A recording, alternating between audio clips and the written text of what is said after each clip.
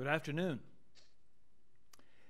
Due to COVID 19, Committee of Adjustment public hearings are being conducted virtually by electronic means through WebEx Webinar, an online digital platform, and streamed on the Toronto City Planning YouTube channel. Participants who have registered in advance will be able to make their presentations to the committee using WebEx, which is moderated by city staff. Anyone wishing to view the hearing may watch on YouTube. Participants who have registered in advance will be connecting via their computer, tablet, smartphone, or telephone. All participants will automatically be muted on entry. When an item is called, each participant will be unmuted by the moderator one at a time. We ask that you also mute your devices until you are called on to speak. Today, Committee of Adjustment is offering attendees the option to appear by video. Those attendees that have registered in advance to attend by video will be temporarily upgraded to panelist when their item is being heard. During this time, your camera will be enabled. You will only be visible during your five minute allocated speaking time. At all other times, your video will be disabled and you will be reinstated as an attendee. Committee of Adjustment staff will share presentations submitted in accordance with written submission deadline. Members of the public and applicants are not allowed to use share screen or any other panelist controls during a video present, uh, appearance. The moderator will remove you from the panelist role if you fail to respect this instruction.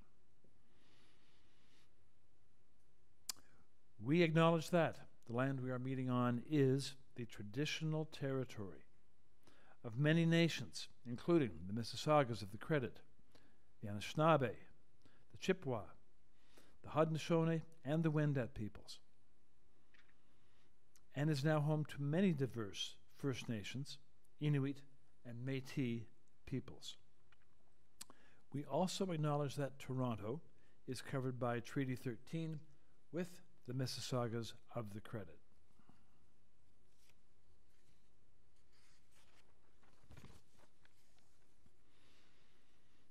In accordance with Sections 45 and 53 of the Planning Act, 1990, as amended, this meeting of the Committee of Adjustment of the City of Toronto is called to order.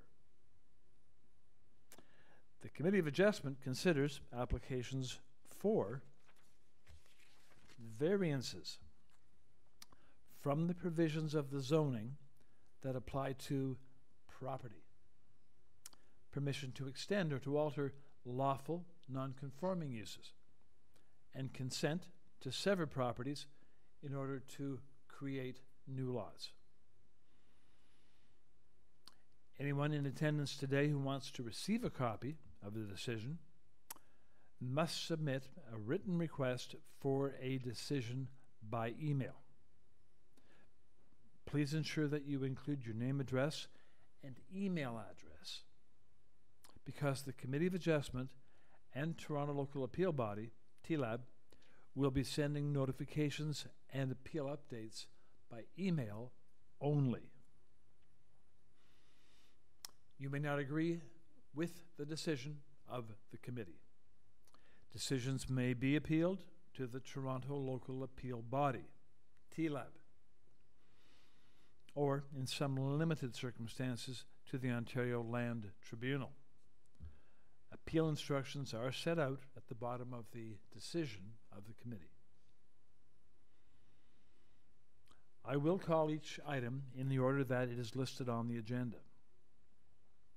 When an application is uncontested, the agent or applicant may proceed with their presentation if requested by the committee. When the committee does not require a presentation, applicants are to advise the chair should they wish to speak to the committee. The committee may ask questions and or take the matter into committee for a decision.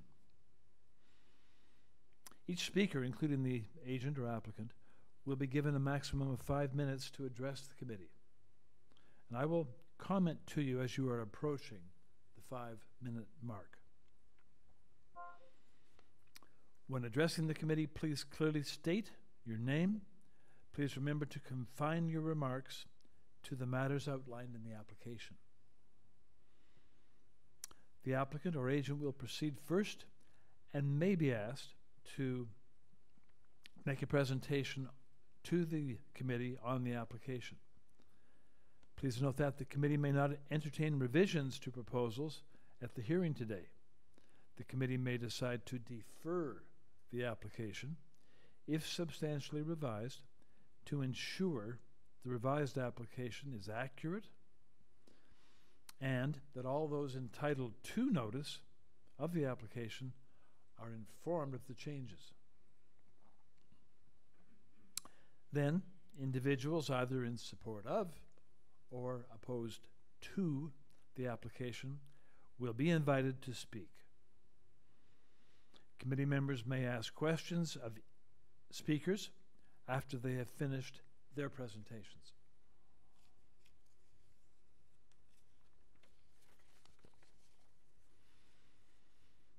When all the speakers are finished, the applicant or agent has an opportunity to rebut, but only to those issues that were raised by the speakers.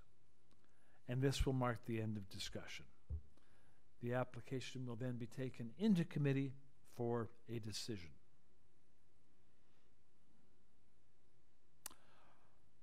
Are there any declarations of interest by panel or staff for items on this time slot? Hearing none, Madam Deputy Secretary Treasurer, have you received any requests for deferral? Good afternoon, Mr. Chair and panel members. Uh, see none for this afternoon. Thank you. And further, Madam Deputy Secretary Treasurer, are there any files to be closed? Through you, Mr. Chair, see none for this afternoon. Thank you.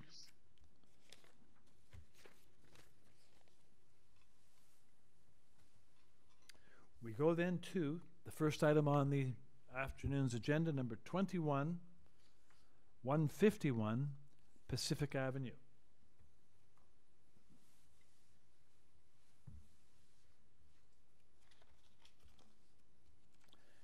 On this application before the committee are the materials submitted by the applicant at the time of submission. There are presentation materials also from the agent at 20, uh, on 24th of August. And there is a staff report from Urban Forestry. So we'll ask the agent, please, to join us by stating your name.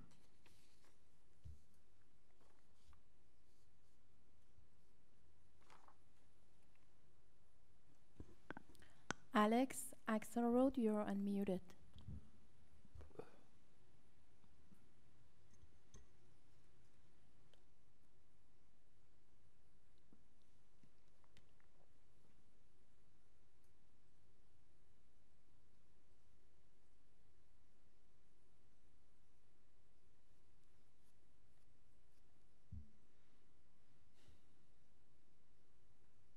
Through you, Mr. Chair, uh, we don't have agent on the line. I tried to contact him several times, but uh, wasn't successful.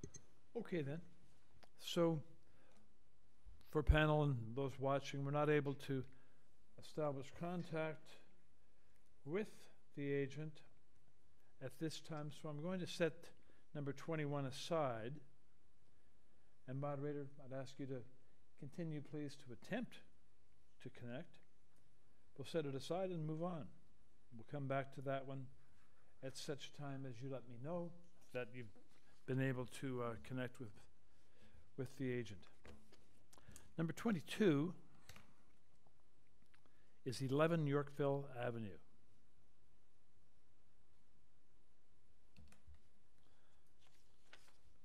Here we have submitted materials. There's a cover letter from the agent, May 11. There's a cover letter from Bousfields Inc. Hi, can you guys hear me? Good afternoon. Okay, um, state your name, please. Zach Watson.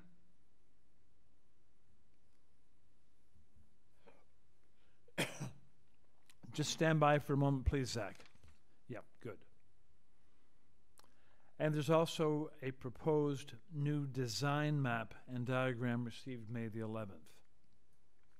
Correct. So, Zach, good. Okay. Good to have you with us. Panel members, any uh, requests for a presentation on this application or questions to put to the agent?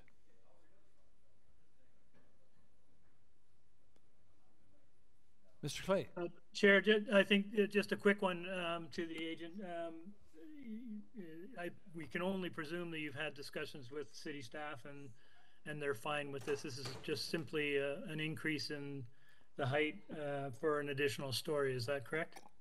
That's correct. I've had discussions with uh, with community planning. They had uh, no comments or opposition with the application. Um, just to be clear, we aren't proposing any overall increase in the height of the building. Uh, the roof slab main is consistently in the previous proposal and the current proposal 213 meters. The parapets are 215 meters, and it's just the additional uh, second internal story above the one penthouse unit. Um, so that height increases. We're we're proposing that height to be increased from 206 meters uh, 200 to 208.96. Okay. I'm hearing no further questions, so let's take the application into committee for a motion, please. Mr. Nipfel, go ahead.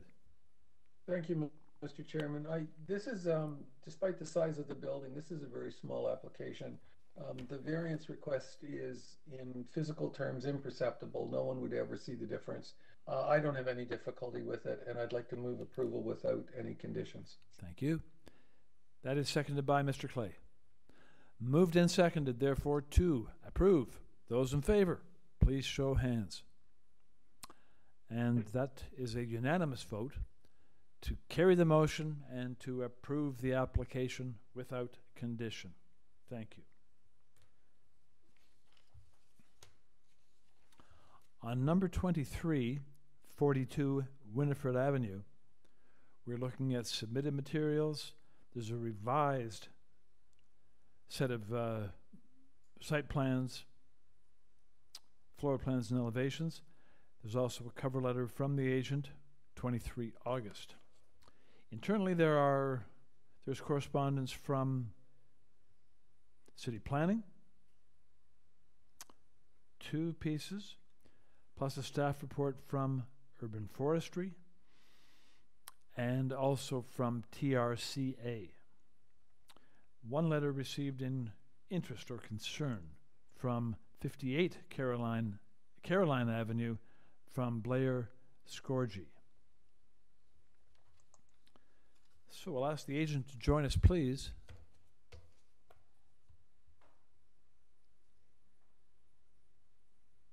My name is Andrew Kells.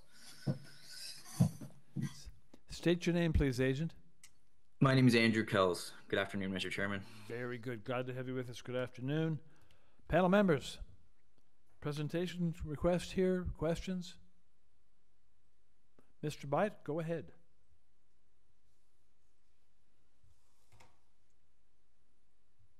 Thank you, Chair. Um, just a couple of quick ones. Uh, um, particularly interested in, I suppose there are two two different pieces. One is um, the, the planning planning uh, email addressing the balconies and screening of balconies, and the other is um, variance number four. Is that an existing condition, or is there something triggering that particular one? So essentially, the uh, existing conditions as is, it does not meet the 25% uh, minimum landscaping rear yard area. So our back and forth with uh, planning basically suggested if we implemented planters to increase the uh, landscape area as well as creating a space for storm management and uh, urban heat island effect, we could, you know, almost meet that threshold for the rear yard. As far as the uh, privacy screening go for those balconies, that was a condition planning uh, suggested to us, and we have no objection to that. Perfect. Thank you.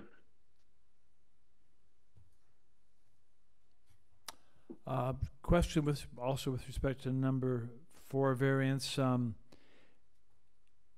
is there any room here at all to improve the deficiency of uh, of eight percent where twenty five percent is is required? D- well, there is, depending on uh, you know how we would go about the actual landscaping itself. Planters is definitely probably the best course of action, but as it stands right now, that 3.5 meters squared in the rear right hand uh, portion of the site is the only soft landscaping. And anything else would mean remediation of that existing patio and uh, potentially, uh, you know, pulling more of it up. Okay. All right. Any other questions, panel? Here. Oh, Just Mr. Byatt first, Mr. Nipfel second.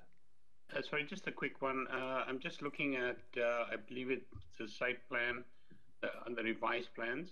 Just at the front, uh, it looks like you've got some brickwork indicated um, just ahead of the proposed uh, enclosed porch. Um, is that um, is what what materials are you proposing to use there, or is that going to be soft landscaping? Yes, so it's, uh, there's already an existing walkway leading up to the front porch that we are proposed to enclose. Um, and we're essentially going to maintain that existing uh, front landscaping. Uh, Is that landscaping? What materials is it? Uh, it uh, you've got a sort of grid pattern there, but I'm not sure what what that is. It's just demonstrating the difference between the uh, uh, the concrete sidewalk, the walkway, and the soft landscaping that is on the front. So it's more shrubs, um, little patch of grass. So that would remain a soft landscape. Correct. Okay, great. Thank you.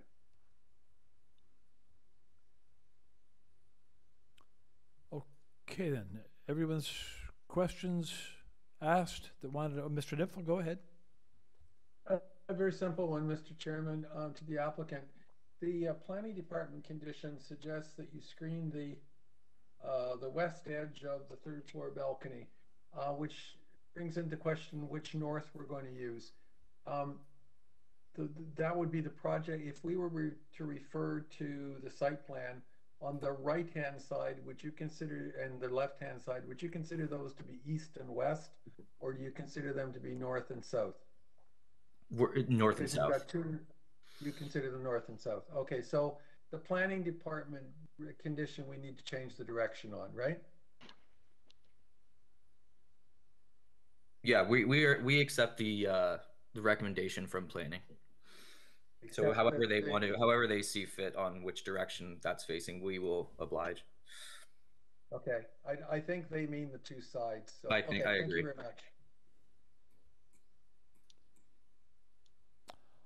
I think we're ready therefore to take this application into committee.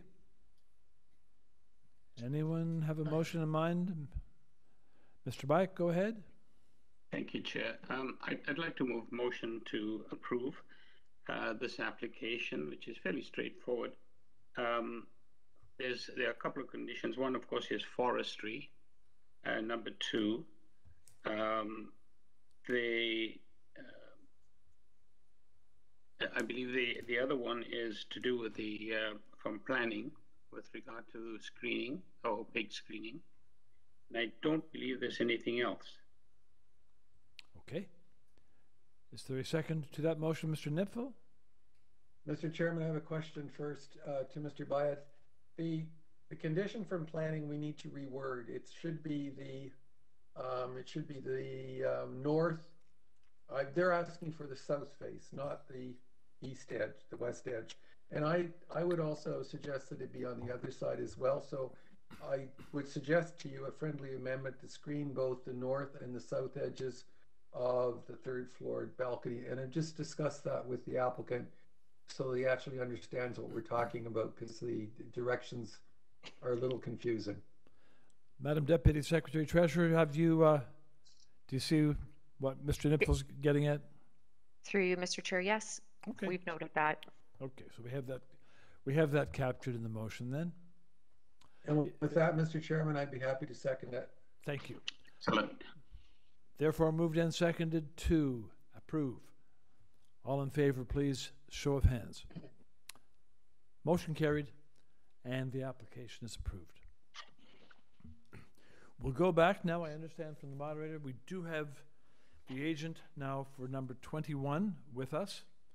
So we'll go back to twenty-one, one fifty-one Pacific Avenue. And I'll ask the agent to join us, please, by stating your name. Uh, hi, my name is Peter Suttard, and my wife is here also, Alice Chu. Good afternoon. Okay. Panel on number 21. Any questions for the agent, Mr. Byatt? Just a quick one. Uh, this is a very straightforward application, and uh, I'm sure the uh, variances one and two are triggered by existing circumstances. I was just going to ask. Uh, I note on your site plan that the planter, the existing planter box, is going to be removed. Um, is it possible to replace it just ahead of the constructed, reconstructed front porch? Uh, yeah, if I heard you correct, you're talking about the planter box. Yes. Yes, uh, our plan is indeed to fill that with uh, delicious cherry tomatoes once more. Wonderful. Thank you. Mr. Nipfel? Thank you, Mr. Chairman. Um, the, um, existing condition, however, has the planter box going right to the edge of the porch rather than providing what looks like a walkway between the driveway and the porch. And the, and the walkway that's shown doesn't actually connect to the end of the stairs anyway. So is the proposal actually to reduce the amount of soft landscaping over the existing condition?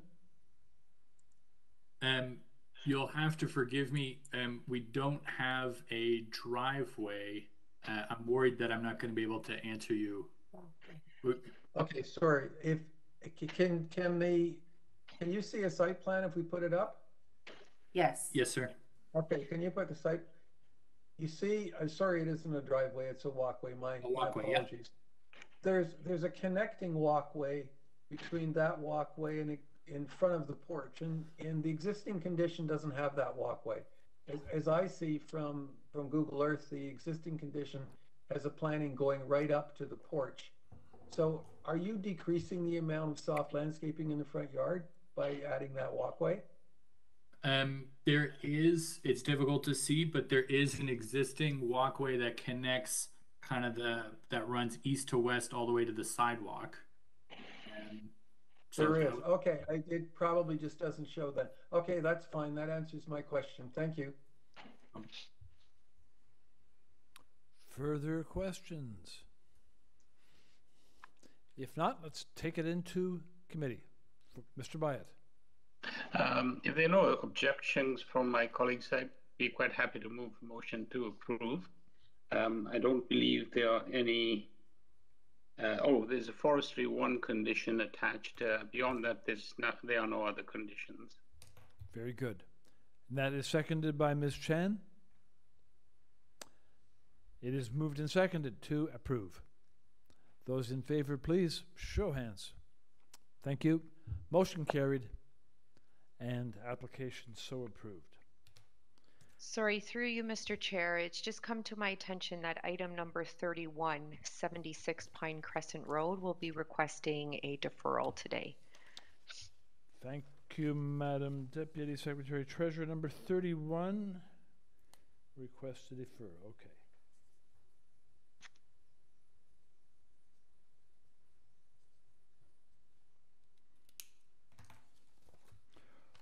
Very good.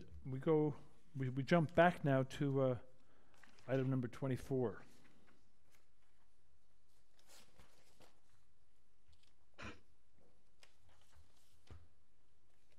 Twelve forty-seven Dundas Street West. Here we have submitted materials, two photographs, a report from city planning, Correspondence in support, 1249, Dundas West. Also an eight signature petition supporting 3742 Grove Ave, 262, 263, 265, 268 Dovercourt. In opposition, there are two pieces of communication from uh, Gail Super and Eric Hubel dating back to August. Okay. And moderator, do we have do we have uh, Gail Super standing by to speak? We do. Very good. Let's have the agent join us then. Good afternoon, uh, Edward Lee, um, the architect and agent uh, for the application. Very good. Edward, you have five minutes to present your application to the panel. Yes. Um, a straightforward application for a rear patio uh, to an existing um, eating establishment on Dundas Street West. Um, this rear yard is um, um, adjacent to a multi-story Abacus condo building. Um, and because of the orientation of the lot relative to the network of laneways uh, behind the property, um, the owners felt that it was a reasonable proposal to um, ask for permission for this to be used as a uh, rear patio uh, adjacent to residential lots. Um, we had a lot of uh, correspondence with planning staff um, on whether they would support this before moving ahead with the minor variance application. Um, and ultimately, uh, you know, it depended on obviously support from the immediate neighbors. Um, the tenants, um, the operators, Grape Witches, are beloved in the neighborhood and by the community. Um, a lot of the neighbors are actually patrons of theirs. Um, so it was no problem for, for the owners to get lots of support. Um, obviously, we had to reach out to the immediate neighbors directly to the south. Uh, the first, uh, the closest house to the rear patio at 54 uh, Grove uh, had no opposition. Uh, they did not sign the petition, but they uh, reassured us that they didn't have any concerns with our application. Um, pretty much every house within the 60 meter radius was contacted. Um, most of them just declined to support, but did not have any um, concerns. the one neighbor that did write in with concerns um, is 38 uh, Grove. Um, there are nine houses down the laneway, um, which I estimated is in excess of 60 meters from the patio. Um, so we respect her concerns uh, in her letter, but uh, believe that her property is well beyond um, distance from the patio. Um, I think that the location of this patio, surrounded by garages, makes it actually less impactful on neighbors. Um, and obviously the uh, planning staff uh, recommend the typical um, operating conditions, which uh, we of course accept. Um, there also were um, communication with planning staff about privacy from the patio. Uh, and I was able to successfully demonstrate that um, views to and from the patio are limited to um, looking out across at the garages of the homes on Grove and that there are actually no sight lines uh, to and from the patio to anyone's uh, private home. Um, so that's one of the concerns. I've been before committee several times for these rear patio applications and um, the distance, uh, the minor variance uh, that we're requesting, 7.46 meters, um, is to the lot line, but it's always important to consider what, por- what part of the lot is actually um, within view um, of the patio. So planning staff um, didn't have any concerns from a privacy standpoint, um, which is why the uh, standard conditions are the only conditions that they've included in their planning report. Um, and happy to answer any questions committee uh, may have. Mr. Nipfel. Thank you, Mr. Chairman. If, excuse me, if you were to clarify or uh, to accommodate the bylaws that currently exists, what would that uh, mean in terms of the size and the um, extent of the patio? Can you, with reference to the site plan, how big would it be? Uh, well, the re requirement is 30 meters. So uh, you can see at the bottom right, the bubbled in 7.6 uh, meters. Uh, we aligned the 1.8 meter privacy fence with the back of the condo building. So directly adjacent to this patio is the loading dock, uh, sorry, the parking garage for the Abacus condo. Um, so it just seemed like a natural point to um, have the fence line. Um, so the 7.6 meters um, is to the portion of the residential lot uh, where parking um, is currently is. Um, and there's actually a garage in front of that parking area. So the actual views um, and sound that would actually um, impact the actual home at 54 Grove uh, would have to actually turn the corner and go down the laneway to actually, um, you know, be heard or have views um, from the actual house. But, so to answer your question, um, you can. How I mean, just scaling off I'm this. Trying to figure out whether you'd have any.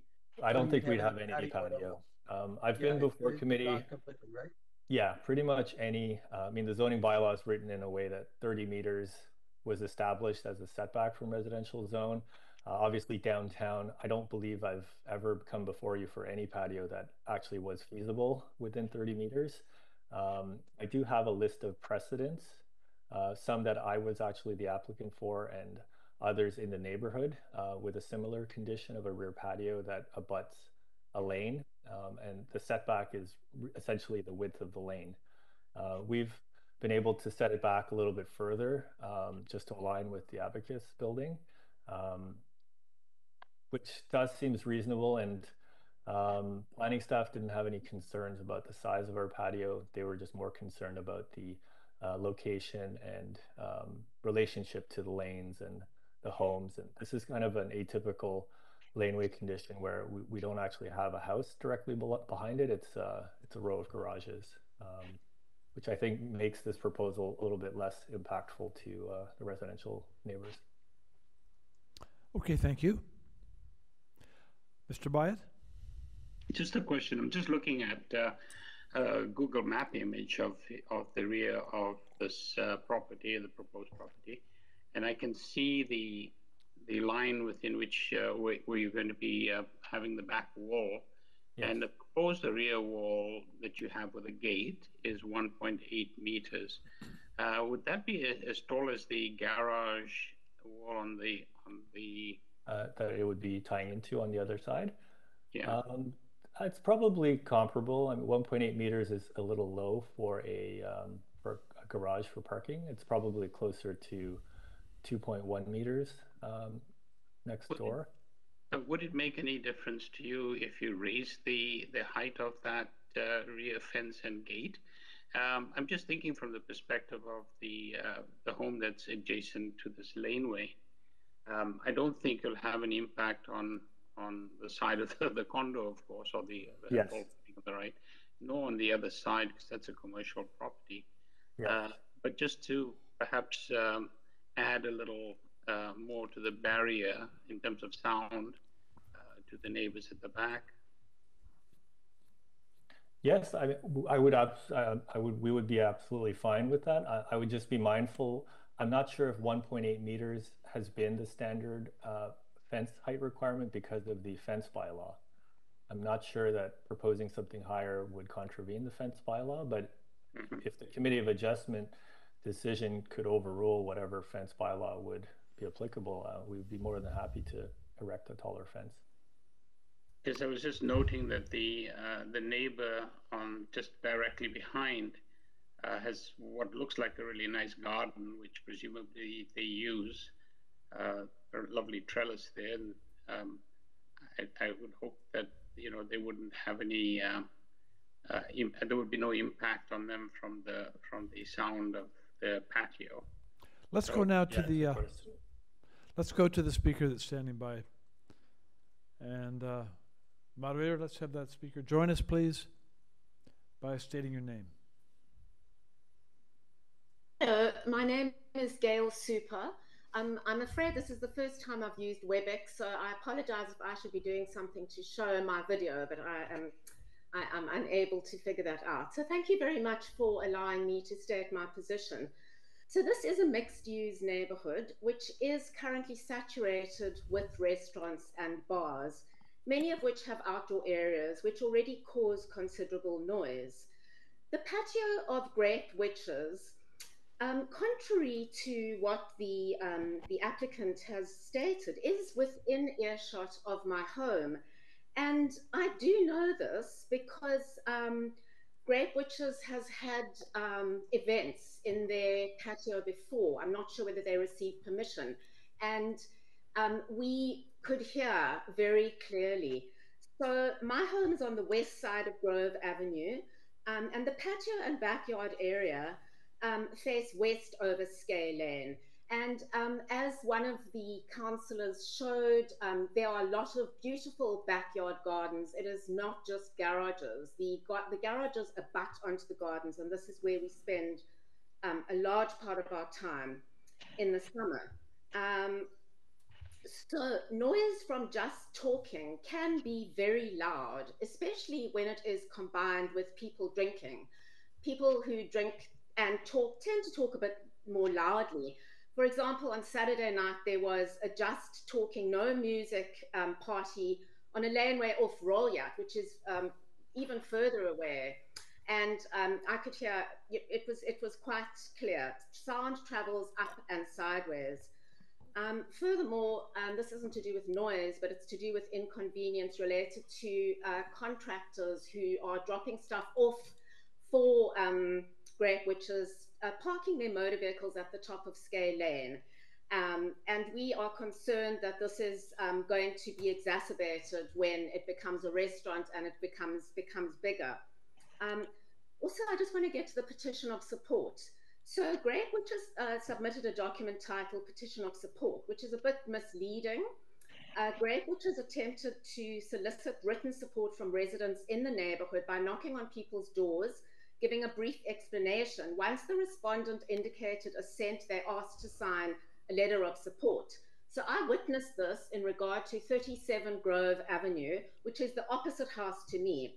So as an indication of how sound travels, I could actually, I was sitting on my front porch and I could hear the conversation. The Grape Witches reps didn't mention the noise levels, didn't mention potential parking issues, and didn't mention the number of patrons that will now be accommodated in this new space. Um, in any event, this respondent's home is probably unaffected because she's on the east side of Grove Avenue and doesn't have a garden, um, you know, facing onto Skay Lane. The only other person on Grove Avenue who signed the petition is at 42. I spoke to him. He told me that he felt overwhelmed and unable to, to say no. He was similarly immediately asked to sign the letter and, in fact, was given a $25 gift card. He said he hadn't discussed it with his wife even. I later spoke to his I'll, wife. I'll ask you, please. I'll ask you, please, to if you could to focus on the the uh, the, the impact of this proposal potentially on your Yes. property if it was to go ahead. Yes. Okay. So um, I've, I've, I've made a uh, I've made mention about the noise, but I think it's important to look at the procedure as well. And the planner uh, or the applicant did um, refer to the extensive amount of support, and I'm actually disputing that there's an extensive amount from support because if you look at this petition, it's only signed by eight people, two of which live on Grove. The rest of them live on um, Dovercourt one of the people who lives on uh, and on Dovercourt, there's the laneway housing. So there is also laneway housing on the opposite side of I'll, Road. I'll ask you to, to land- I shall ask you, please, to um, address your comments to the impact of this proposal on uh, Okay, so- on your. all right. So the impact of the proposal is that it is in fact going to affect the quality of my enjoyment of my property. It's very noisy. They've had parties before, and I've heard them. Um, I have a work space overlooking my garden. We we always use the garden in the summer. And on top of it all, I don't feel that Grape Witches has been completely transparent in saying that there is a whole lot of support because the only support that there is, it comes from Dovercourt, which is far, far away. I'll. I'll ask you now for your your con- I'll ask you now for your concluding comments, please.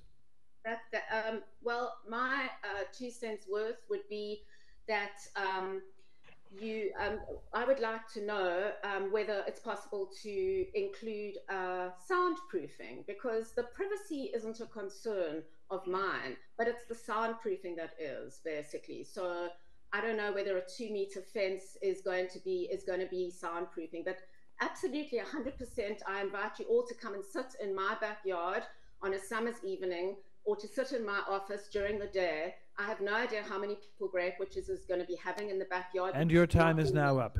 Thank you. Thank you. Panel members, questions, if you have them, for this speaker, please. Okay. Let's return then to the agent, who will have an opportunity now to respond in rebuttal. Thank you. Um, thank you. Uh, I mean, with all respect to uh, Gail Soper and uh, her concerns, um, everyone's tolerance for noise in a downtown neighborhood is different. Um, I think it's important to point out that um, 38 Grove is nine houses down from the laneway. Um, if she can hear noise nine houses down, I'm sure there's a lot of other sounds in the neighborhood that she's displeased about. Um, um, Grape Witches have had events, um, you know, special occasion permits um, during pandemic, post-pandemic, um, whatever they've needed to survive. Um, it's it's obviously I think uh, committee is sympathetic that restaurants have had a rough go and they're just trying to take advantage of the outdoor times and um, and obviously I'm before committee quite often for these rear patios for that specific reason. regarding the neighbors uh, questioning of the or characterization of our kind of support. Um, Witches um, were since the beginning very upfront that they wanted to reach out to all the neighbors the earliest possible. They were um, upfront. Every, I mean, the business has been there for a while, so everybody knows them. Um, any of the neighbors who chose not to sign um, the letter of support, um, some of them were people that had no concerns but just chose not to want to put their name on paper uh, which which um, Grape Witches owners obviously understood, and um, I told them to just reach out to everyone, just as the the, the notices are sent to everyone within 60 meters, and um, if anyone had any concerns, that was ultimately the goal of going door to door to hear about anybody's concerns, talk them out ahead of time. Um, so, you know, generally, I would say that uh, even though we don't have everyone's support on paper, um, we did reach out to everyone, and the fact that there's only one neighbor nine houses down that's actually submitted uh, correspondence okay. objecting, um, I think is telling that um, this is something that people who live, you know, within a block of Dundas Street West are um, realistic. That you know there are there is a lot of life on Dundas. Dundas has gentrified tremendously in the last few years. Some hate it, some um, think it's great for the for the city. Um, um, so, I mean, at the end of the okay. day, I mean, we're open to doing something. To Let's see if the panel has questions for yeah, you. Sure. Panel members, any questions for the applicant?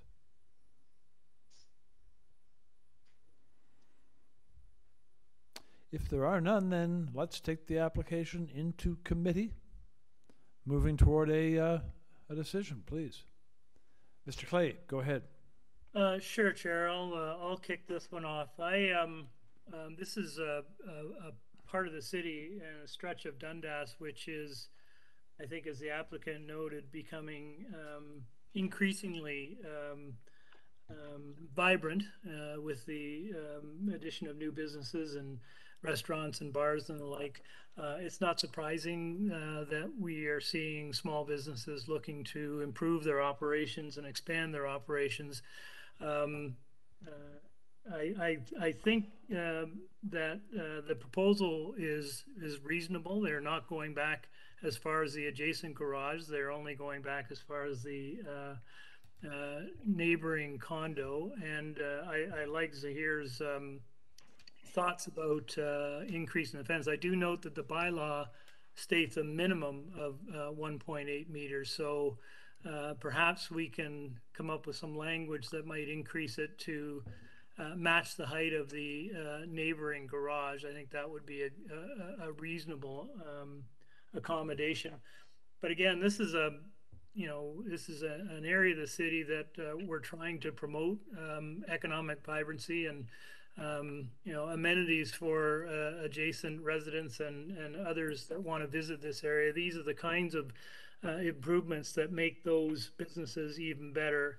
I think it's a supportable application, particularly given uh, the city's uh, three uh, conditions, which I think would help minimize um, sound uh, traveling in and around that area. Uh, and I'm pretty sure the applicant would be open to doing other sorts of things that might help sound attenuation. So I, I think it's a supportable application. Mr. Byatt, followed by Mr. or by Ms. Chan, followed by Mr. Nipfel. Uh, thank you, Chair. I, I, just like Larry, I, I, noted that the planning staff report talks up at least 1.8, not uh, there's no restriction on the upper upper end of it. I think that would certainly help. Um, and the the other piece is, uh, you know, perhaps the applicant uh, may want to uh, apply some low tech um, soundproofing or soundproofing materials on the walls of this particular patio so that the sound sound is absorbed before it leaves. Um, but as Larry has pointed out, uh, you know, Dundas is a main thoroughfare with lots and lots of growing activity, especially at the commercial level.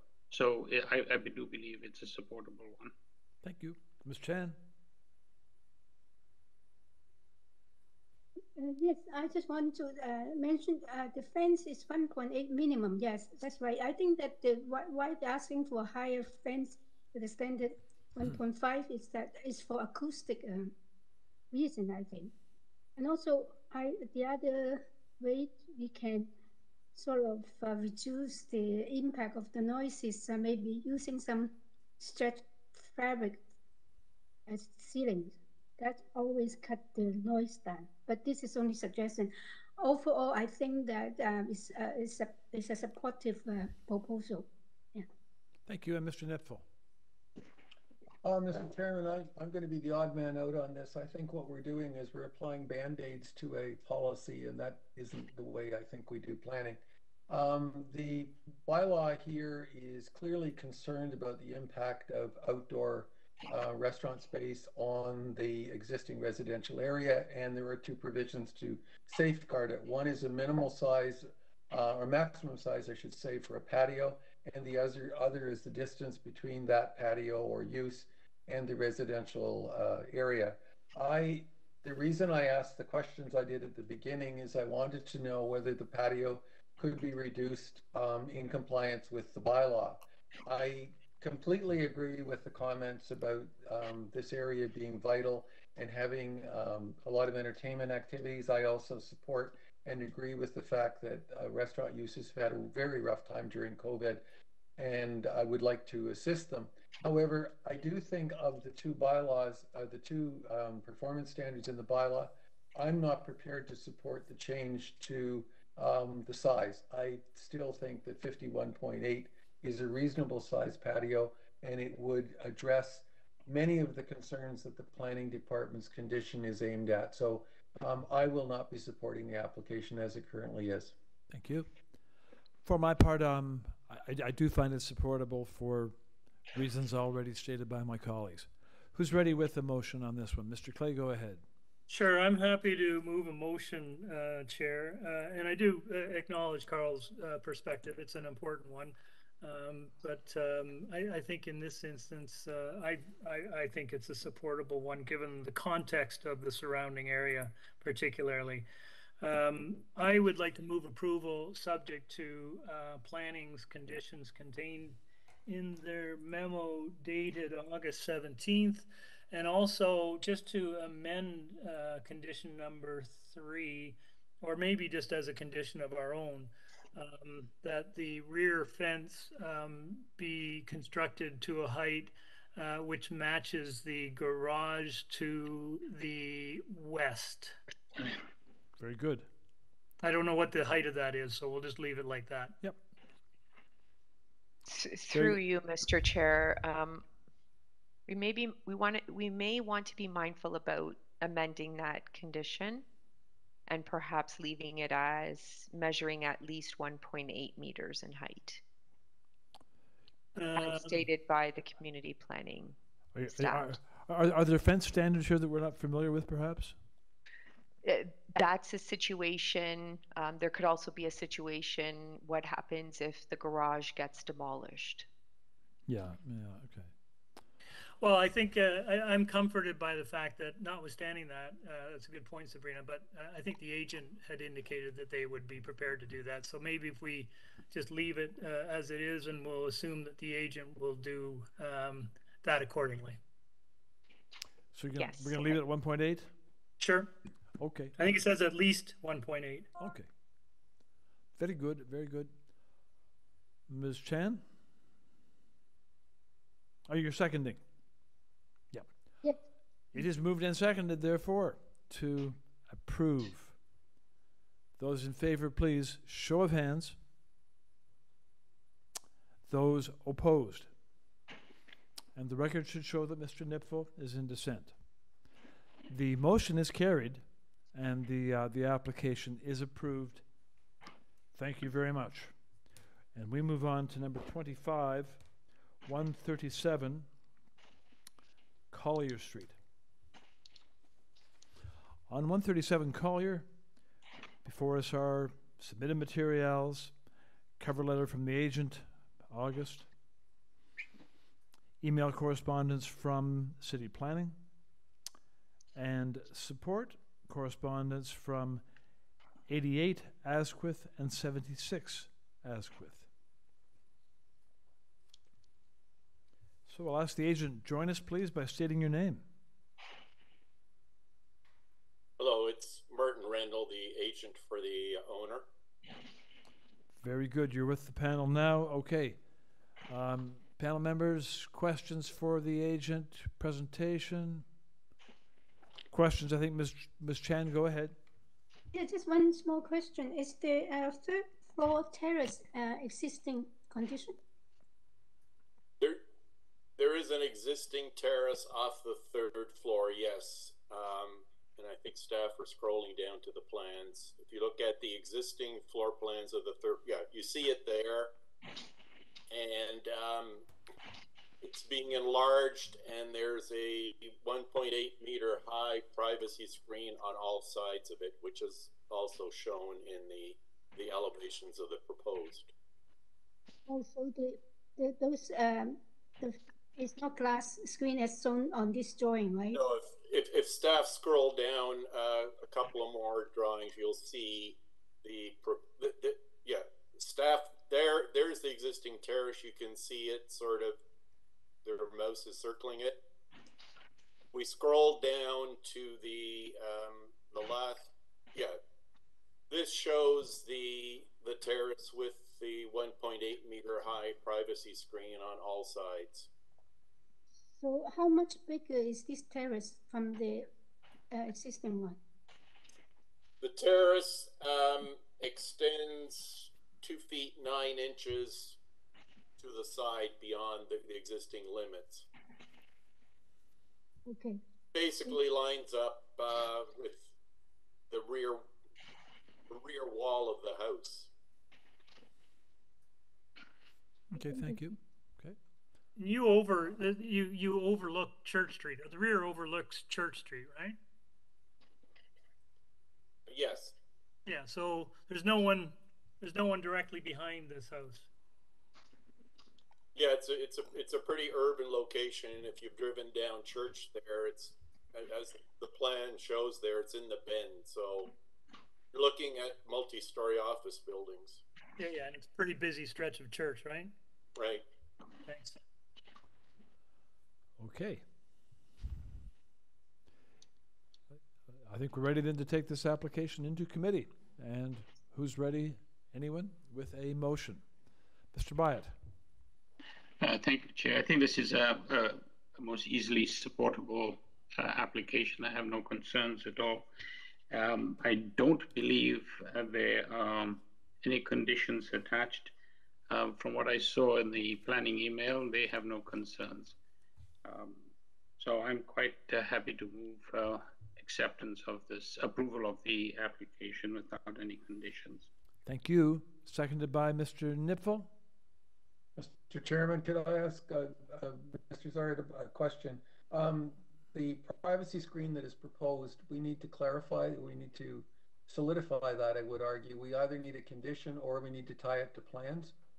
I agree. Uh, I think we can tie it to plan. Okay. For the elevation, it's elevation, yeah. Through you, Mr. Chair, then that would be Plan A five zero five as well as A five zero six, and that shows the Right. side and rear elevation plan. Perfect. Thank you.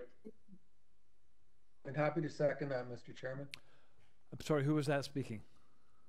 That was Carl. Mr. Nipfel? Okay. Moved and seconded, therefore, to approve. Those in favor, please show hands. And that is a unanimous vote. Motion's carried, the application's approved.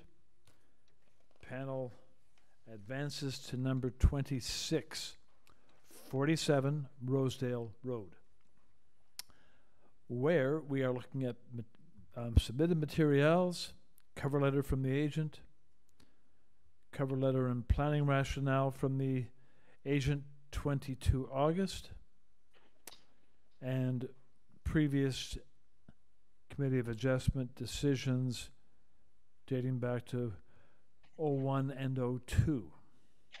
There is a report from TRCA and three form letters in support 49 Rosedale and 73 and 83 Crescent Road.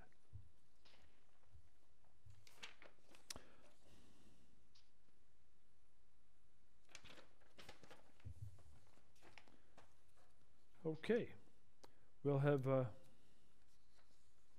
or we shall ask the agent to join us, please.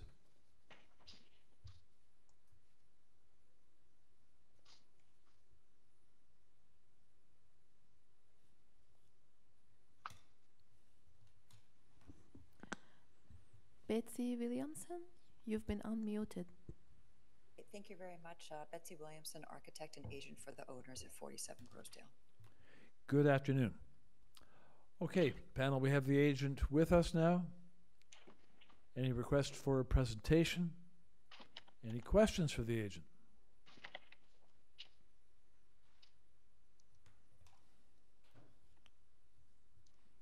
I'm not hearing any questions, nor is there a request for a presentation.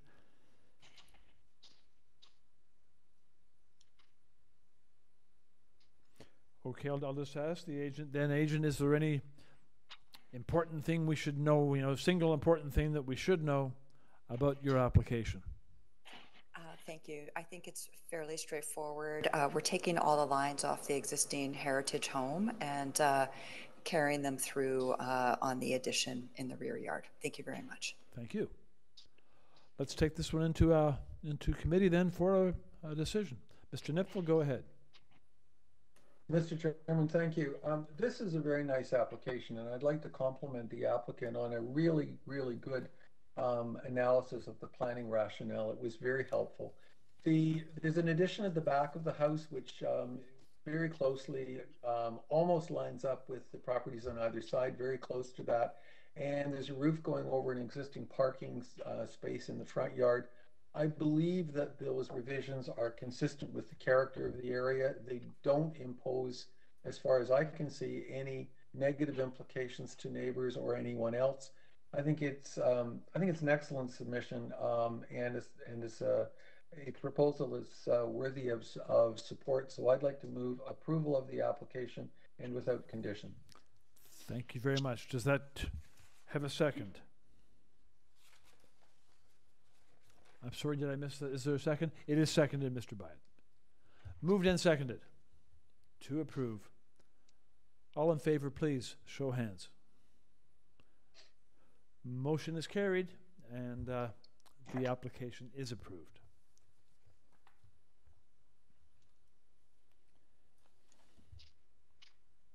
Number 27 is 20 Russett Avenue.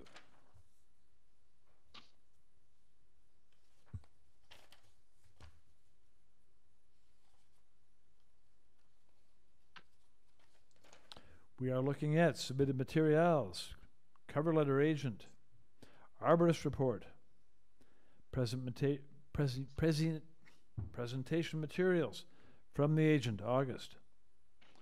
There is a letter from Counselor uh, Ana Bailão, 16th of August. There is support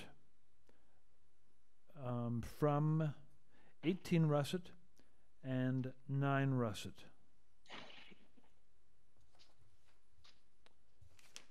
Okay. Agent for this application, please join us by stating your name.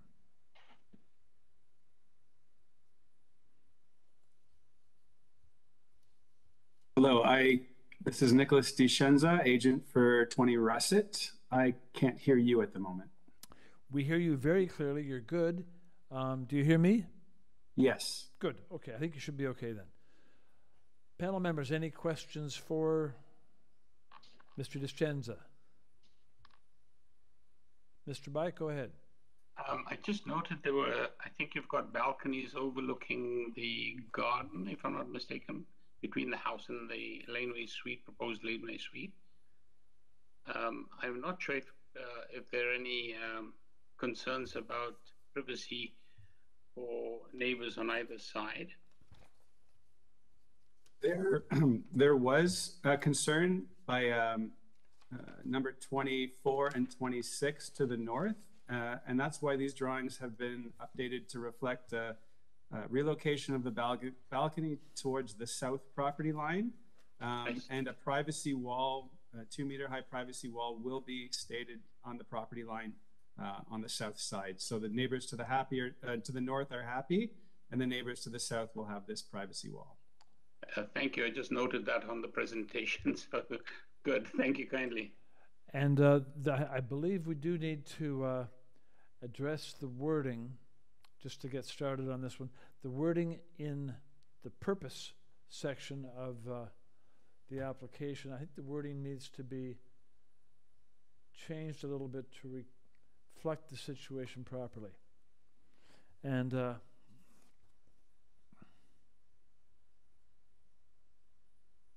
there's only one balcony on the south side, isn't that correct? Correct. One balcony facing the laneway side had been removed. So the wording should be changed. East facing balcony only. East facing balcony only. With with second story east second story east balcony? Yeah. Correct. So we could, we could just take out the words and west and change balconies to balcony. Yeah. It's complete set. Through you, Mr. Chair, we've noted that. Thank you. Okay, good. Panel members, any uh, further questions for agent? Not hearing any. Let's go into committee on this one then. Mr. Clay? Uh, sure, uh, Chair. i uh, I think this is a, a, really nice design for a laneway suite. I'd like to just uh, acknowledge and compliment the agent or the owners uh, for uh, doing exactly what we kind of hope happens in these situations where there is a concern by neighbors. They sit down and they hammer out a satisfactory arrangement, which I think they've achieved in this case. So good on you guys. I think it's a an attractive design.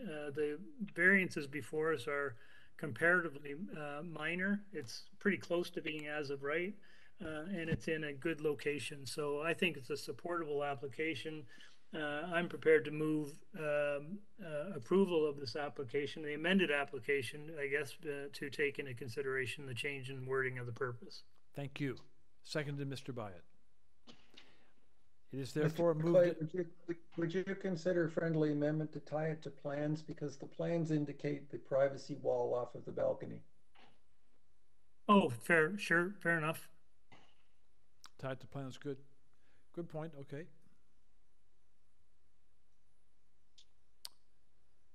It is therefore moved and seconded to approve the amended application or the amended motion? Those in favor, please. Show of hands. And the motion, the amended motion is carried. The application is approved. Thank you. Number 28, 206, Rosemary.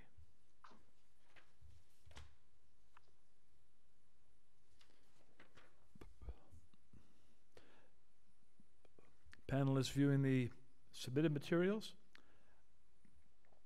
an arborist report that comes with a tree protection plan, and a cover letter from the agent, August 24th. We have email correspondence from Transportation. And we do have opposition correspondence from 210 Rosemary from Mr. Joseph Palazzi. So, let's have the agent join us, please. State your name. Yes, good afternoon. My name is Richard Lee Brack. I'm the architect for the, uh, sorry, agent for the owner this afternoon. Thank you. Okay, so panel, um, there is there is no one registered in opposition here. So if you have, does anyone require or would anyone like a presentation? No. Anyone have questions for the agent? Mr. Byatt, go. Uh, yes, please. Just uh, I wonder if the agent could just speak to um, variances uh, 10 and 11 with regard to landscaping. what what's triggering these? Thank you for the question. Um, the owner wanted to retain the existing driveway configuration, and in so doing, um, it triggered these variances. So the existing situation, uh, there's a configuration. If you can, if you can sort of check out the uh, the site plan, um, this is the result of keeping that configuration. That is paving to the north boundary and uh, within the existing driveway. Uh, um, if I may just ask a question, uh, given that this is going to be a new build, we have the opportunity to maximize um, landscaping, especially for drainage purposes. Is any thought uh, given to how this um, may be mitigated and, increase, and so increase the landscaping uh, requirements? Actually, forgive me, I'm so sorry. Um, I, I, meant to um, amend the variances to eliminate the need for variances 10 and 11. Do not go. require those variances any longer. Okay, most important, let's just slow down for a moment. We'll backtrack. Oh, sorry about that. Okay. Now, that, that's very important. And so we're going to backtrack and uh, make sure that staff have captured this and that uh, we're all looking at the same the same application. Okay, Mhm. so Through you, Mr. Chair, staff have captured the removal of variance number 10 and variance number 11. okay, so it's now a, a revised application. Okay. Uh, Chair? Yes. Uh, quick question. So, um, in looking at the variances, the ones that I think stick out mostly for me are the length and depth. Um, uh, I'm going to assume that part of the reason it's longer and deeper is because of the covered terrace at the rear. Is that correct? Are you addressing me? Um, yes, yes. The question is to you, applicant. Yes, uh, no, actually, no. Um, the there's uh, some variances for some uh, living space underground, which are obviously not influencing uh, anything above ground, um, and another one uh, for length refers to the length of, or sorry, the depth of the building. If you refer to um, variance number four, um, I just want to call your attention to the configuration of the plan such that the actual depth when measured from the required front yard setback to the main rear wall is 20.07. The requirement is 19. Where we're getting the extra length is in that um, if you can, I don't know if you have access to the ground floor plan, that is a uh, breakfast room. So for a portion of the first floor plan, uh, go down a bit, please. There is the additional uh, 2.34 meters. Uh, one more down, please. Uh, sorry, yes. There's a, uh, a city, like a breakfast room at the back. So there's an additional 2.34 meters, which refers to that uh, projection only. Uh, so really, we but the overall depth is 22.41.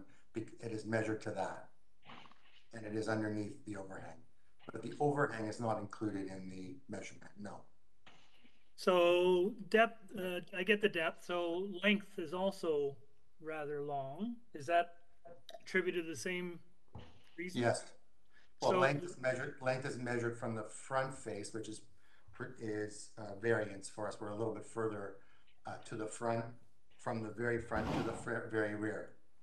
Um, That's, that is the math, yes. So if you added in the covered terrace, the length would be even Yes. greater. Yeah, How, uh, how, how deep is the covered terrace? An additional 3.5 meters. Uh, have you discussed this with both of the adjacent neighbors? I noticed that, um, I didn't see any correspondence from them. Yes, thank you for asking. Actually, we did meet, uh, sorry, we did correspond with both neighbors. Uh, the neighbor to the south was pleased that the house was being, the, the, uh, our south wall was being located uh, further away than the current uh, distance of the property line. And the north neighbor did have some concerns, yes, indeed. And actually asked us to prepare a shadow study, which we did do. We met with them online and presented it, and they were quite pleased with the results of that. There's a, a lot of growth um, between the two properties, and so this design does not contribute any more than the existing growth, some high trees and so on between the properties. And we were able to show in our uh, sun study that we do not have any further deleterious effects that bother them or of concern to them. So in that regard, yes, we did meet with them. Um, and uh, they were, they did want us to check into that. We did do that. And for that reason, they do not have any objection to this proposal. Okay, thank you. Mr. Byatt?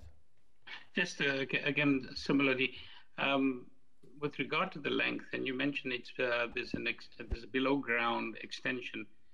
Is that the portion that's under the what's on? I think on one of the plans, it's indicating as eating room. So the area, so the way that um, the bylaw requires to measure length is to everything connected to the house above or below grade. And so, yes, that additional length of 26 meters is below ground. It's not. um, and it's not the full. Sorry to interrupt. Uh, it's not the full width of the house. It's only that portion that's under the um, breakfast area, eating area. Is that Um, can I call your attention to the elevations? I think it would be helpful. Uh, the, the last two drawings. You can see the way that the house is, is massed here. Um, just while I'm at it, I just wanted to state to it, uh, at the front, you can see, um, let's say, no, not that elevation. The next one, please. Next one. is it A three point four? Yeah, it's a little, tr- it's a little difficult to view sideways. I, I apologize. That's one I'm. Yeah, that's right. So you can see that, oh, are you able to rotate it? That'd be really great. Yeah, I've got it on my screen as well. That's perfect. Yeah, sure. So you can see at the front, the house is sort of uh, wedding caked. It, it, the second floor is set back. The third, Right. floor, the third floor is set back further with a traditional slope roof. And at the back, uh, whoop, there we go. Um, and, and, and the back is also sloped from, from the first, second, and third floors. What you're seeing are uh, modesty walls. There's a hatched modesty wall and a further modesty wall on the third floor. So they're hatched, right? But you can see the relationship of the covered porch to the area below ground. Great. Thank you very, very much. Further questions? Mr. Nipfel, go ahead. Thank you, Mr. Chairman. Could you tell me the surface of the existing driveway? I, I'm surprised that it doesn't require a, a, a variance, but you're, you're actually very close to the bylaw. I'm just wondering what the material is. The material of the existing driveway is, is I, bel- I believe it's an interlocking brick. Is it, do you know if it's porous? Is it the sort of thing that will absorb moisture? Well, um, I don't really know if it absorbs moisture, but I, I, I no longer require those variances. I don't know if that's what you're asking, but the existing paving is, is sloped to the street. It sort of slopes up. Yeah, no, the only reason I was, uh, even, even though, um, if the landscape, if you don't have a landscape, uh, a variance requirement, we, we would prefer that most paving be, um, be porous so that, uh, it doesn't create water. I just wanted to know what the surface there was. So you say Yeah, it's an interlocking. Yeah, I, think the, I think the owner would be um, amenable to that if, if you wanted to put a condition saying that notwithstanding that we don't have a front yard landscaping variance, I don't know if, if you can recommend, um, but we would be, we'd be happy to look at a uh, permeable paving scenario there. I don't think they would have a problem with that. Thank you very much. Oh, and can I ask you one other question? Sure. Um, the balcony on the third floor and the balcony on the second floor both have modesty walls, which we should capture in any approval of this application. Uh, we can do it either with words or by tying an application approval to the plans. I'd be inclined in this case to tie it to the plans. Do you have any difficulty with that? No, I don't, I don't, I accept that. That would be fine. Thank you. Very good. Let's take this application then into committee and move toward a decision. Anyone ready with a motion? Mr. Nipfel, proceed. Thank you, Mr. Chairman. Um, to Mr. Clay's point, this is a very deep, um, building. Uh, But I think it's been designed in a way that tries to overcome any kind of difficulties that that might, uh, generate. Um, it's stepped like a wedding cake in both directions. Um, there's been concern for privacy with, uh, what the applicant referred to as modesty walls, which is the protrusion of an existing wall out to provide for privacy um, screening. Uh, I I think that um, the proposal is is in many ways commendable, notwithstanding the fact that it's um, it's very long. Uh, I I think he's done a good job in in fitting it into its context. I'd like to move approval of the application, subject to tying the approval to plans and to the front driveway being um, in uh, permeable pavers As amended. as amended. Yes, sorry. As amended, yes. Mr. Clay, you seconding? Mr. Clay is seconding. It is therefore moved and seconded to approve the revised application as described by Mr. Nipfel. All those in favor, please, show of hands. That vote is unanimous. The motion's carried and the application is so approved. Thank you.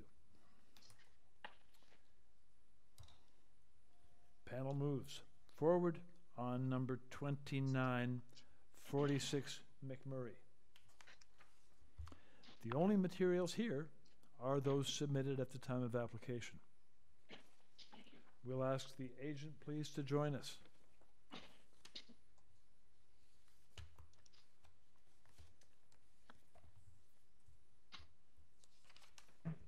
I'm the uh, agent for this application. Mr. Enriquez, yes, I think we, we missed the start of your name. It's Tony?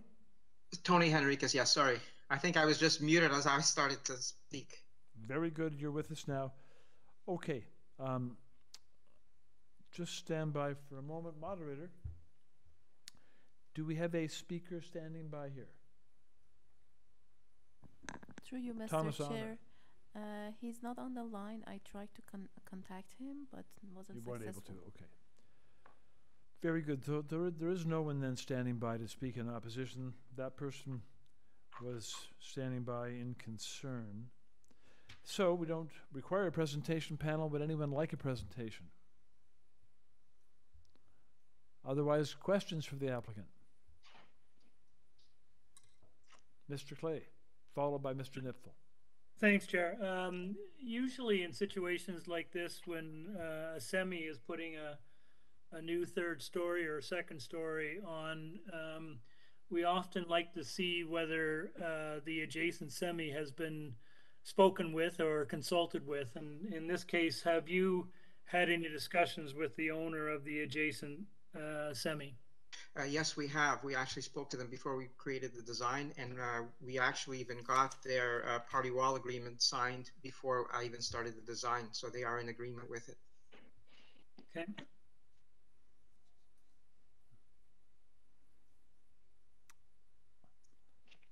Mr. Nipfel, you had a question?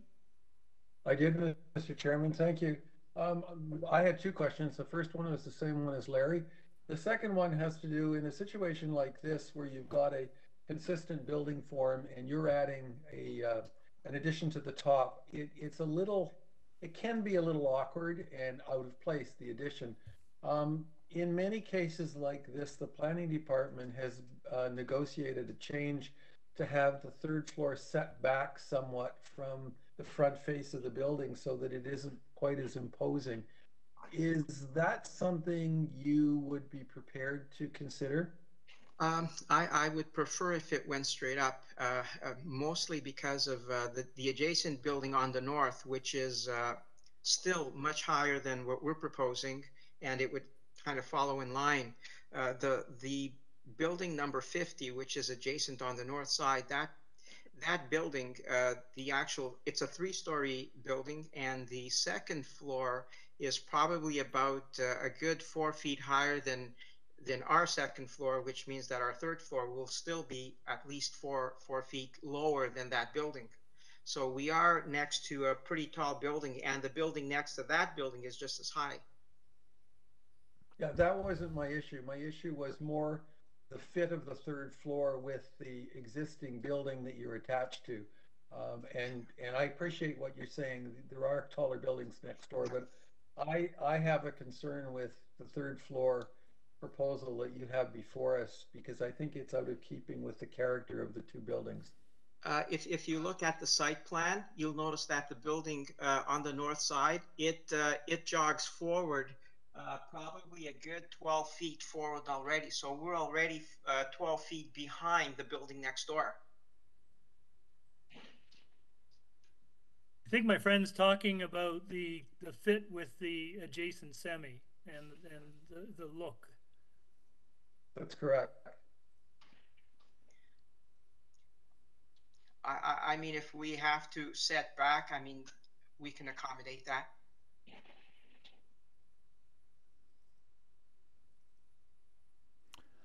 Okay. Um, other questions, panel? Not hearing any, so uh, let's let's take this one into committee for, I think, some discussion. Um, I see what Mr. Nipfel's getting at, and I, I, just wonder how we would how we would uh, do that. So, Ms. Uh, Ms. Chan, go ahead, please. I have the same question, uh, just to say that to set back, but I do not think that we can just do it right here and know how much setback. Mm-hmm. And we uh, almost doing a, a redesign. Um, so I, I don't know whether we can do that. But the uh, proposed as it is, I think I can support it because uh, because they said that the other semi is in agreement first of all, and what they have they're asking, I I think that they it, they are quite reasonable. So I can support this uh, application. You can support as it stands, Mr. Clay. Yeah, uh, I think I agree with that. I, I totally get where Carl's coming from. Um, my concern would be is amending these plans on the fly, or, and and also consistency because I think if we uh, as a committee um, do this in this instance, then we would almost have to do it in every instance because it's the same argument. So uh, I'm not sure. And, and, in this case, it's context. I, I, I agree that this, the adjacent semi is okay, and that other building on the other side is is quite large and looming. So I don't think this will stand out uh, in a way, for example, where there was a series of row houses and it would be the only one on that street that would project uh, that high. So I, I, I, get what you're saying, Carl. I, I, just I'm not sure that's a that's a that's a hill I want to drive down right now. Carl, how, how would you propose doing that in the course of this this decision? What what you have uh, in mind? I agree with I agree with Yim's comment. I certainly wouldn't want to propose to redesign this on the fly, and I think that would be totally inappropriate. Um, when we've had this in the past, I've been on panels where we've had exactly this in the past. Um, the applications have been deferred for the applicant to um, to reconsider the third floor, and in most cases, um, the recommendation has come from the planning department. Uh, I believe, I have real trouble with this, and I believe my position is consistent with what planning has normally recommended in these conditions. So I, just to clarify, I'm not suggesting that we come up with some arbitrary number to set the third floor back. I think the only way that this could be accommodated is a deferral and a redesign of the third floor. Um, but I, like Yim, don't want to just pick a number and say set it back. But I, I can't support it as it is. I think it's really intrusive. Okay. Is there here any, any comments? Uh, I, I, again, uh, very much um, in concert with uh, Yim and Larry. I think it's hard to to ask the uh, applicant at this point to go back to the drawing board, and I don't know if that's my place in for me, just speaking for myself, to suggest that they go back to the drawing board. Uh, as Larry pointed out, this house is set back a fair bit from the street front. Uh, the one neighbor to the one side is the, the structure is quite imposing. So I don't think this particular design will will uh, uh, detract from from uh, anybody's uh, level of comfort, if you like, um, streetscape wise. So I'm quite happy to to move forward with this motion as is. I don't believe there were any conditions other than our discussion. Okay, from my point, um, I would like to have seen that third story, sa- same area, simply move back, um, e- even move back a meter or a meter and a half from the front. I think it would have been actually quite attractive. There would have been room for a, a front uh, balcony or something there, perhaps. But I, uh, yeah, I, would I would have preferred to have seen it move back. Um, by about a meter or a meter and a half. Okay, who's ready with a motion? Yim, go ahead. And I, I yeah, I'm, I'm seconding the motion for approval. Oh, I'm sorry, I don't know that we have a motion yet. We don't quite have a motion unless I, unless I missed it. Was there a motion by you, Mr. Byatt? Uh, not quite, but I'm happy Okay. to move one if, uh, and if uh, you will second, that's fine. I'd like to move a Okay, I motion. will second, yeah. Um, and I don't believe there are any conditions attached, if I'm not mistaken. Okay. Motion to approve Mr. Byatt, seconded Ms. Chan. It is therefore moved and seconded to approve. Those in favor, please show hands. Those opposed, please show of hands. And let the record show that Mr. Nipfel and Mr. Mullock were in dissent. Um, the motion carries and the application is so approved. And with that, panel moves along to uh, number 30, 87 Logan Ave. We've got the submitted materials. We've got presentation materials from 24th of August, agent. There's a variety of decisions that relate to properties on Logan, Carlaw, and Morse.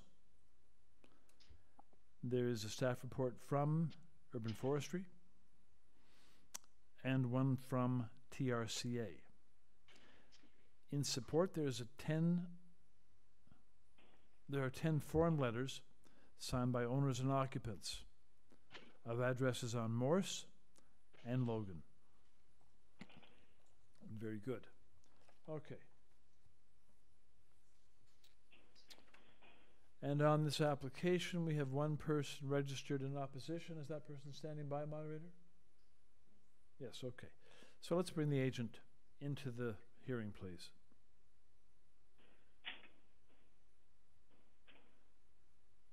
Hello? Good afternoon. State your name, yes, please. good afternoon. My name is Leo Mastandre. I'm the agent for the owners at 87 Logan. Leo, you have uh, five minutes to present your application to the panel. Go ahead. Yes, so um, we've been dealing with um, Toronto Region Conservation, and they are now um, in well, they have no objections to our application. Um, we're okay with um, forestry's uh, conditions, and planning did not have any concerns regarding this application. I did um, submit uh, 10 support letters, one from the adjacent neighbor at um, 89, and um, I submitted some photos and some decisions that are similar to what we're asking for. And um, I believe this does meet the four tests, and if you have any questions, I can answer them.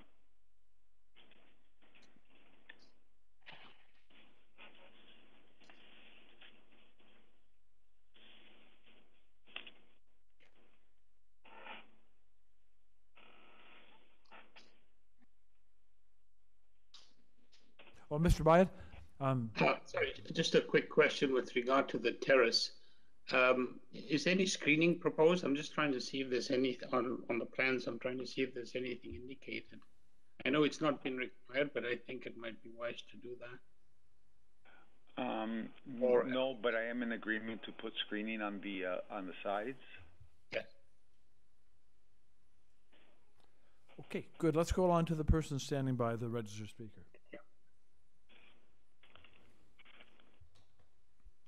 Hi, my name is Matthew. I am uh, current, the current uh, resident of 85 Logan, and um, I just wanted to Matthew, ask, Matthew, um, Matthew, excuse me for interrupting. Would you mind, please, stating your full name? oh, Matthew Young. Very good. Okay. Go ahead, please. Uh, like I said, I am the current resident of 85 Logan. Um, I just had a quick question. Uh, when we were presented with the information, um, it was the application and in terms of the uh, architectural and site plans. Um, I know obviously at this time during the application process, maybe not all tie-in details um, have been developed or, or um, um, maybe not all engineering had been finalized. The only concerns is that um, my wife and I um, have our the the snowdrift potential due to the additional um, um, the additional uh, third floor, as well as um, the just uh, the engineering required for the underpinning of the for the addition of the extension on the kitchen. And thirdly, the like you said, the neighboring houses that do are three stories high do have privacy screens. And in listening to a couple of the applica- other applications that have gone through during this hearing, um, it is it is something that um, I wanted to just flag. I don't think that's a big a big concern, but uh, I wanted like to have it noted anyways. Very good. Questions panel for this speaker.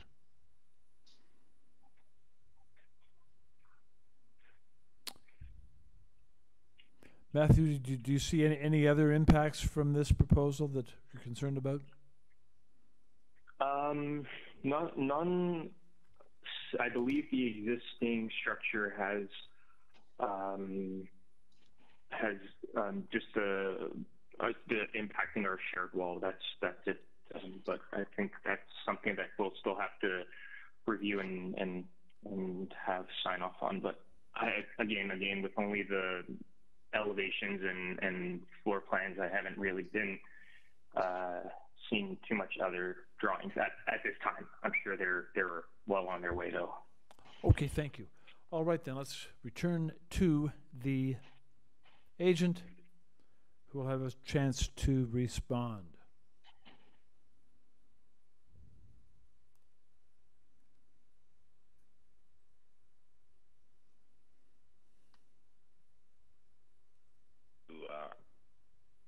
Uh, hello. You're back with us. Go ahead.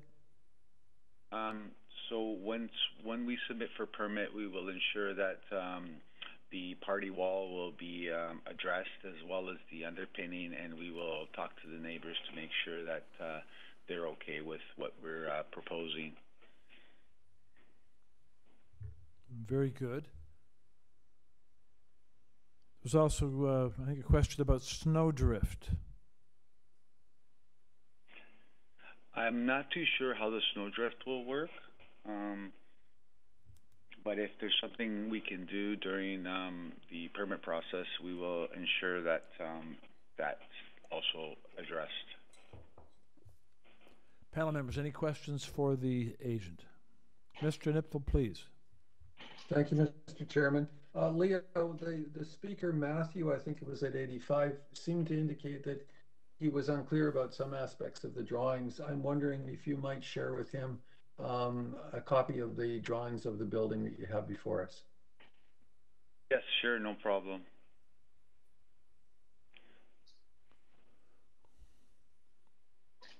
If there are no further questions for the agent, then let's take this application into committee.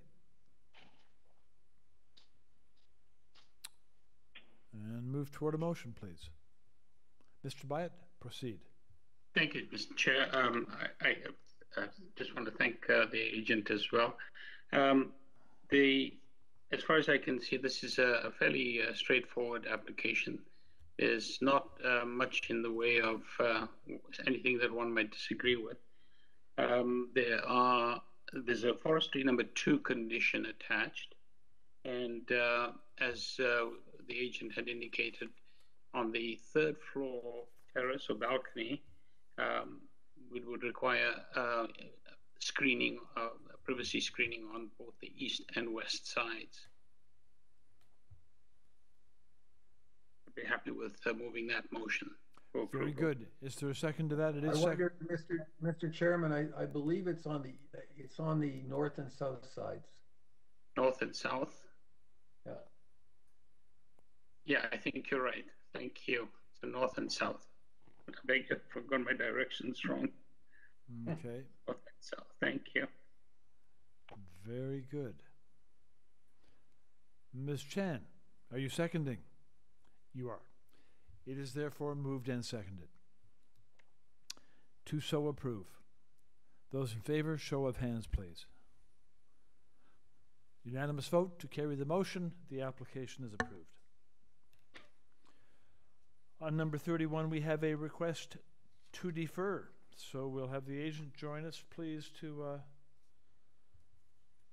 let us know what the plan is, what the thought is on deferral. Skeen. I'm the agent for uh, 76 Pinecrest Avenue. Yes, tell us, please, why you would like to defer the application. Yes, um, I, this is a property that backs onto a ravine uh, handled by RNFP, not by uh, TRCA. Uh, Ravines has some concerns about the project, so we're happy to work with them. And in fact, we have a phone call booked for tomorrow uh, with staff. And also, a few letters have come in from neighbors. And basically, I can see solutions to everyone's concerns, and we just need a little time to work that out. Okay, so the plan would be to confer with neighbors and see what what things you might do to uh, mitigate concerns. Correct. Okay. Panel members, there's the reasoning. Um, it's up to you to decide on this request to defer. Ms. Chan, go ahead. I think the deferral is also uh, so that they can uh, address the urban forestry uh, uh, uh discussions. They're going to work with the urban forestry. Yeah. That's correct. So move for I move for uh, deferral. Very good. That they, yeah. It is seconded by Mr. Byatt. Moved and seconded, therefore, to defer. All in favor? Sorry, through you, Mr. Chair. Um, was there anybody on the line in concern that we needed to just talk to? Thank you, Madam Deputy Secretary Treasurer. Let's just check on that. If there is, I'm sorry. I'm just checking now. Pardon me. Okay.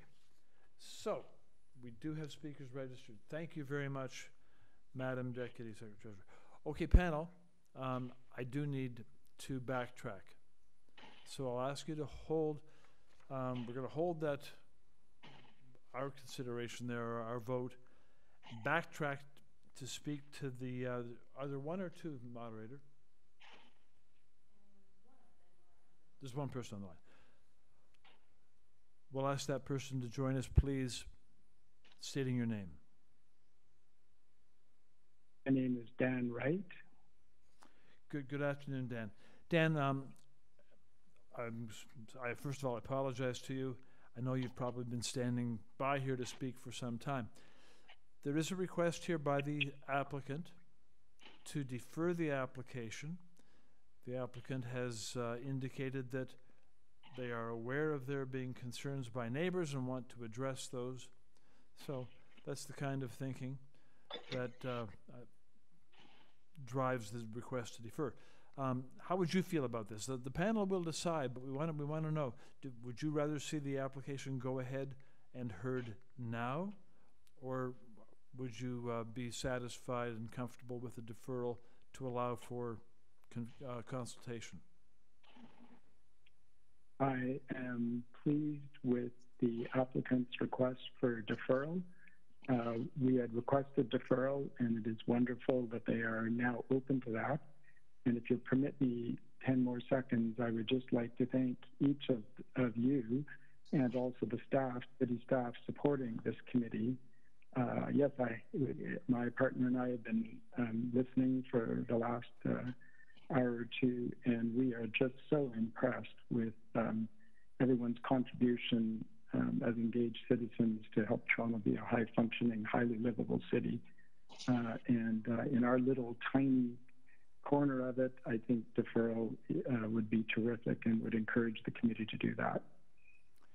Dan, thank you for your uh, your uh, comment there. We appreciate it. We really do. And uh, so we shall now return to the committee, and um, that speaker is very happy to see the application deferred. So let's go back. Ms. Chan? Thank you for those comments. Uh, Yes. Make us happy for sure. And then I would like to move deferral uh, with the mentioned reasons. All right, we're, we're, going back now to uh, to into committee to come up with a motion. Is there a motion on this application? It is. Ms. Chan, go ahead. I thought I already, yeah. Uh, the motion to defer, yeah. Thank you. So that they can, yeah, make more uh, consultation and also work with the urban forestry. Yeah. Very good. Seconded. It is seconded, Mr. Byatt. It is therefore moved and seconded to defer. All in favor, please show hands. And there's a unanimous vote to carry that motion. The application is deferred.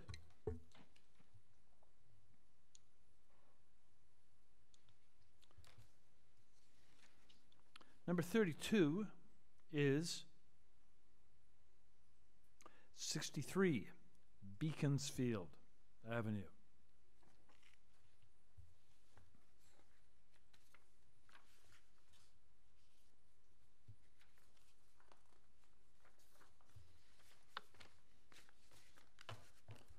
On 63 Beaconsfield, materials before us include those submitted at application time, plus presentation material from the agent 2nd of August.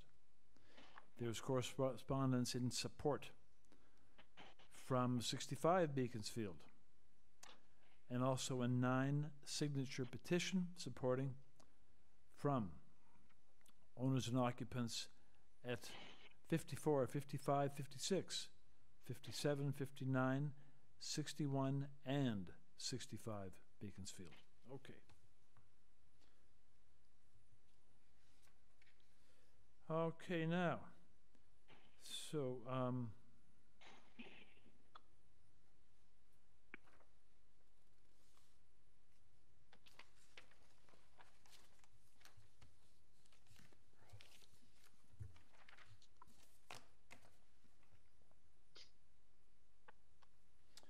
let's have the agent join us. Please just state your name. Uh, good afternoon, committee members. My name is Bart Soki, and I'm the architect and agent for the owners of 63 Beaconsfield. Good afternoon. Okay, panel members, any uh, any requests here for a presentation or questions for the architect? Mr. Nipfel, go ahead. Thank you, Mr. Chairman. Um, we have amongst the uh, the uh, information that's been provided by neighbors a request from 60 or a comment from number 65 saying they were concerned but they'd withdraw their application um, because you've agreed to increase the privacy on the privacy screen to 1.8 meters. If we were to go to the proposed third floor plan, is it just on just the slatted area that's shown in the drawing, or what is the screening on the rest of the deck? Uh, we did uh, submit some additional plans to, uh, to indicate that uh, uh, that higher screen. Yes, those, those I may have missed that. Just a second. I've got that here as well. Mm-hmm. Okay, I've got on the additional plans. It's this pretty well the same. Is it A point zero seven? Yes. Uh, so what it indicates, you know, on the plans and elevations that is that the uh, the screen between 63 and 65 is raised to uh, 1.8 meters. And what about the rest of it? The rest of it's lower, right? The, the rest of it is lower, yes. How how high is the rest of the screening? Uh, the rest of it is uh, uh, the 1070, you know, you know 1.07 um, meters uh, to, you know, as a code minimum for regards.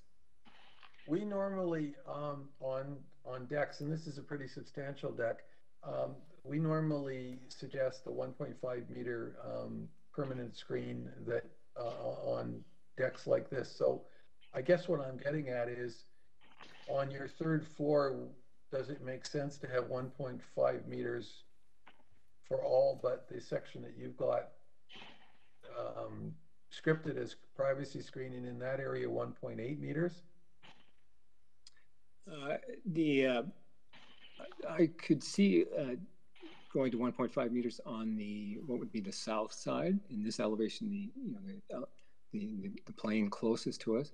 Um, yeah. On the on the east side to the to the laneway, I uh, I think we would prefer to keep it at the height that it's uh, currently shown in the drawings. So if we were to, in order to try and capture this in any decision, um, we would say a 1.5 meter screen on the south side, and then uh, unless we call up all of your plans, would we then say that the private screen on the north side is 1.8 meters? That's correct. Okay, thanks. Thank you, Mr. Chairman. Thank you. Any other questions? Hearing none. Let's take the application into committee for a motion. Ms. Chan, go ahead. I just want to uh, have one comment. I, I, I do not, uh, although it's only one variance in front of us and it's got nothing to do with the rooftop terrace, and which I don't think I can support. The reason is that it's a very narrow site and it's uh, it's also got uh, uh, that almost like houses that were close to each other.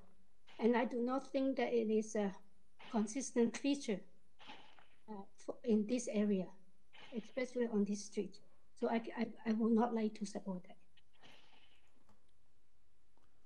Okay. Sorry, can I just get some clarity? You're, you're uncomfortable because of the length? No, it's the rooftop. Only oh, just, the, the size. Yeah, the, uh, it is a very narrow uh, lot, so it, it, it got houses very close to each other, and I think that the size of the rooftop uh, uh, terrace is just too much, and I do not think that it is a, a common feature on the street. Um, I just do not. I, I I mean I can. It's kind of weird because um, they only have one variance, so which I do not uh, think that is a uh, a big deal, but um, but, but it is still like for me. Yes, so, the rooftop terrace is a bit too big for me. But it, but we we don't have a variance dealing with that before us, though, right? Yes. So, so it's you're... kind of weird. So I, I, as the design, I do not think that I can support it unless Are... they remove the or reduce the size of the rooftop. Well, you know that that would relate to your to your uh, view of the desirability of the application. So uh, I think that's I think that's I think it's a legitimate position. No, I, am just trying to understand it, Chair. I, I, so you you're not supporting the application as a whole. Yeah, because what it is is uh, the the roof terrace. To me, it is a big part of the design. That's what it, it stands out to me that it, uh, um, but uh, it's not part of the vari- uh, require any variances. So in order to not to support the design, I have to so so uh, turn turn down the application. No, it's a legitimate point, Chair. Could I just, um, I think this, is, you know, Yim ma- raises a good point. Could we just ask the applicant, are there any other rooftop terraces in the, the nearby vicinity? Or Okay, third well- floor terraces, I guess. Hello, applicant?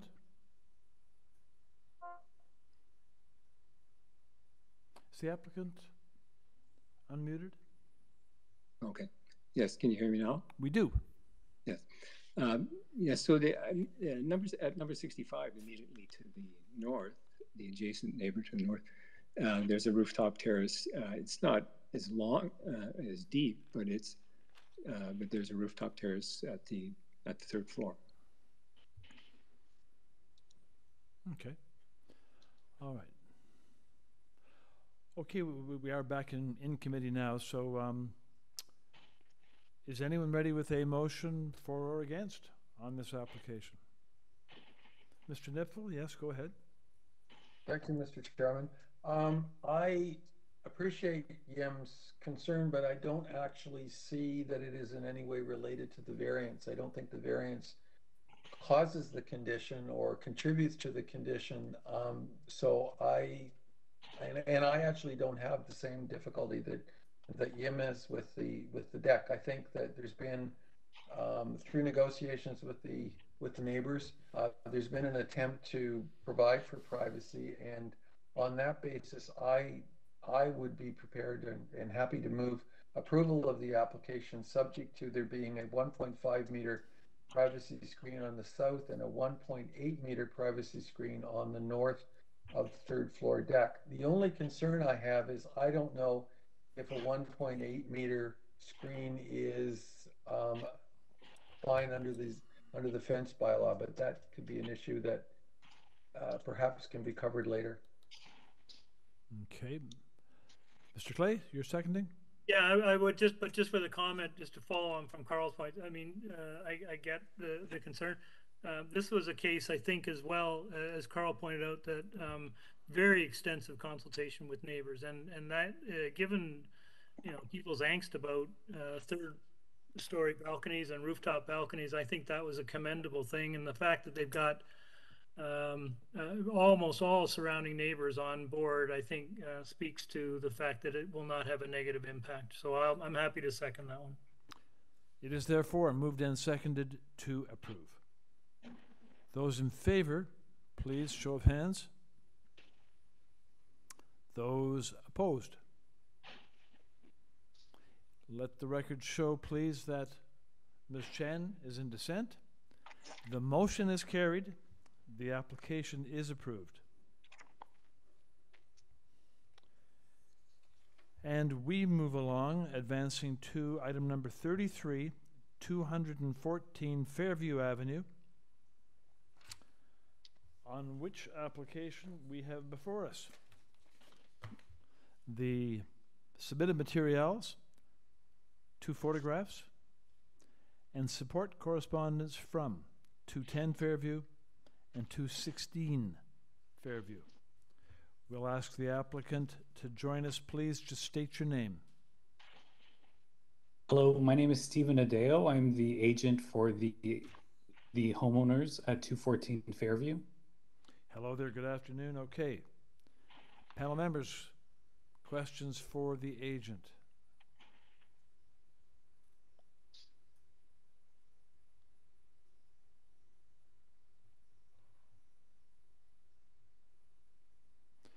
Mr. Adeo, I'll ask you, is there any particular thing about your application? If you just had one thing to tell us that we should, that we should know about your application?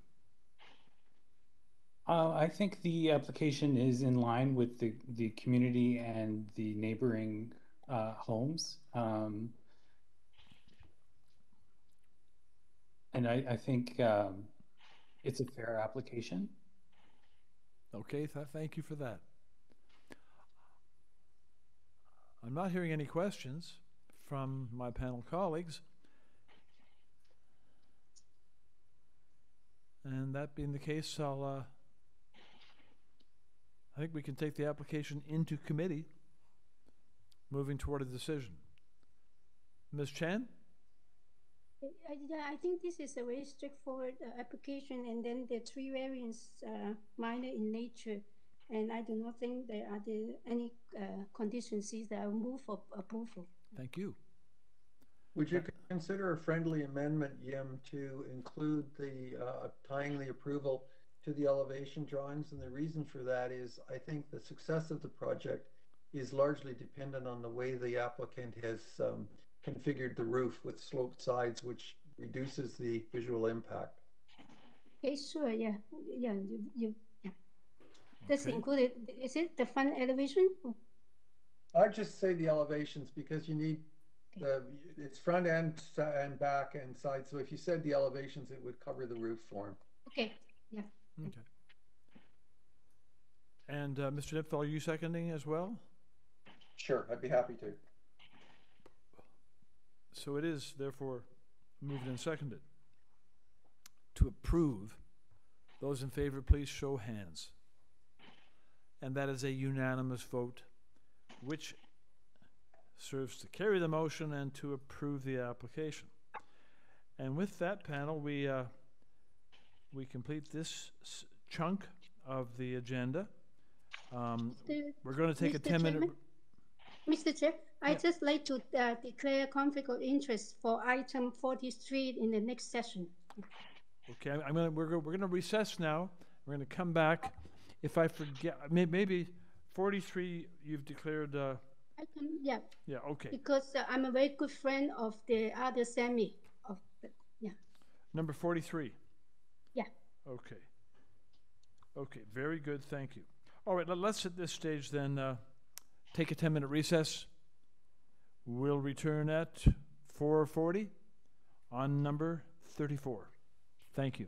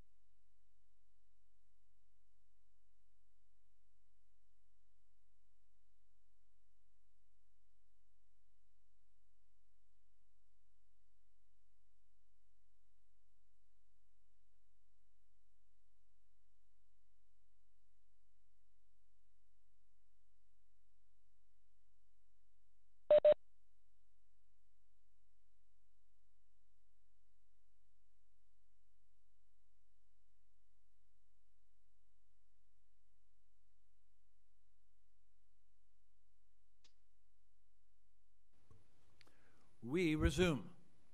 And we go, back now, uh, return to the hearing on item number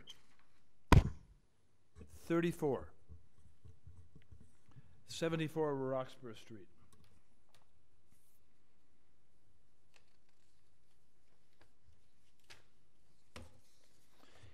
Here we are looking at those materials submitted by the applicant. Five photographs of trees on the property. A 2001 committee decision relating to the property. There's a staff report from Urban Forestry and another from Transportation Services.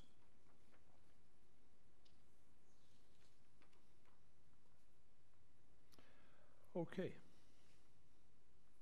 We'll have the agent join us now. Please state your name.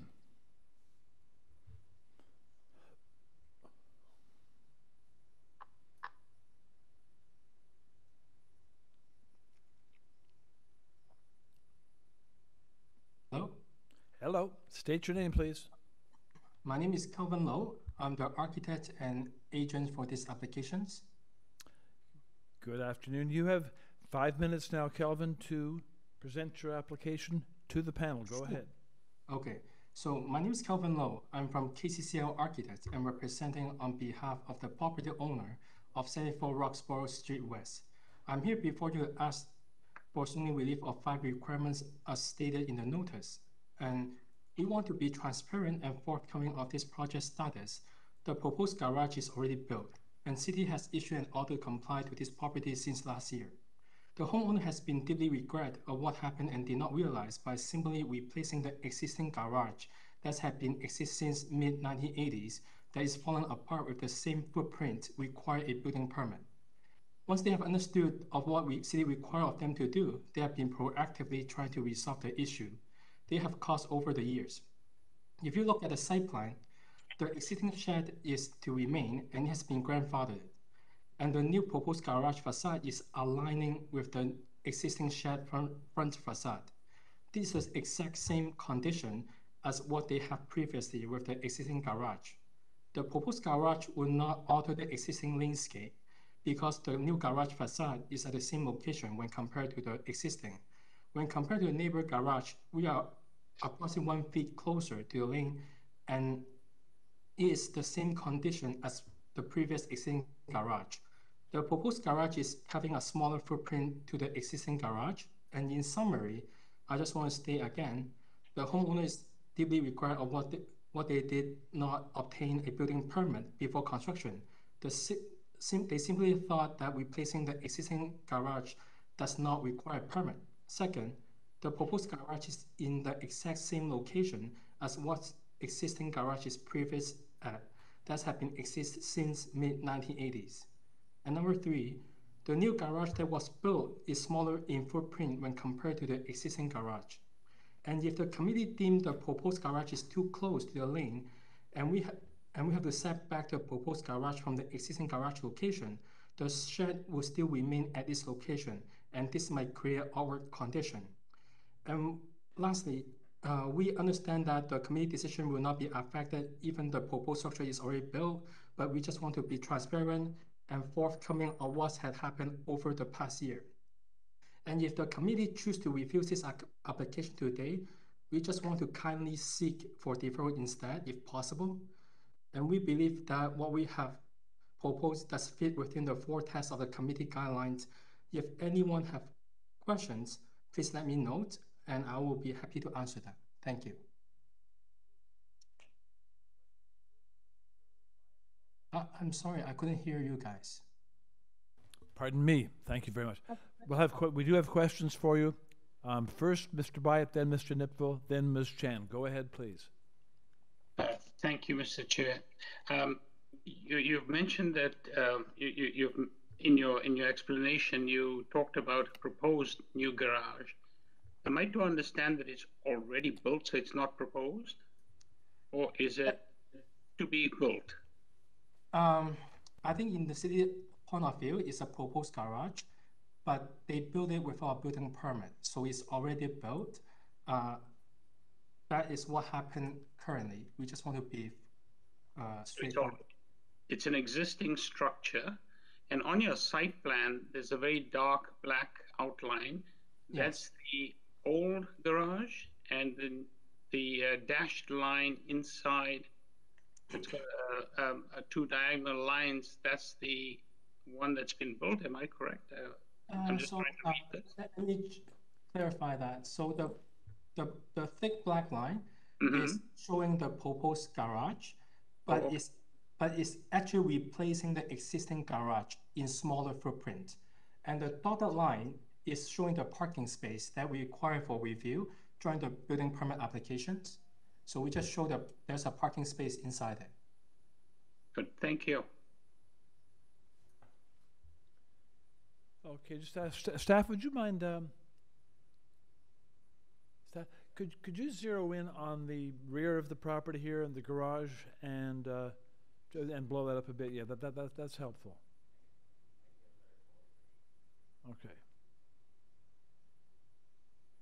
Because I think the, the garage issue is one that, uh, we're going to need some attention to. Very good. Okay, next, uh, question, Mr. Nipfel. Go ahead, please. Then Ms. Chen. Thank you. Thank you, Mr. Chairman. Uh, Just to clarify to the applicant, it isn't a proposed garage. Uh, We should refer to it as the existing garage. It isn't proposed in anybody's, anybody's book. So we've got an existing garage.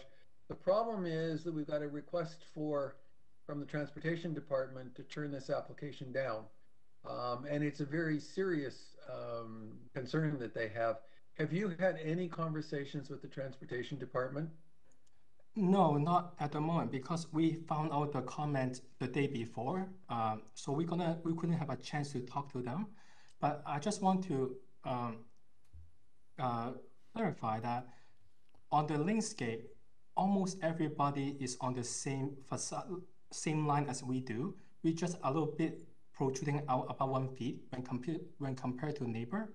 But the transportation comment is asking us to have 2.5 meters instead which nobody have that requirement on the like nobody meet that requirement with on the lane.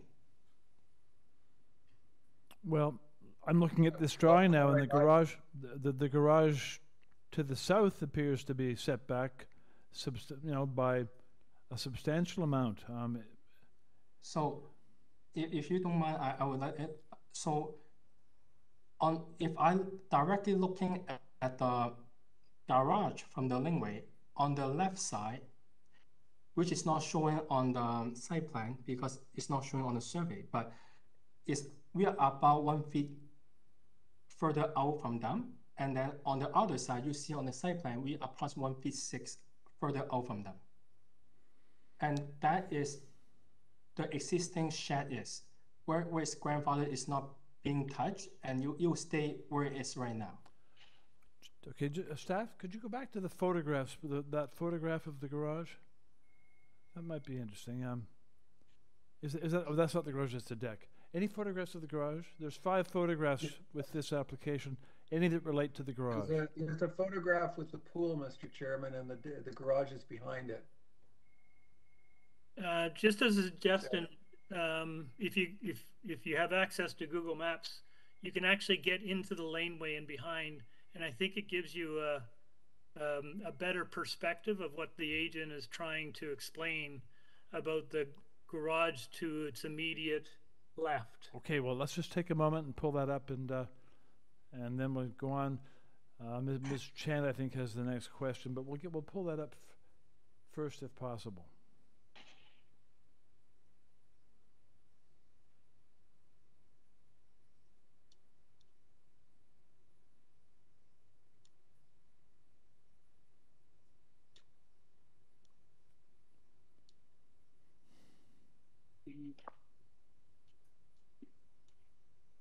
Yeah, there it is.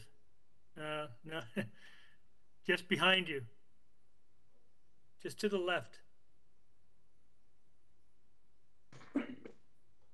You had it. You were so close.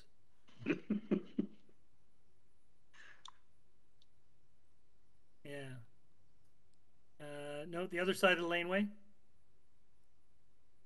Yeah, just yeah, there, right there. So there's the subject property there. Yeah, that's it. Left or right? Uh, right where the where the car is parked, it looks like this is an old one, but uh, and the garage has since been uh, built around where that car is. Okay, that's a, that's a 2020 photograph by the look of it. Okay. Yeah, so you can see the garage that the applicant was referring to to the left. It similarly protrudes, but then if you go along the laneway, you'll see most of the garages are set back. Yeah. Quite so. Okay, good. Um, that's a good place to remain, uh, John, uh, as we go ahead with this. Ms. Chen, your question, please. Actually, my question is same as Kyle's, uh, except that I like to after um, I like to point out to the report, the staff report, they'll mention that uh, the 2.5 setback from the center of the lane is actually is a requirement for all new construction because we have all these laneway houses proposed thing, and I think the city's policy is to whenever they can, is to ask for the extra um, width or extra, extra length uh, for uh, extra width of the laneway. And I think it's an important uh, point. It's not that uh, the other garage, the existing garage, are all uh, uh, do, do not meet the requirement, but the new one, if you're building a new garage, you're required to have the 2.5 meter setback. Uh, ca- Can I respond to that comment? Go ahead, please. Okay, so let's say today we set back the garage like, a- after the, the decision is made, but then the existing shed is still remain. So I, I, I, I think it, it will, I understand the, the requirement I, and how the city planning going forward. But in, for this particular, particular property and this space, I, I think it is more beneficial to have everything aligned and then you create a unified uh, frontage. But if we do decide to have the garage setback, the existing shed will still remain as is at its po- position. I, the intention is good, but I, I don't think it will help the situation, uh, in my opinion. But I understand the point of view of it. I, I, I do respect that, and thank you. Okay. Um, Why can't the shed be set back as well? he- Here's, here's a comment that needs to enter the conversation at this stage. So, Committee of Adjustment um, sometimes is asked to uh, look at applications that involve things that have already been built. So, when that happens, what we have to do is to look at them from a particular point of view. We're not a punitive organization, um, but we do have to look at the application and ask ourselves if this had not been built, if this was still a proposal on paper, then applying our four tests, would we have approved it or would we have rejected it? That's what we have to do looking at your garage because you have brought your garage before the panel. And, uh, and so we have to ask ourselves if it wasn't built, would we approve it? Would we approve what you're asking for?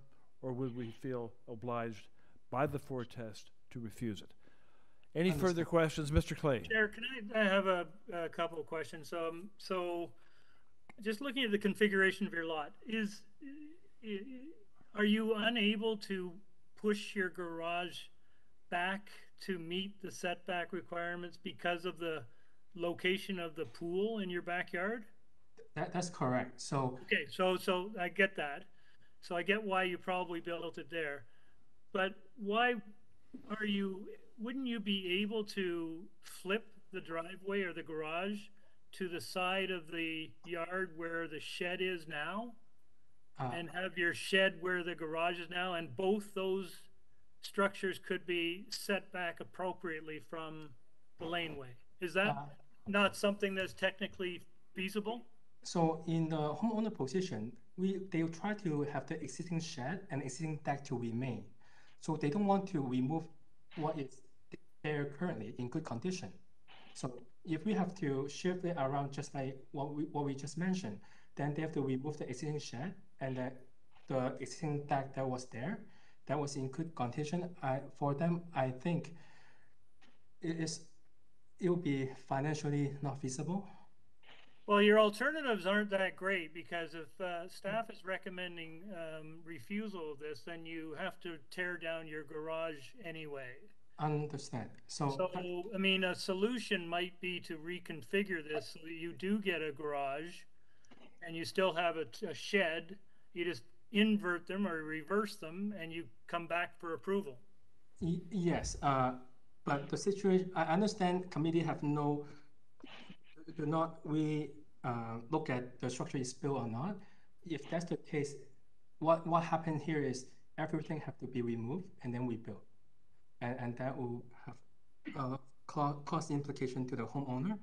And I understand, I do respect that. The, the committee should look at this application when it's built, but unfortunately, it's not the situation. Okay, I think we understand your position on that. So, are there any further questions now of the applicant about elements of, of the uh, application? Ms. Chan? Are we in committee now? We are not in committee yet. We're, we're about to go into committee unless there are further questions. So if there are no further questions, yes, we are now in committee, and uh, you can begin discussions if you would like, Ms. Chan. Okay, I think that it is sort of a tough situation, and I, I and and and I, I also troubled by the uh, staff report that it doesn't seem to have any alternative or, or compromise. It seems that they they definitely want to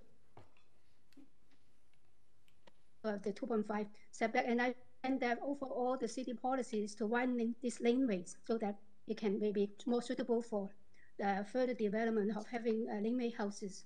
So I almost think that maybe you should defer this so that the applicant can discuss with transportation more. So we can have uh, some other suggestion by the transportation. Okay, Mr. Nipfel? Mr. Chairman, I don't think we need another suggestion from transportation. They consistently ask for this condition. It's a reasonable condition. The garage should not have been built. As you indicated to the applicant, we are to look at these as if they were not built. And if this was not built, I would definitely refuse the application.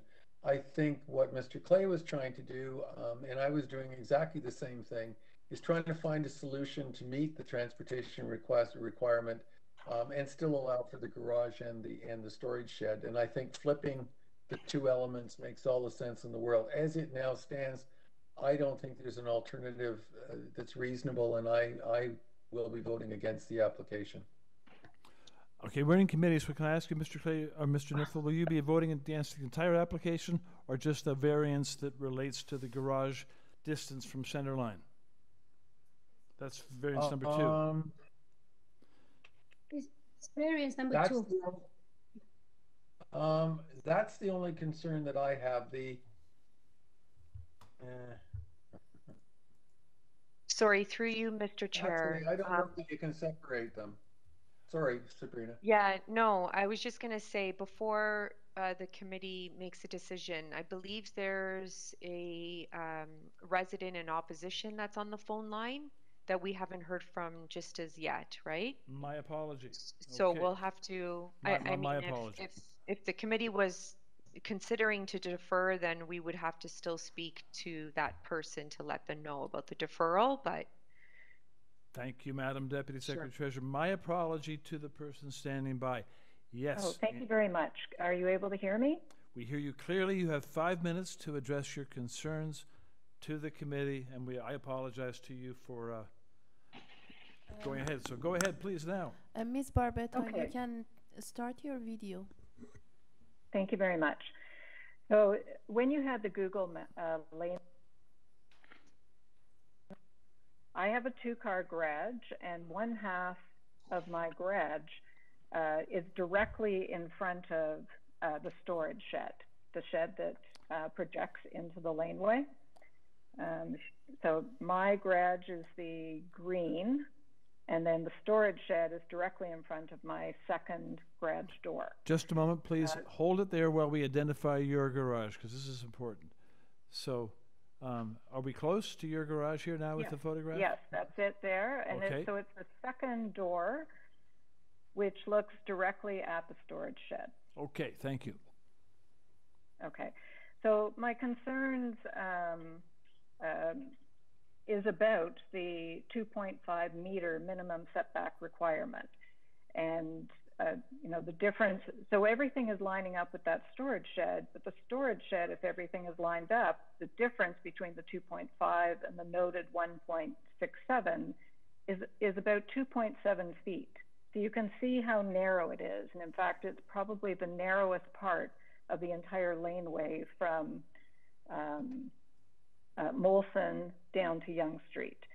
I can't park my car in that second garage. I have to park in the other because the setback of the uh, garage that's in front of my first garage door allows me to get in and out. I can't park on the other side because the turning radius is too small.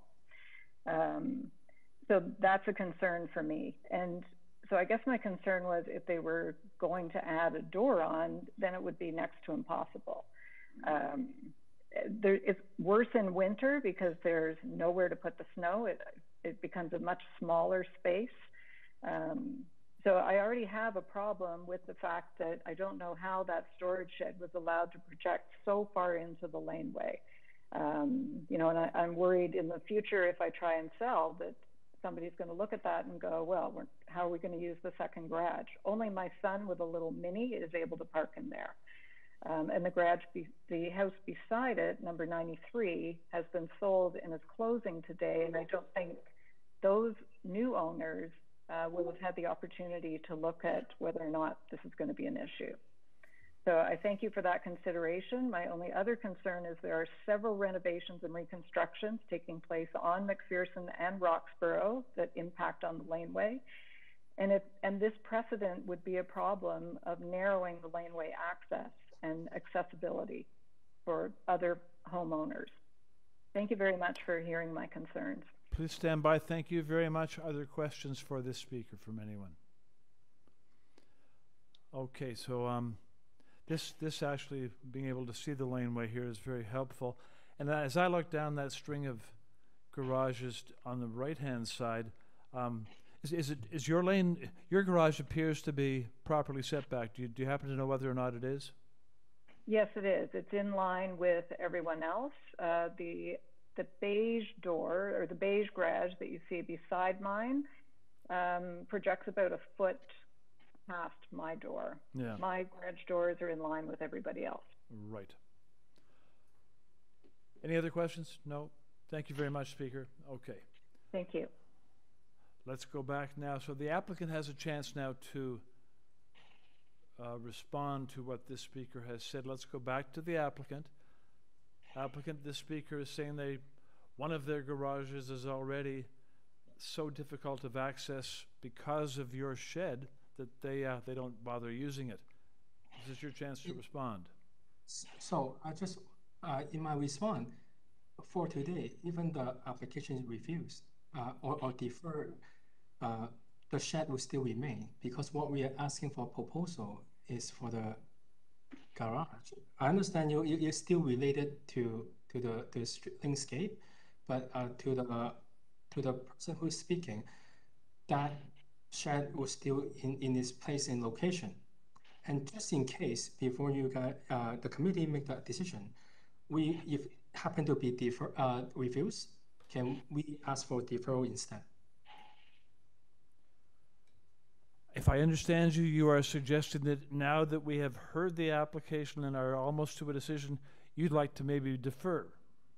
Uh, if the Yeah, if the okay. committee decide to uh, refuse this application, I- It is, it is actually, um, the, the committee may decide to do that, but Yeah, it's, it's a long way into the application process now to make that suggestion. So just leave that alone for the time being. Panel members, any further questions for the applicant? Mr. Byatt, go ahead. Uh, Yes, thank you, Mr. Chair. Uh, A couple of observations. One is that uh, just because the shed appears to have been placed where it is incorrectly relative to the standards required today, doesn't uh, then uh, suggest that another structure should should match something that uh, perhaps um, uh, doesn't meet the requirements of today. The other question that I do have for the applicant is that you're asking for a deferral. My question would be, if you had a deferral, what would you do with it? If we have not, then it depends on the decision. Uh, if if the decision is approve everything else except the setback, then the homeowner then there's no choice to have to alter the existing garage design, which which is unfortunate. But if that's the um, decision, then we I think we all should respect that.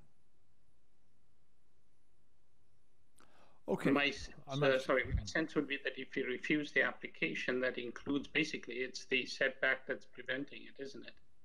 Uh, sorry, can you repeat that uh, uh, statement again? Sorry about that. Yeah, so if, I mean, we either, assuming we re- refuse the, uh, the, the setback uh, variance, or, or refuse the entire application, uh, you'd still have to go back to the drawing board and figure out what yes, to do next. I, I, either or we still have to go back drawing board, so that's why uh, that Okay. will. that Let's take this, excuse me, applicant, um, let's take this application now into committee um, for discussion. And uh, I'm just going to lead off a little bit because I was, I, I've since re-examined the, the purpose of the, uh, of the application. Of course, the application is about a garage, so we can't start, we, we have to pretty much accept it all or, or refuse it. Um, Ms. So having said that, I, I, just from my point of view, deferral doesn't make much sense because um, it's already built and it's there. You can't you can't discuss that with the neighbors. This is a fact that is on the ground. So, other comments, please, Ms. Chan. I sort of be thinking about the uh, deferral, whether it makes sense at all. Um, I only said that only because I, I felt bad um, to refuse because it seems that they will build this thing, but I still take the transportation uh, staff report seriously, and I do not think I'm in the position to support. Uh, you, you say that just to uh, refuse uh, the transportation is only says to refuse variance number two, but in that sense, Doesn't make sense. might as I- well I don't refuse see the whole anymore. application, yeah. Yeah, Yeah. I, I don't see any more just refusing transport number two because the whole thing is about. Mr. Clay, go ahead. Uh, Chair, I, I, I know we could probably discuss this for uh, length, but I think we've chewed it over, uh, and I think collectively we're satisfied that uh, what is before us is unacceptable. I'm prepared to move refusal. Thank you. Is there a second to that motion? It is seconded, Mr. Byatt. Moved and seconded to refuse the application. Those in favor, please show hands. And that vote is unanimous. The motion is carried. The application is refused. Thank you. We move on.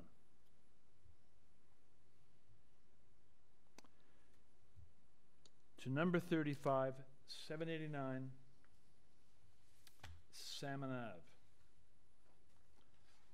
On this application, we have before us material submitted with the application and one form letter in support signed by the owner occupant of 160 Woodmount. Um, there is also, yeah, that, that's already there. Okay. So we'll ask that agent to join us, please. Committee, Brendan Clapp, acting as agent on behalf of the homeowner. Very good, thank you. Okay. Panel members. Any questions here for the agent or any request? Mr. Nipfel, go. Thank you, Mr. Chairman. Could you tell me where there are other integral garages on this street? Let me just pull it up. That's a good question. Just bear with me. Sure.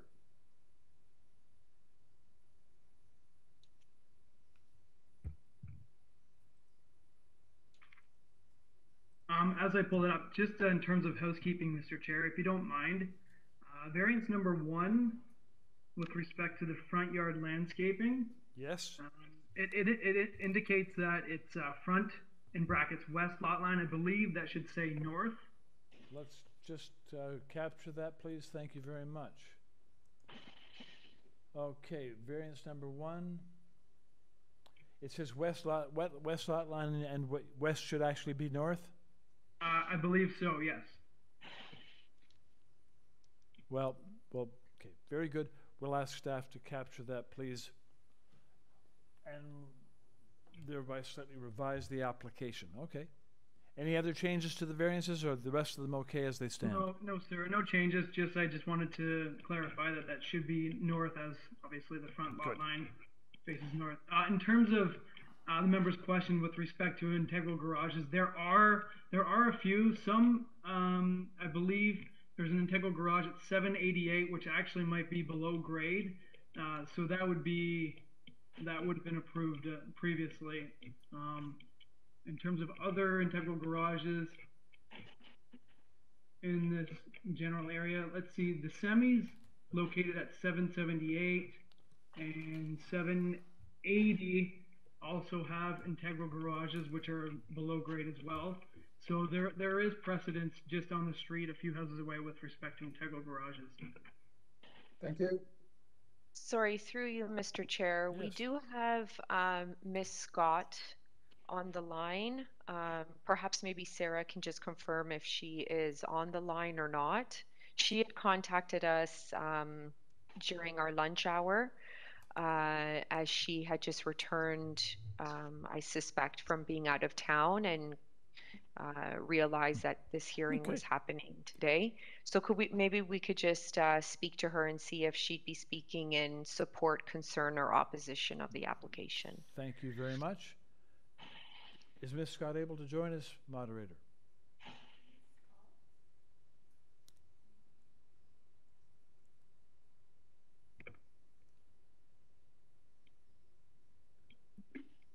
We're just taking a moment here, seeing if we can connect with a speaker.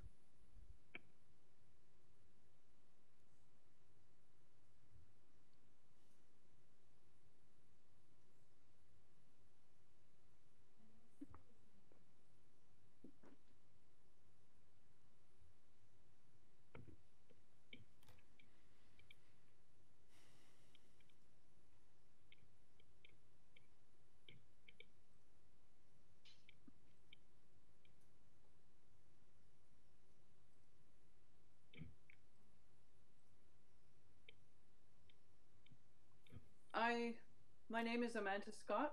Can Hi, you me? yes, you're with us. Very good. Hi. Yeah, I'm interested just to uh, just to know what's going on. Um, I don't think I have an objection. I'm concerned vaguely that it might block the sunlight, but um, don't think I'd have much choice in that. So just interested to see how far back the house is going to go and how high it's going to go. Very good. Okay.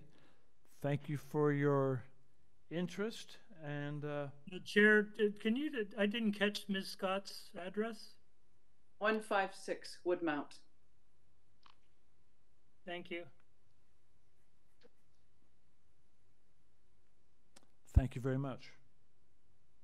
Are there any questions for Ms. Scott, panel? Any other questions?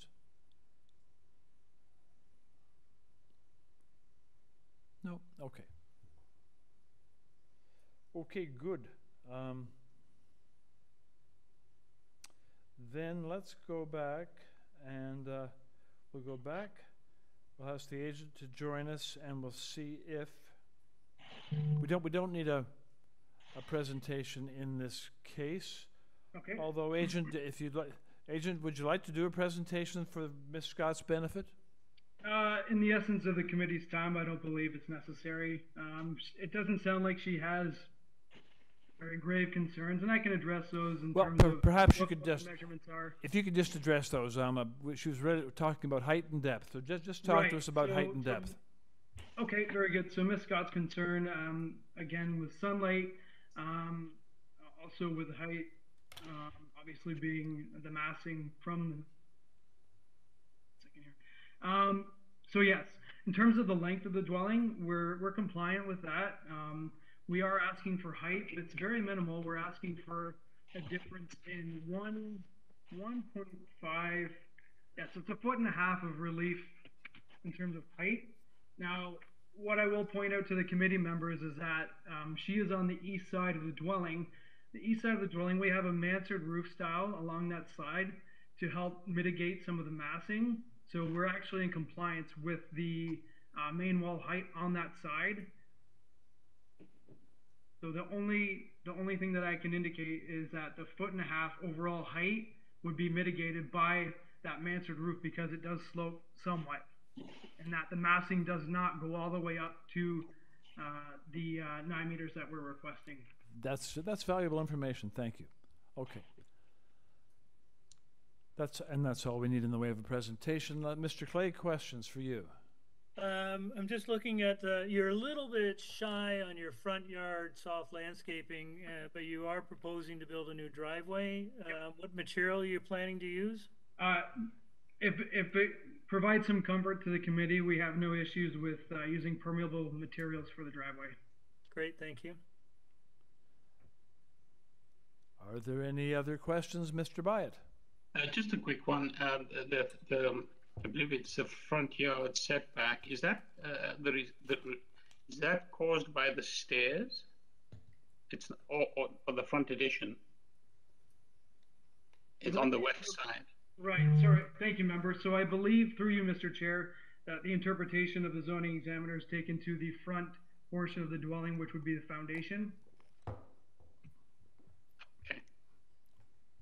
Thank you. Okay. Let us take this application then into committee for a motion. Anyone, or unless anyone has a comment first.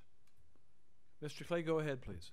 Um, no comment, uh, Chair. I thought the explanation was was reasonable. I think what this is a design that we are seeing uh, more uh, routinely in neighborhoods across the um, the city. Uh, it's um, I thought it's not an, um, uh, a, a negative. It won't have a negative, I don't believe, impact on the adjacent neighborhood. Uh, it is new. There isn't any of these kinds, and, and Carl makes the point about integral garage. There really aren't very many, but there are a couple, uh, although below grade.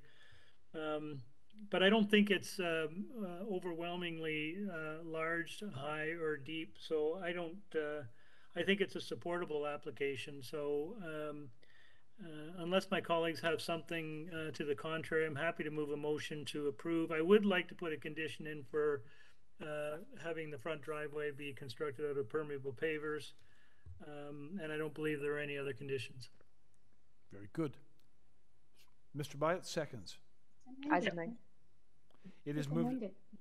It is therefore moved and seconded to approve. Those in favor, please show hands. As amended. As, As amended. amended. Yes, As thank a- you. As amended. So we are, we just voted to approve the amended application, and thank you very much. We move along to number thirty-six. Twenty-seven Hunter. Here, the materials are quite simple. We have those submitted at the time of application, plus a zoning waiver from the agent dated twenty-fourth of May, twenty twenty-two. And we'll ask the agent now to join us, please. State your name. Good afternoon, Mr. Chair and committee members. My name is Adam Brander. and My address is 49 Bolton Avenue in Toronto. I'm the agent and the architect for the proposal at 27 Hunter Street. Very good. Okay, so we're not showing anyone here registered to speak in opposition. But if panel, if you have questions or if you'd like a presentation, we can do that. But if you have questions, we can, uh, now is the time.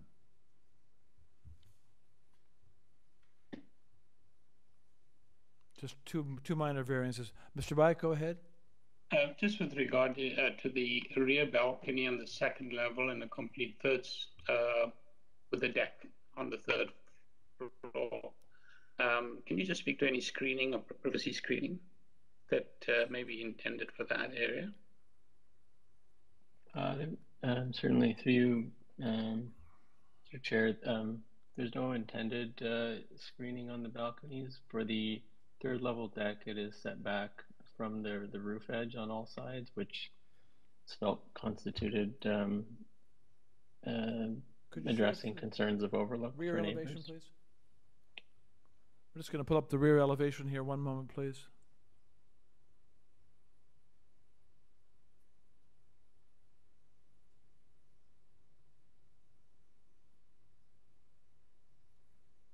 Certainly. Um, so just to, to reiterate, um, the decks are set back on all sides and um, the required setback for decks is, is being met here. It's an as of right condition of 0.45 meters. But in addition to that, um, particularly on the third floor roof deck, there is the, the roof that extends to uh, further out, um, shielding the overlook condition. Okay. And d- d- does that work in both both directions for the neighbors on both sides? Uh, yeah, um, the closest proximity is the neighbor to the west, um, which is a compliant condition, but uh, setback, um, I believe, about six or seven meters from the uh, east lot line. Okay. Any other questions?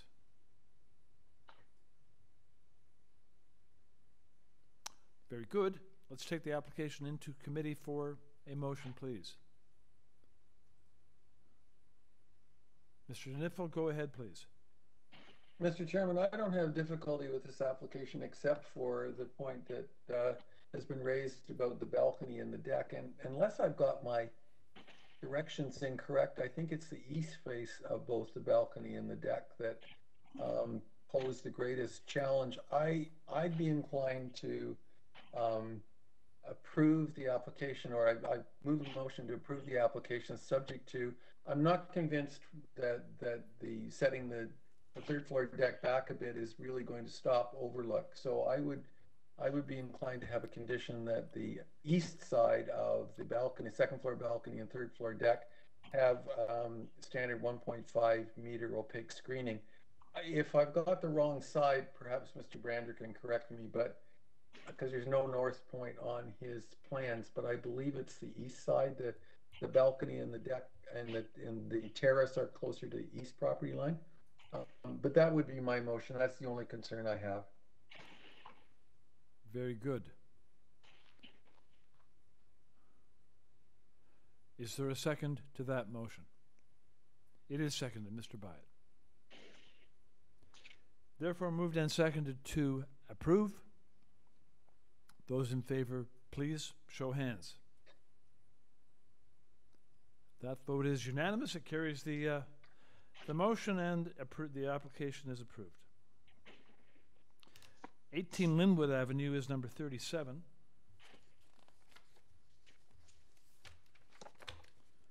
And on this application, the only materials before the committee are those submitted at the time of application. We'll ask the agent please to join us. State your name. Um, I'm Michael Scott. I'm the owner of the property and also the architect. Oh, very good. Okay.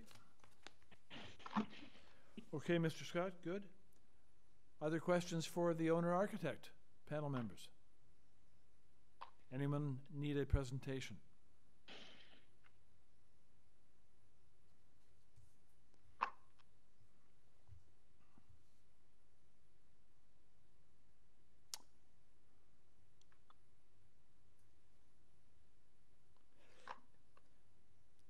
Mr. Scott, is, you know, if there was just one thing we asked you to tell us about your application that was unique or appealing or of note, would there, what would it be? Just that the porch is existing. Our proposal is is simply to enclose it with glass. It should still look like a porch, just with glass around it. Okay. Mr. Clay, go ahead. Yeah, Chair, I, I, uh, I, are we in committee? Um, if we're in committee, Chair, I think we'll just, uh, this is a very, very straightforward application with one very minor uh, variance. Um, I, I think this is a, a very reasonable application, has no impact on uh, anyone. Uh, I'd move approval with uh, no conditions. Thank you. Is there a second? It is. Seconded by Mr. Byatt. It is therefore moved and seconded to approve the application. All those in favor, please, show your hands. Thank you. That's a vote of uh, unanimous approval for the motion, and the application is therefore approved. Mr. Chairman, I'm sorry to interrupt. I think I made a mistake in the last application. I think it's the west side for the screening, not the east side. Okay, um, that shouldn't be hard to fix. Uh, are you pretty sure of, pretty sure of where you, Well, staff could maybe just double check it. It's, if, if you look at the site plan, unfortunately, there aren't north points on all the drawings. So if you look at the site plan, it's the overlook to the adjacent neighbor, which I believe is to the west. we're going back one application, staff. here. We're going, we're going back to twenty-seven Hunter, trying to get our, our, our bearings on it. Here is, yeah, down, down in the bottom right, there is, um, compass bearing. Oh, there you go. So it's the west. It is the west. It is the west. I think. Yeah, and I said east in my motion, sorry. You did say that. Staff, um, I believe that's just a typo that we can change. Thank you. Through you, through you, Mr. Chair, we can make that change. Yeah, thank you very much. Thank you. Okay. Back then to our next application, which is thirty-eight, two hundred and forty Dunvegan Road.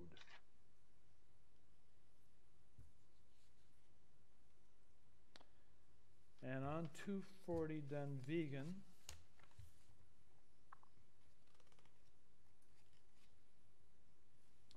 We have materials submitted with the application. There's an arborist report prepared um, and received in May. And there's a commenting report from Transportation Services, a staff report.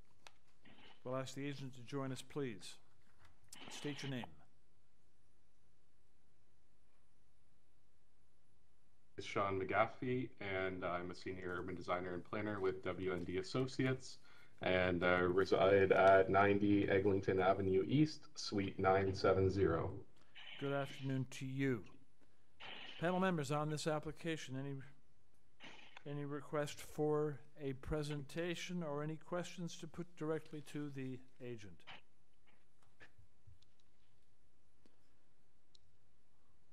Okay, um, I, I have a question for you, and I'll ask staff to help me on this, setting it up. If you could show me, uh, let's see now, there is a side view of the property that shows all four stories. Shows uh, the ramp going down to the basement, car ramp. I think uh, section AA, I think, shows that uh, perhaps best. That's page 14 of the architectural plans. Thank you. Uh, there That's you the are. one. That's the one. Okay.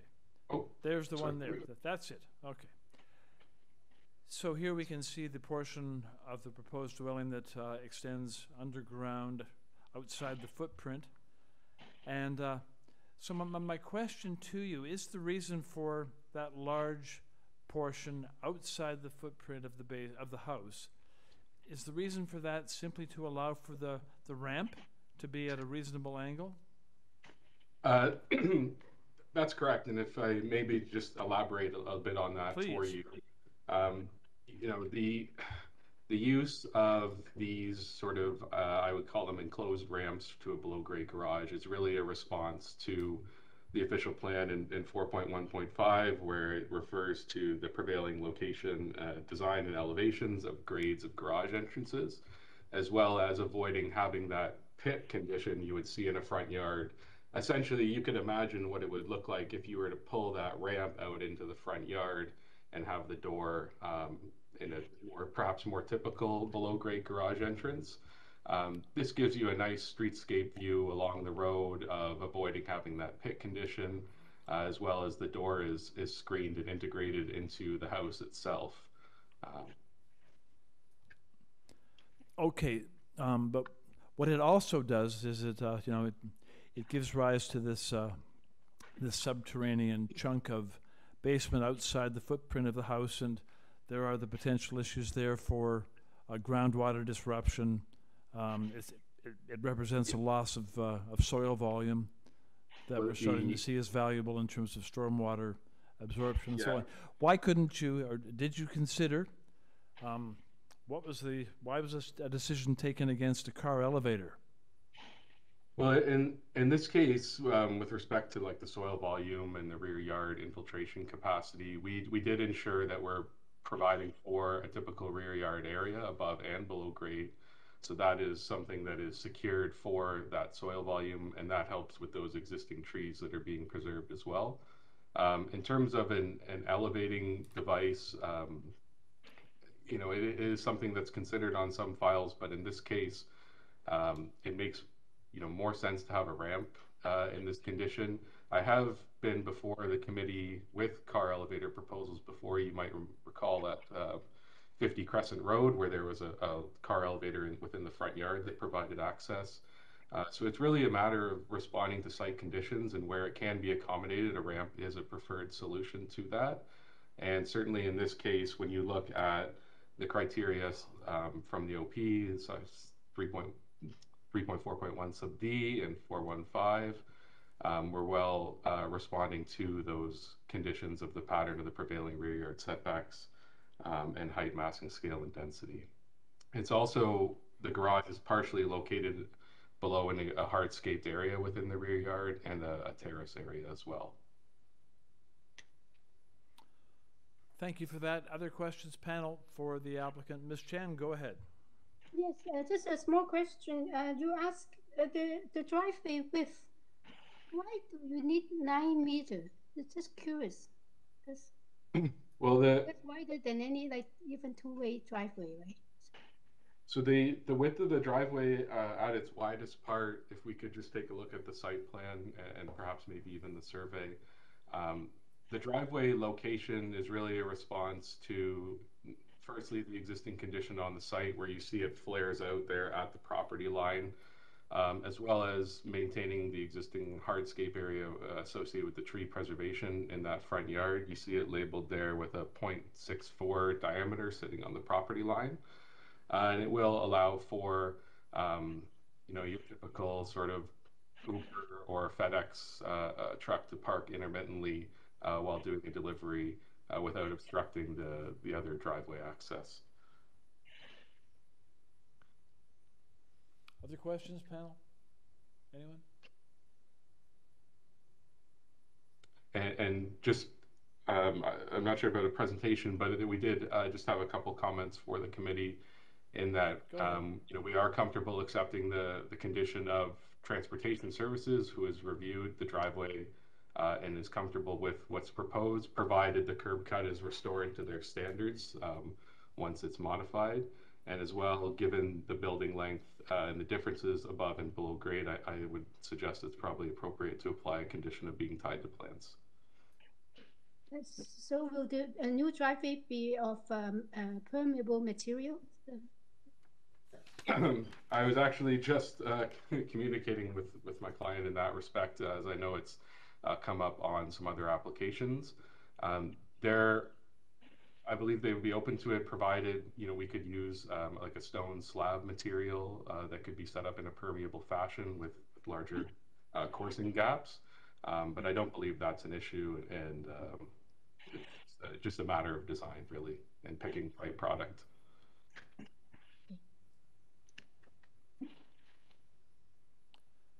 Okay, if there are no further questions for the applicant, then we can take this application into committee for uh, a decision. Anyone, unless some- someone has a comment first, we can go to a motion. Mr. Byatt, go ahead. Um, some comments uh, on my behalf, uh, uh, Mr. Chair. Go ahead. Uh, one of the things that I find uh, uh, difficult to um, deal with is the the uh, both variants number two and three. Uh, maximum permitted building uh, length is 17 meters, and basically we're being asked for a 29.8 meter below ground and 20 above. Um, I find that difficult to to um, wrap my head around. Similarly, with uh, variance number three, permitted depth 19 meters, and essentially below ground, we're looking at 30. Um, I recall um, an application not so while, long ago, probably about two weeks, three weeks ago, where we had a similar situation where the basement was extended out way out into the back uh, to accommodate vehicles. Um, I find this uh, difficult to to uh, approve or approve of, um, especially in, in, in, in comparison to so many other applications that we see where some of the variances for length and depth um, much, much smaller. So I find both of these uh, variances um, difficult to support. Thank you. Any other comments? Anyone? Uh, Mr. Clay, yes, go ahead. Yeah, uh, so uh, Zahir makes an, uh, a, a, good point, and I think I was on that one where we did actually refuse a similar one. I would suggest that there was a slight difference, though, in in that previous one. In the previous one, there was a landscape, a significant landscaping deficiency, soft landscaping deficiency, where they were seeking, uh, as I recall, rather considerable variance for rear yard landscaping, and it was largely a function of um, you know their inability to do anything uh, above that um, underground parking area. Um, there is no rear landscaping um, variance in this instance. So I think it's a little bit different. It would just be my only observation. Okay.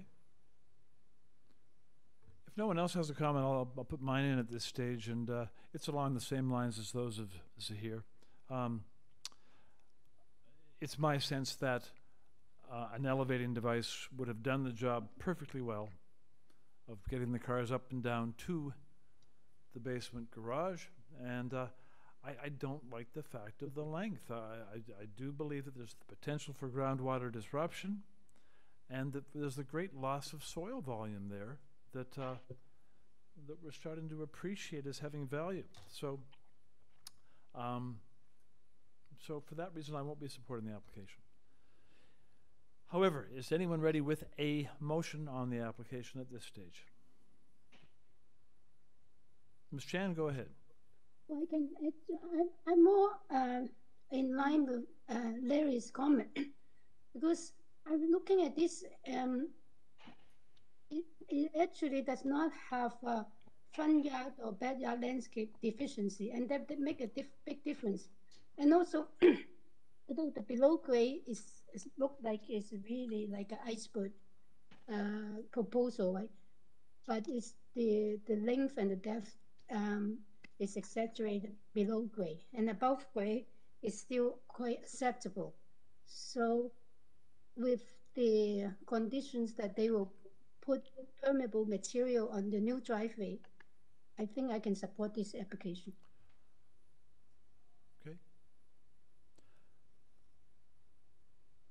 Anyone ready with a motion? Oh, Carl, you want to do it? Um, sure. I I actually don't have trouble with the application. I don't think that a that a lift would have changed much other than uh, it perhaps would have moved all the parking further forward, but then that would, I assume, mean that all those rooms, exercise room, recreation room, wouldn't exist. And I, that seems to me to be a, a totally different application. I agree with Larry and Yim that there was a difference between this one and the previous one that we discussed. And I remember the previous one. I was on that panel as well. Uh, and Larry's quite correct. The um, the issue was uh, they had a deficiency for landscaping, and there was nothing they could do in the backyard um, reasonable in terms of uh, landscaping on top of the garage. I think this one is different. I I frankly don't have difficulty with the proposal. I think it's um, I think it's well thought out. I think it reasonably it fits reasonably well into the community that it's situated in. and I'd like to move approval subject to the transportation condition. And, and uh, the uh, permeable pavers in the front. Oh, and the permeable, pardon, pardon me, the permeable pavers as well. Very good. Is there a second to that? It is seconded, Mr. Clay. Moved and seconded to approve. All those in favor, please show of hands. Those opposed? So the record should show that Mr. Byatt and Mr. Mullock were in dissent. The motion is carried. The application is thereby approved. Thank you. Panel moves along to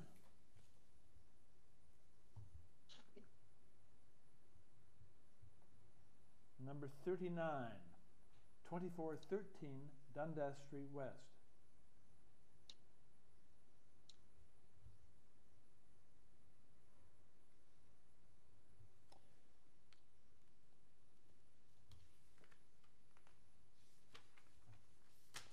On this application. Committee is dealing with material submitted at application, a cover letter from the agent, May 11, a previous 2022 COA decision affecting the property, and we have correspondence in opposition from 7 Prince Rupert and 9 Prince Rupert Avenue. So let us have the agent join us, please. Good afternoon, Mayor. It's uh, Jim Katsopoulos on behalf of the owner. Very good. Mr. Katsopoulos, you have five minutes to present your application to the panel. Go ahead. Mr. Chair, thank you so much, and uh, members of the committee. Um, Mr. Chair, as, as, you may recall, we were in front of this committee on April the 27th of this year, and you just made reference to that uh, uh, decision.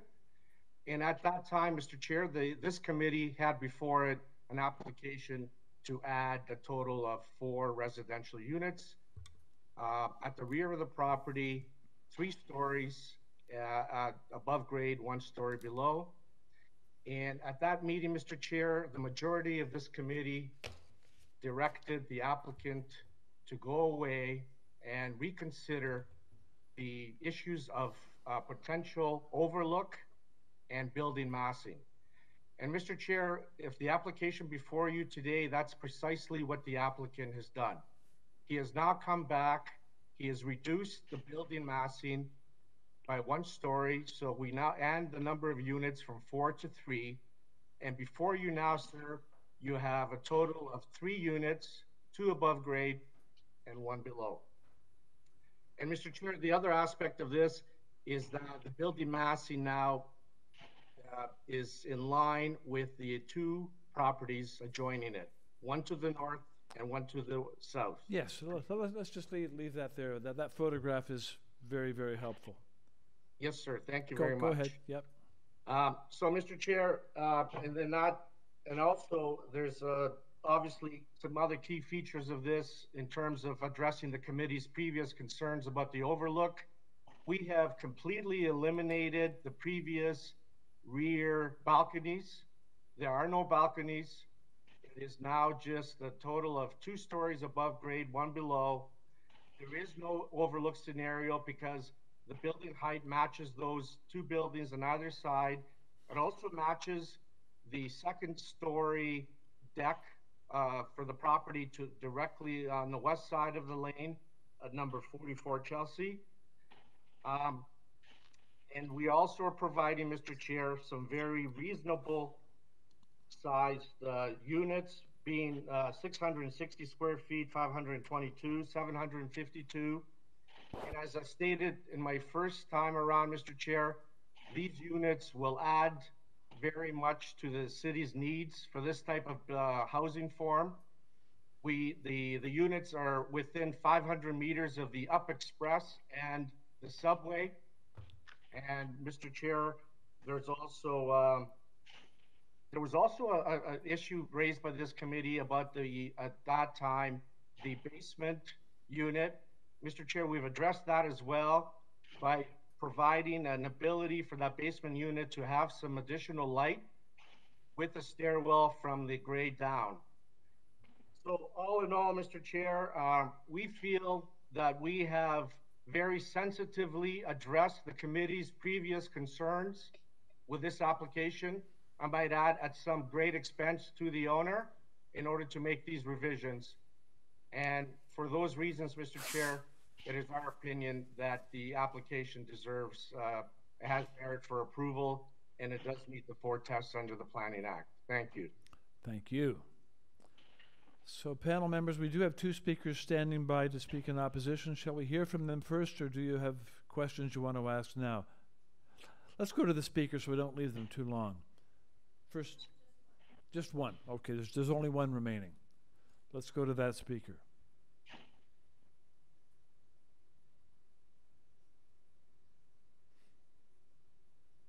Hello? You can't unmute. Oh. Hello, can you hear me? I do hear you. State, state your name, please. Uh, my name is David Clark. I live at 9 Prince Rupert Avenue. So I live across the laneway and just down about um, 15 meters from the subject site. Okay, David. Um, you have five minutes. Go ahead. Okay, sorry. Um, so the, the laneway in this area is 4.74 meters high, um, wide rather, sorry.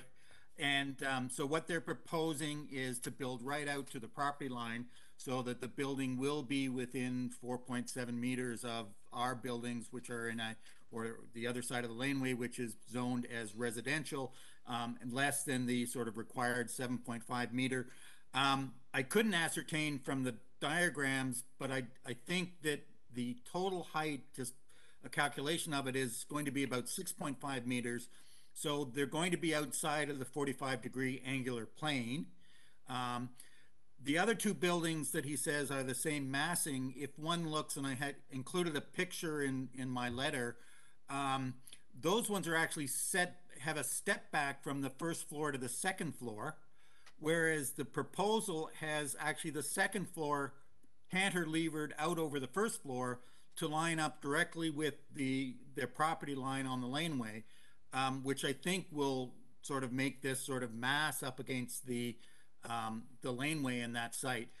I, you know, to be honest, we've had there's there's no public space associated with this. We have issues with the tenants on particularly the north side who tend to use the laneway as their personal outdoor space. They let their dog run around, they sit and drink beer, etc., um, making a lot of noise. We've had people uh, comment on us as we're in our backyard, um, doing things from the buildings and adjoining buildings. Um, so there's a, a, lack of privacy in our areas. And, and here we'll have windows up on the second floor where those people will be able to look down directly into our property and it's not set back.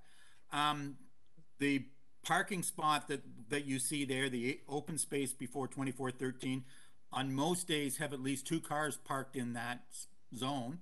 There is no parking, and yet they're putting in three new units um, into this space. And I'm just curious where the developer feels one, the two cars that normally park there are supposed to park, and any new cars for the other, any for the new tenants and the new units.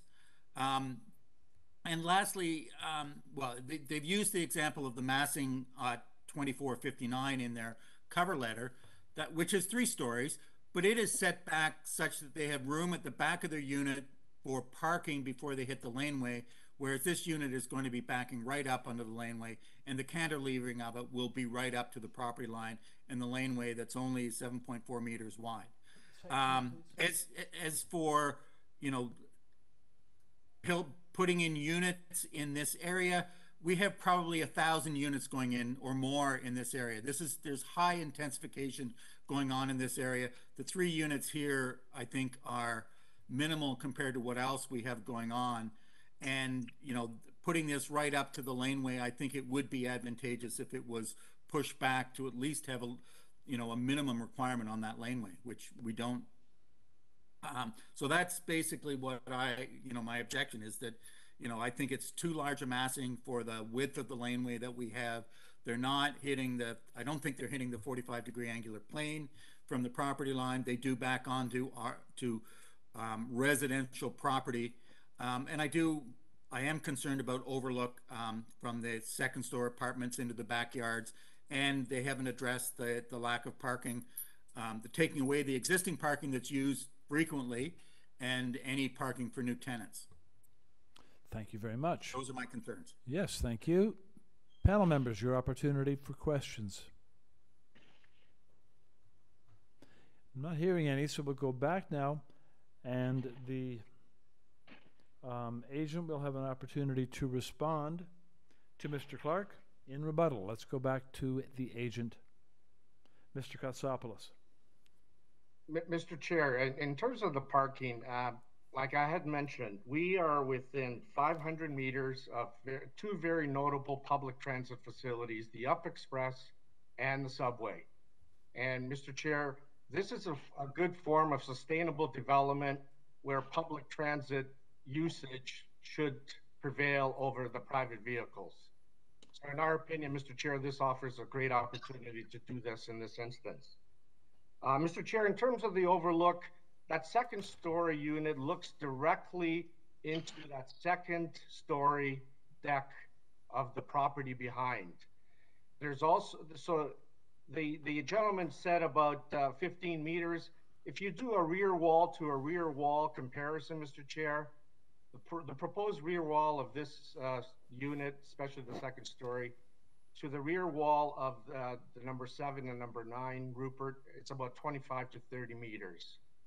Uh, so, Mr. Chair, there will be no opportunity, in our opinion, to have any overlook opportunities for the second, especially the second uh, story unit in this case, as it, it is the same height as the building to the north and to the south, and it looks directly into the second story deck of the property directly opposite on the west side of the laneway, being number 44 Chelsea.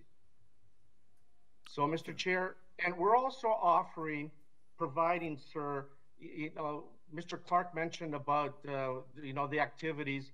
These are above size units, above average size units. They're for families, Mr. Chair. You know, they're 660, 752, 522 square feet.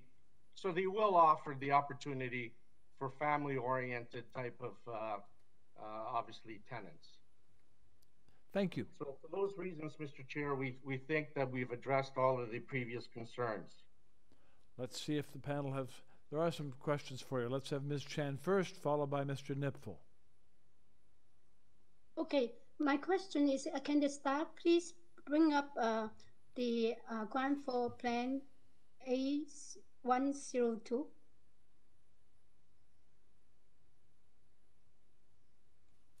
Yes, this one. Okay, my question is, I'm I do not un, uh, understand the plan too well. Uh, is this uh, on the right hand side that says uh, existing building? Is that part that is the existing commercial unit or That is the, that is, through you, Mr. Chair, yes, that is the existing commercial unit and also on the, on the uh, Dundas side of the property. but I, I don't know why you do not show the uh, commercial unit because um uh, I the the the thing is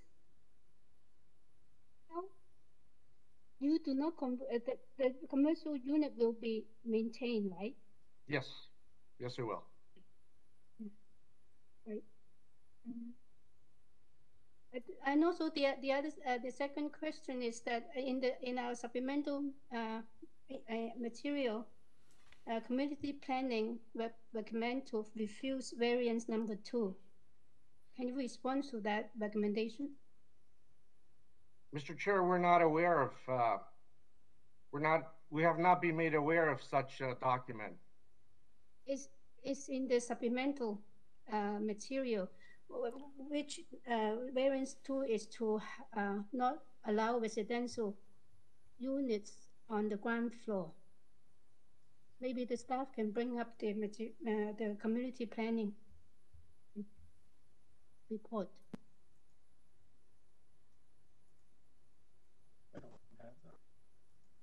Uh, I don't have that, uh, I don't Neither have do I. either. Sorry, I'm so sorry. I have to apologize. I'm so sorry. That uh, my note is uh, the next item. That is for the next, next Okay. item. Okay, fine. Yeah. Mr. Nipfel, you had a question. Yeah, very simple question. Mr. Clark, who, thank you, Mr. Clark. He, he comes to committee very well prepared and I appreciate his, his interest and his research. Uh, he mentioned that there are two existing parking spaces that are in use currently um, at the back of the property. And the question he raised, and I think it's a good one, if they're currently in use, they're presumably being used by the people in the commercial building. What, and is that correct? And if so, what is the arrangement for those people to park when the residential component is built? Mr. Chair, uh, there, there'll have to be other arrangements made for those, uh, commercial, uh, and of course, the, the benefit through you, uh, to member Nipfel is that obviously there's opportunities for public transit usage here, given our proximity to the Up Express and, and also the subway. So there will have to be other arrangements made, Mr. uh, Chair, if the committee deems this to be an appropriate, uh, development. Okay, thank you. Okay. Any further questions for the agent panel before we go into committee? I'm not hearing any, so let's go into committee and uh, move toward a decision. As we can move, to, Mr. Clay, go ahead. Uh, thanks, Chair. I can't recall who else was on this panel uh, with me. Uh, I was. Carl, you I was. were. I was as well.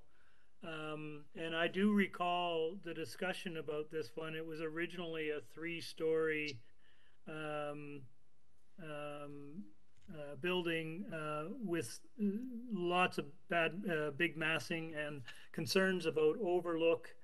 Um, and I think we collectively, Carl, as a committee, um, thought that this was a good location for this type of Yeah. development. Um, and we wondered whether uh, it might be uh, a, uh, appropriate for the agent to go away and come back with a, a more modest proposal. Uh, frankly, that is exactly, I think, what he has done, and I think it is a, a good proposal. It does take away the stairs that were at the rear. It does take away the balconies. It does take away the upper story. All those things were the things, the concerns that we had uh, when uh, when we discussed it last time. Um, it just seems to me that some of the benefits of this application uh, previously were its location, its proximity to transit, its proximity to commercial areas, its proximity to park and amenities, um, that it was an appropriate area for this kind of rental accommodation. So I think this is an example where an applicant has heard what the committee has said, gone away and come back um, with a proposal that addresses those concerns, and I think it's now supportable. I totally agree. Uh, I can remember, um, I won't go through the same points that Larry did, but we did have a number of concerns. We did like the location for housing. Um, we had a number of concerns, and to his credit, the applicant went away and, as far as I can see, has responded to everything we asked him to respond to. And I think the proposal we have before us um, warrants um, support. Panel members, if I may interrupt for a moment, um, I've just had word from the moderator that uh, Bennett Mills, who was registered to speak and with whom we were not able to make contact previously, is now on the line. I am afraid that this this application has advanced to the point now that um, that uh, I, I think we should continue with it, uh, continue toward him. So, my apology to Mr. Mills, but um, we did work to make contact. Chair, would it, I mean, I think if he's made a reasonable attempt to contact us, maybe, I mean, I think it seems prudent for us to hear. We haven't made a decision yet. Yeah. I've certainly, I've certainly reflected on uh, my views, as is Carl, but I think it'd be appropriate to allow, allow him to speak. Well, that's that's fine with me too. Let's do that. I agree. Okay then. Let's let's backtrack. We are now going to leave being in committee. And Moderator, if Mr. Mills is with us and is able to join us, let's have him come on the line and state his name.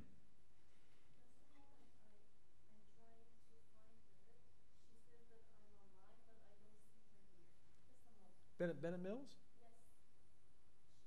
Yes. Okay, take a moment. At this stage, take a moment and uh, do that.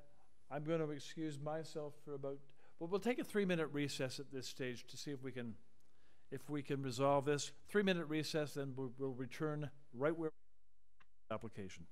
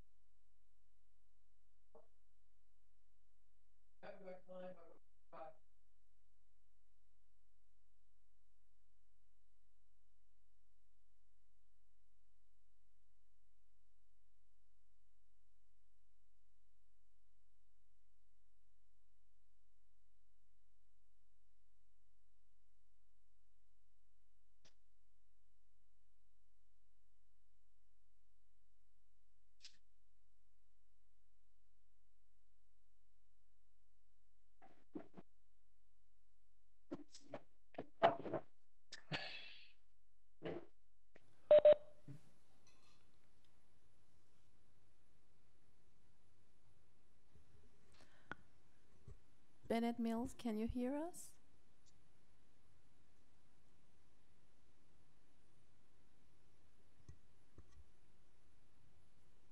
Hello, Bennett.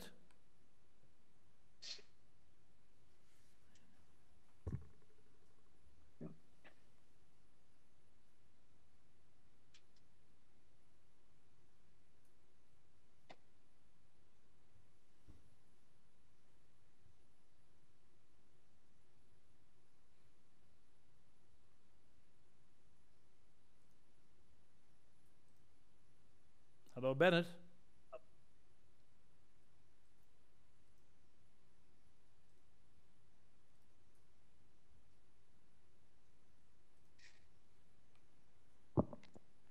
Hello, Bennett. If staff unmutes you, please do not unmute yourself. We will do that.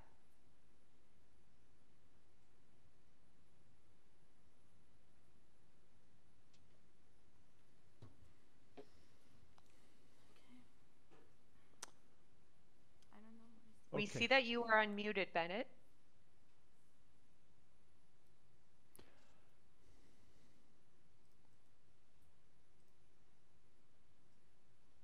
Here's Bennett joining the meeting now. Well done. Bennett's? Oh, Bennett left the meeting. Yes, I just changed it to. Okay, at, at I, this, s- I see him back here. Miss, sorry, Mr. Chair. I do see that Bennett's in the meeting, and I see that we've unmuted him. So perhaps he's having an issue on his end. I think perhaps that is the case. So, Bennett, if you can hear me, my apology to you. I, we do have to carry on with the meeting. We have, we have tried very hard to include you in it, and um, I'm sorry we'll miss what you had to say because we would have liked to have been able to hear that. But Um, at this stage, I don't think we can connect with you.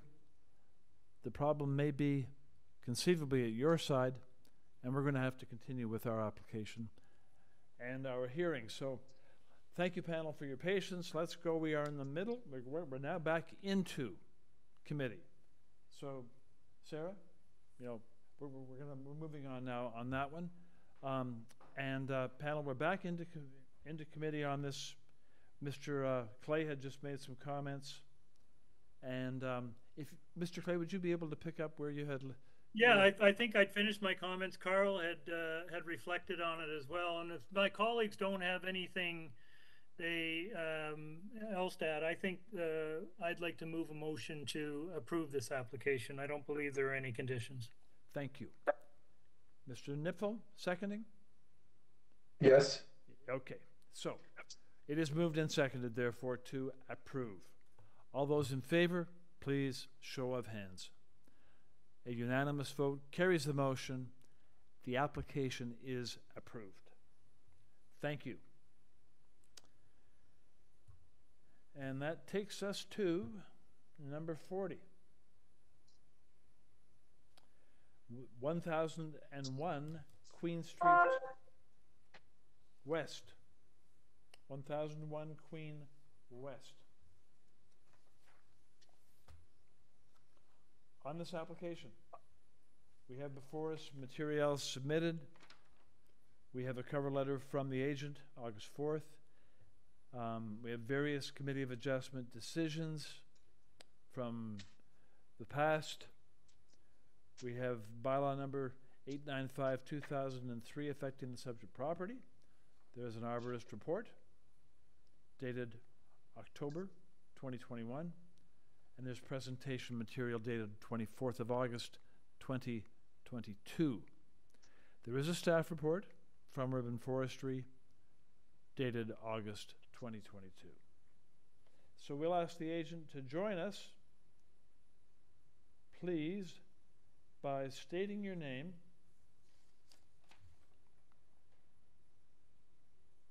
Good, evening.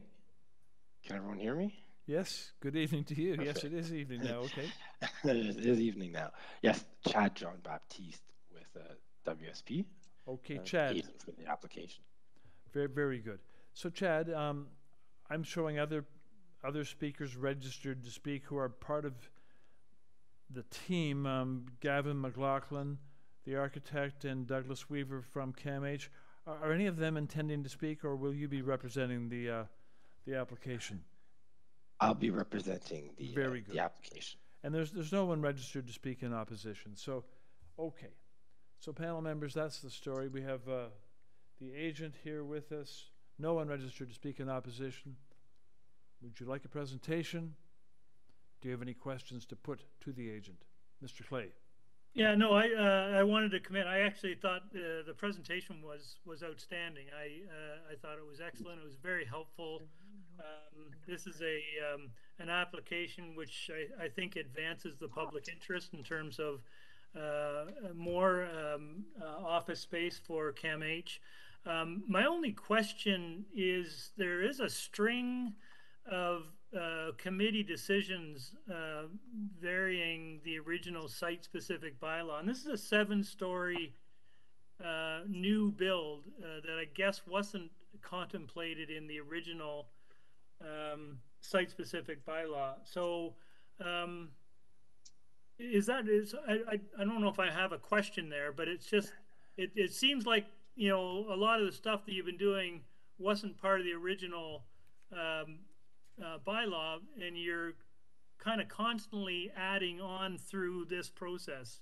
Is that your is that is there any concern with that? Through through the chair, if, if I if I may respond to that, um, I understand the concerns in terms of there's been a few variance applications that have occurred over time. There's also been a few consent applications for for easements and, and so on. Speak up just, Mr. Mr. Jean-Baptiste, speak up just a little bit, please. Oh, I apologize. My throat's, my voice is going here. Um, I do appreciate the, the concern of the uh, committee member. However, I must say that um, this has been an evolving master plan since it was originally uh, approved in 2002 and the site-specific bylaw in 2003. Um, and so the variances have mostly been, as you've dived into the details of the design of each of the individual blocks, that's where you start to see some variances in terms of parking or some adjustments for some heights and, and so on, depending on the specifics of the building design. And so it's in our view that the you know the past applications and the application before the committee today is very much consistent with the zoning bylaw that was approved back in uh, 2003 and uh, it's consistent with the master plan that was approved as. Yeah, and and that's all I was really looking for is is you know that kind of comfort that this is all part of a grand plan. It's just we need tweaks as we go along. Exactly. Okay, thank you. Okay, Mr. Byatt. Thank you, Mr. Chair. I don't have uh, a question actually. I just wanted to compliment uh, and echo my colleague Larry uh, Clay about the presentation. I think the presentation was excellent. Um, I also just want to compliment CAMH for and, and whoever else is behind, which other agencies are behind for uh, producing the kind of uh, facility and facilities uh, that our city and in fact our province uh, requires so desperately at this point in time. And it's an ideal, not an ideal, but it's a historic location. So I, I look at this application and um, I have absolutely no uh, concerns about uh, um, moving a motion to approve. Are you doing so? You're moving a motion? Unless my colleagues, uh, uh, Ms. Nipfel and uh, Ms. Chan have any comments to make, I'll certainly go with it. Okay. I, I, I, will just add that I, I think that this is meeting a critical need, and and uh, I'm very in, I'm very in support of what is being proposed. Um, similar to Larry, I think the master plan and the presentation was absolutely superb. Uh, it's a very complicated project, uh, a lot of constraints to deal with, and I think that it was explained very well for us, um, and I appreciated that. And I have no trouble at all in supporting this application. Ms. Chen, you wanted to say something. I just wonder whether there's a urban forestry condition. That's all. There number is two. number two. Number two. Yes, I think there's. Yeah. Okay. Thank you. Yeah. Okay. So, um, Mr. Byatt had put, a motion forward. So, is there a second? I, I, I understand there is. Who would like to second Mr. Mo, Mr. Byatt's motion? It is seconded by Ms. Chan. Moved and seconded, therefore, to approve. Those in favor, please, show of hands. And that's a unanimous vote to uh, carry the motion and to approve the application. Thank you. Number 41 is 18 Wellwood.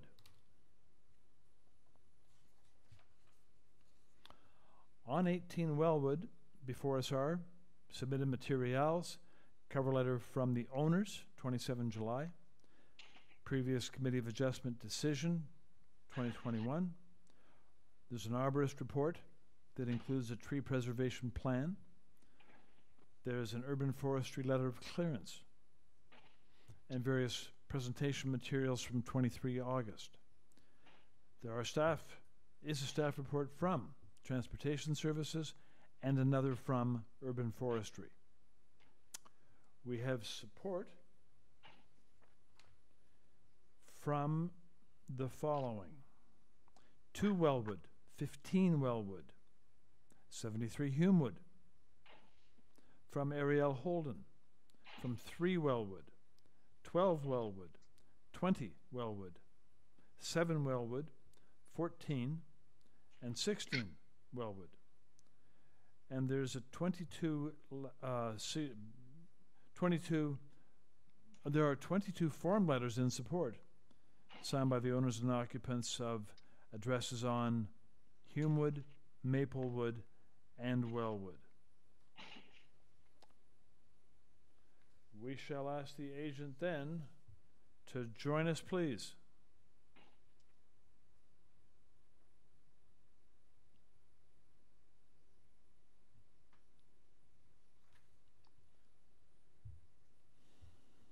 Hi, good afternoon, Mr. Chair. Can you hear me? I do hear you. Please state your name. Perfect. My name is Matthew Baldessera, and I'm the owner and uh, agent for this application. Very good. Panel members, questions for this uh, for this agent, Mr. Clay? Yeah, I was just gonna. So, is does this boil down to simply a technical change to uh, correct? Uh, um, is it uh, encroachment by 0.01 meters? Uh, through you, Mr. Chair, uh, no, the, the major administrative change that I'm seeking today is the Transportation Department's condition. That 0.01, the change to variance number 10 for the canopy encroachment, that was just something that we picked up through the development of the construction drawings, and I thought it would be appropriate since coming back to committee to capture that. But the primary focus in the administrative change that I'm requesting today is to adopt the condition as stated in the current staff memo provided by the Transportation Department. Could I ask, was there, a, I, I was confused by the wording. I, I don't have any difficulty with the transportation uh, condition, but was there a previous condition that you want to have replaced? I, the wording tended to suggest that you had trouble with the previous condition and you wanted yeah. to change it. Yeah, so um, just to provide the, the committee with some context, when I was approved on March 2nd, I then followed through and made an application to the building department um, for in order to obtain my permit. Um, I also applied for the front yard parking permit uh, as well as clearance from urban forestry.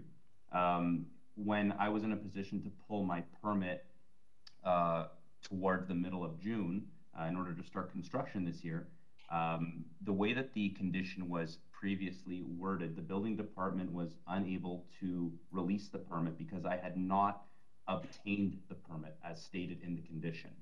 Now, uh, since that time, uh, I have completed the technical review in the front yard parking. Um, it's just at the, the, the polling stage at this point.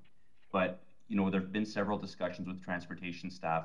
Transportation's intention at the time of the original approval was not to prevent me from pulling my permit. They're having serious delays internally with the review and approval of these front yard parking permits and unfortunately it resulted in me not being able to pull my permit back in June. So the issue here is the condition as we're as before us today is to apply rather than to receive. Absolutely, yes. Okay, that's clear. Thanks a lot.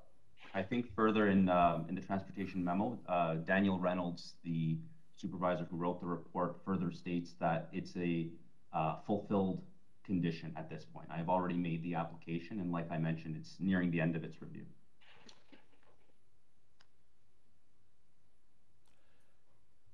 Are there further questions? No. If not, we can take the application into committee. And uh, Mr. Nipfel, go ahead.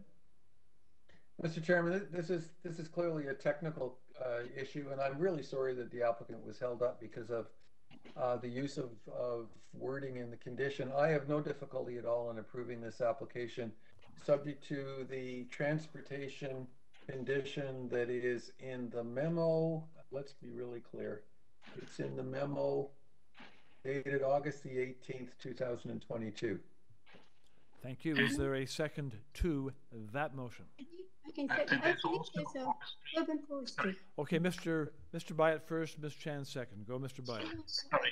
There's also a forestry condition number two, and I'd be happy to It's second. cleared, it's, it's cleared though. They've cleared the forestry condition. They've got a clearance for the forestry condition. So the forestry, the forestry condition, Ms. Chan, um, oh wait, okay, just a moment here. So the forestry condition has been lifted, it, does, it doesn't apply? It's been cleared, I mean, it- It's been clear. I think they've met it. Through you, Mr. Chair, it is in our package and the date is June, I believe, the 15th of this year. And it's letter of clearance. Okay, thank you. So the, okay, forestry then has, has cleared. Okay, Ms. Chan, you had, No There we go. question. Uh, uh, my question is the, oh, yeah, it's the urban forestry condition, that's all. there we It's go. been The- answered. There's the letter of clearance. Okay, so, yep, no need to uh, refer to forestry in this motion. Okay, so let's go back to Mr. Nipfel's motion. Is there a second to his motion? It is seconded, Mr. Byatt. Moved and seconded to approve. All those in favor, please show hands. That vote is unanimous um, in favor. So the motion is carried and the application is approved. Thank you. Item number 42 is 361 Euclid.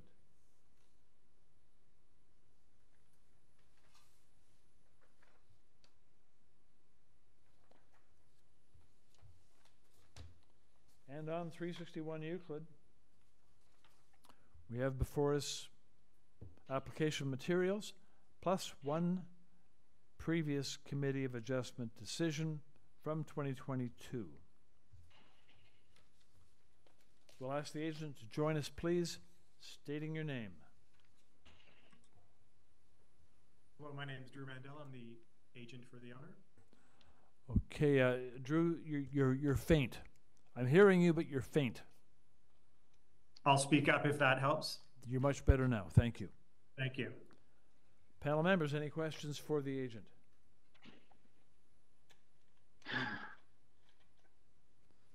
Hearing none. Mr. Byatt, go ahead. Yeah, I, I just have concerns with um, both uh, variance number one and number two uh, with regard to the soft landscaping. Would the agent perhaps just uh, provide some explanation, context, whatever? Yes, um, I, I, would like to note um, that this this scope of work was included in our June application, and it was an error on the part of the committee that uh, when they requested additional changes uh, to other parts of the project, uh, rather than include a supplemented uh, um, list of variances, they deleted, um, they replaced the the list of variances, and so the laneway house was deleted rather than included, and so that forced us back. So um, all of this work had been vetted through neighbors, through uh, the city, and through um, all of our conversations, and so it, it, was a highly unfortunate process that we needed to return. And everyone was in support. We received a, a number nine letters of support from neighbors, uh, all uh, all very relevant. So, uh, so I mean, that's just a starting point. Just that it's unfortunate that we have to return when it was well vetted and reviewed and endorsed. How about the uh, soft landscaping? Yeah. So the um, the soft landscaping behind the laneway is being is, is, untouched. So there is a portion behind the garage existing that we are not touching. So that is just going to remain as is. And as a precedent, I, I believe there are zero within view of this laneway. There is zero um, spaces that have any soft landscaping in the laneway itself. So that's number three. Um, number uh, two variance um, is indeed um, below what is requested. Um, the city had, we did discuss with the city. They they um, they were uh, it, they were happy that we were planting two trees and that we had green roofs uh, elsewhere in the project on the main house and did not object to our landscaping and and so we moved forward with that uh, that discussion concluded and endorsement from the neighbors. Would you, you, um, you, do, you do have a little bit of concrete in there, right? So uh, I notice there's a concrete kind of patio, concrete walkway. Are you are you building this from scratch? Is there any opportunity to do something creative with those pieces? Um, we there there is an option to do that. Yes. Well, why don't why don't we explore that a little bit? Uh, and and uh, you know, we don't want to derail you again. Uh, but uh, if we, for example, put a condition in that um, required you to use permeable pavers for that patio and that walkway, would that be helpful? Um, um, you know, I, I, I we we always try to design these things um, to make good sense, and on the fly is uh, you just hesitate to say sure, change it uh, without looking at it properly. Uh, given the history on this file as well, it's it's, it's I mean a crushing crushing delay uh, really. So um, I mean if if the pro- if the proposal were to fail, uh, unless we did this, I'd I'd, I'd take um, doing this rather than being rejected. Uh, again, I'm gonna say, I know it, it might not be pertinent to you, but I mean, it was well vetted and supported by the city in its previous incarnation, uh, so we weren't anticipating trouble. Um, and we, I mean, we did spend clients' money on on green roofs to try to overcome and have water retention and be responsible as well. Soft landscaping has become a sharp a sharp focus for the committee because of a whole bunch of little decisions have uh, created a trend in which the amount of of uh, soft landscaping is decreasing rather than the other way around. So um, the, the little decisions, I, I would note, the little decisions make would- the little decisions make a difference, and uh, the goal is always to uh, is to see each property do its fair share in terms of stormwater absorption. So that's why we're asking you to be creative here. Agreed. I would note that, again, the green roofs do have significant water retention in, in my experience. Uh, we did increase the front landscaping um, significantly. Um, You increased front landscaping? Tell us about that. Well, we were uh, in discussions for our in our earlier proposal. Uh, we we we uh, amended our proposal and increased the front landscaping uh, to try to uh, to better the general proposal. Okay. And um, again, the green roofs, the plantings, and there is significant concrete in the existing situation that we, uh, we, our position was, or our feeling was that we weren't making matters worse. Um, but I do take your point to the general direction of the city and the, and the priorities. And we do try to respect that again at the front by increasing um, plantings. Um, there's significant concrete throughout this property. It's it, basically been abandoned for years and, and uh, has significant concrete areas. Other questions, panel? Not hearing any. Okay. In that case, we can take the application into committee. Ms. Chan first, Mr. Nipfel second. I just like to uh, take just just give a comment. I'm more sympathetic for uh, the applicant's position because they actually have come through uh, committee adjustment uh, before, and also with the planning staff, they work out the green roof. They they they have improved their current situation.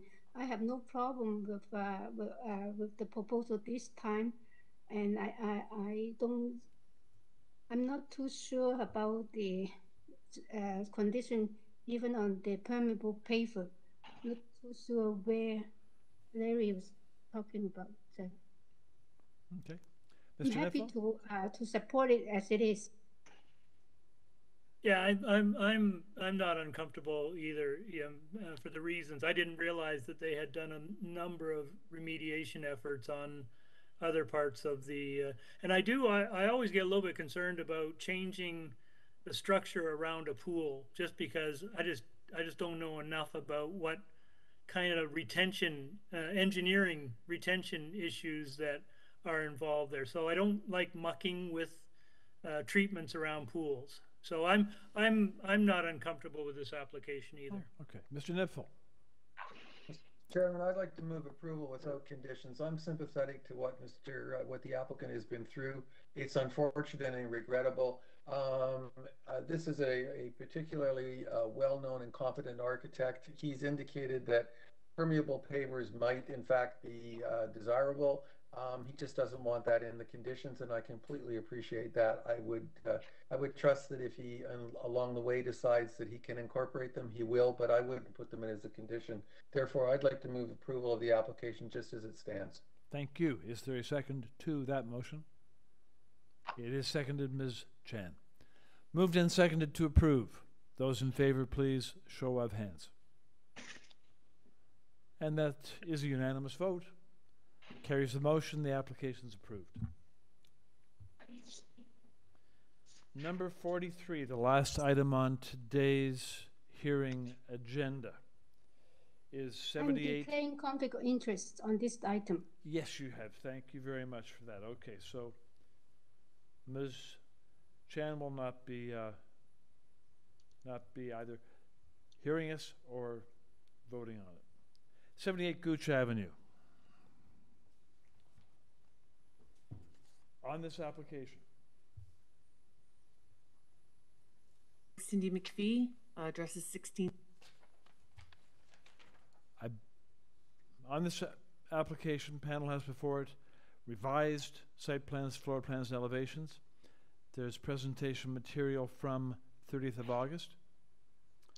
There is correspondence urban forestry and also TRCA. We have three form letters in support 74 Gooch and 1 and 19 Van Stassen. And we have correspondence in opposition from 82 Gooch, Margot Duncan.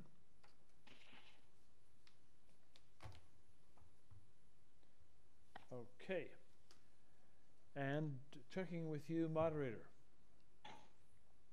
Can you tell me how many uh, registered speakers are there standing by? In opposition, three. I, I'm counting three? Three, okay. Very good. Let's then have the applicant join us by stating his name or her name, please. Good evening. My name is Cindy McPhee. I'm the uh, agent for the homeowners, and my address is 16600 Ave, Bayview, Bayview Ave in Newmarket, Ontario. Very good. You have five minutes to present your application to the panel. Please proceed. Okay, um, so we originally applied to the city for a permit to do a rear addition on the back. And through that application, these zoning items were identified on the existing carport that was built by the homeowner about 12 years ago. Um, this is a property that has been owned by um, the homeowners since the early 70s. And they have worked really hard at improving the property and maintaining it. And that's how I came about to help them with the rear addition. And um, the rear addition isn't a zoning issue, but the existing structure is. So these six items um, sorry, some of them are the existing driveway, the width of the driveway.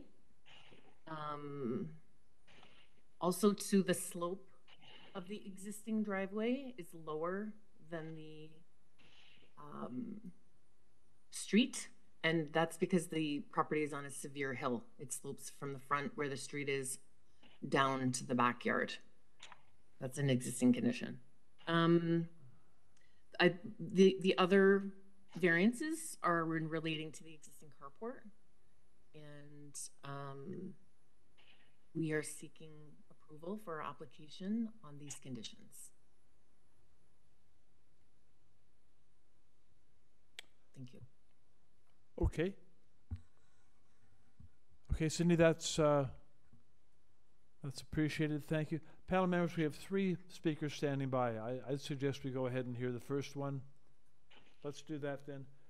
Moderator, first speaker, please. Hello, my name is Margot Duncan, and I have lived at 82 Gooch for over 34 years. The letter I submitted to the committee sets out the concerns about the initial and revised applications. But since then, I've received Ms. McPhee's 24th of August letter. In that, I understand that variance one applies to the garage. The application reads that the structure will be located, et cetera, et cetera. It already exists and was constructed without a permit. So now a variance is being requested on an illegally built structure and not a permit for the structure. The variance would then seem to legitimize the carport garage, which I do not agree should be permitted. I requested an application to build the structure be required, not a variance. The second variance, the excessively wide driveway, was also done without a permit and should be returned to its proper width with the north side returned to green space at the proper height. Let me interrupt you for just a moment, please. Staff, could you put up the site plan, please? With particular emphasis on the front of the property, the driveway.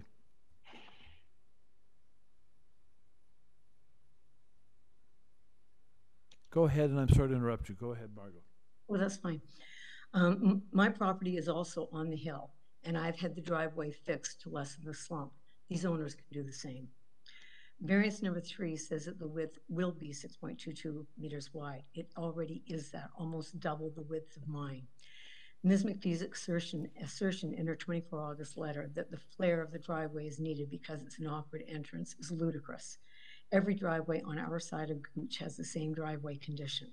The street is very curvy, and we all manage to get into our legal width driveways just fine. To suggest that 78 is unique and needs special attention is absurd. This is not a driveway, it's a parking lot. Ms. McPhee's letter respecting variance four seems to say that the driveway somehow caused the reduction in landscaping required. The owners changed the driveway, causing less green space. To suggest that the owners are kindly now maintaining the boulevard causes my head to spin. As the pictures I submitted show, there is no boulevard at 78 or any address along Gooch. The property abuts, abuts the public sidewalk, which abuts the road. I also have a garden for my whole front yard on both sides of my driveway. Like 78, it was my choice rather than to have grass. I certainly don't think that gives me the right to widen my driveway without a permit because I take care of a non existent boulevard. The owners have been told twice directly by the city, and if it hadn't been for COVID, would have had to be told yearly to keep the cedar hedge on the north side of the sidewalk at the sidewalk cut low for driver visibility. The city hasn't been out recently, so the owners have cut the hedge, but they planted rose of Sharon around the hedge, which they've let grow higher than the hedge to dangerously affect driver visibility. Like their usual behavior, they chisel around to impose their wishes on the neighbors. As with variance one and, and five, the eaves are there now, which should be cut back or the thing demolished. Variance six, which Ms. McPhee seems to indicate is the parking space in the unpermitted carport garage, but does not make it clear if this is this post is near the front or back of the carport. If at the back, it is likely past the point where a car could park. However, as with this whole illegally built structure, this should not be permitted. The final comment in Ms. McPhee's 24 August letter is significantly misleading. I have never received any communication whatsoever respecting this application until I received the notice from the Committee of Adjustment. There has been no note in my mailbox from the owners nor from their agent.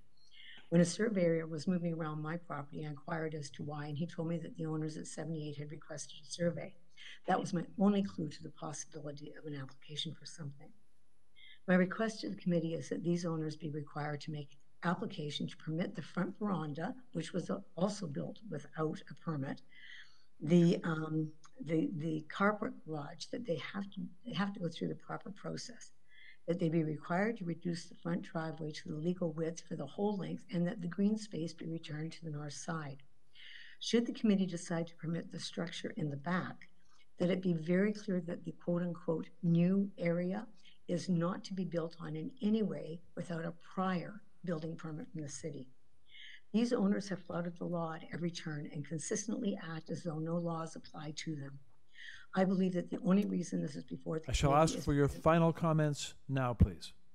I'm asking you, please do not reward years of ignoring processes and laws. Please do not permit the variances on major unpermitted construction, and please require that the driveway and green space be returned to the permitted side. Thank you. Panel members, questions for, yes, Mr. Clay. Um, well, I want to thank Ms. Duncan uh, for her comments, and I fully appreciate that you're very upset about what has gone on here, uh, and you've raised a number of concerns about uh, procedural anomalies. Um, but I noticed that you you live a couple doors away. Is there any like what's what's the actual impact of this proposal? On you and your property? Our properties, as it says in the um, Ms. McPhee's um, submissions, are wide at the front and narrow at the back. So we're actually very close to each other in the backyard. It's not like there's, you know, big backyards like in the suburbs. because of the slope of our, um, and so it impacts everybody in the backyards quite closely. But because of the slope and the front of it, when I go out my driveway, their behavior, particularly in taking out the green space and allowing it to grow, causes me to not be able to see cars coming around the curve. They're at the top of the curve, and I'm just slightly below it. So it does impact me directly, particularly there.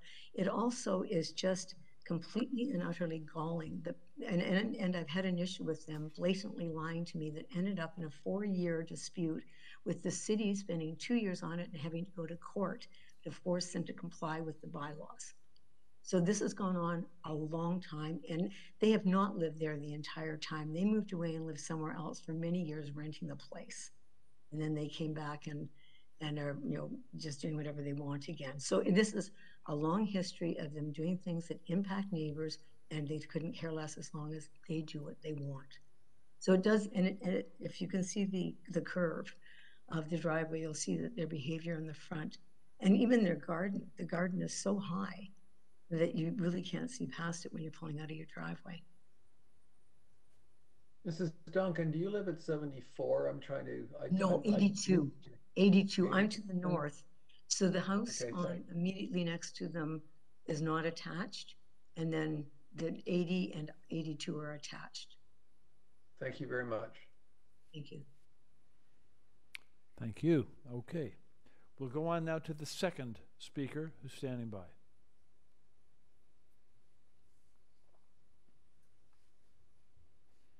This is Rosa Solar. I'm here with my mom, Heather Berkeley.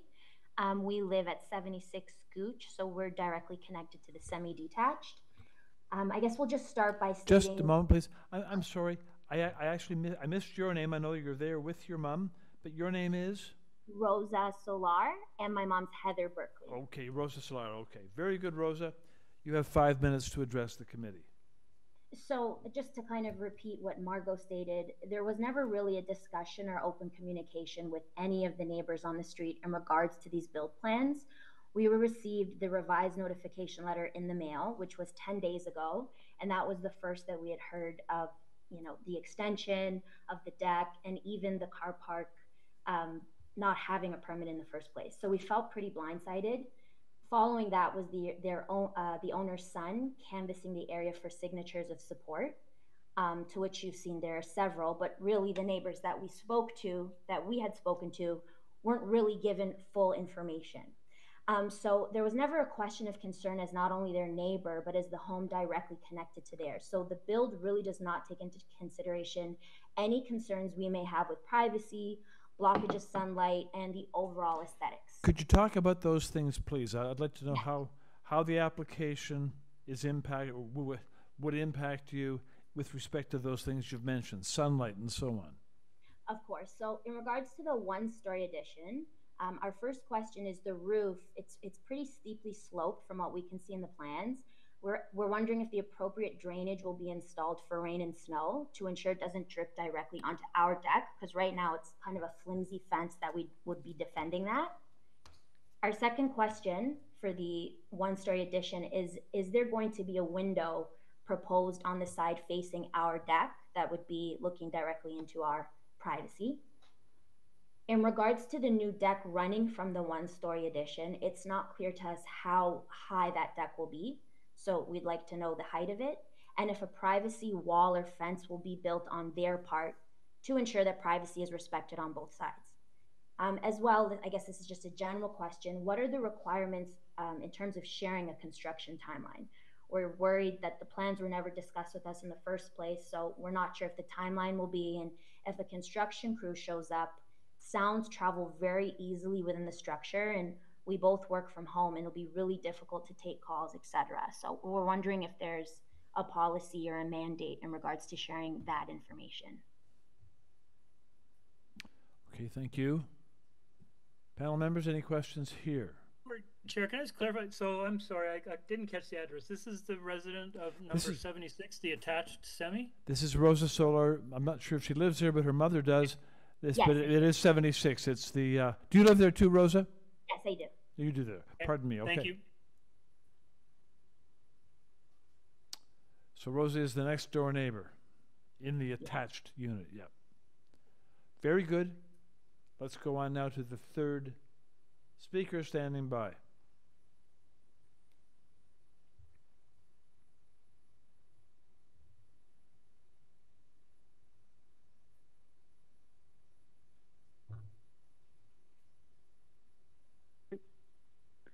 Hi, is the committee able to hear me?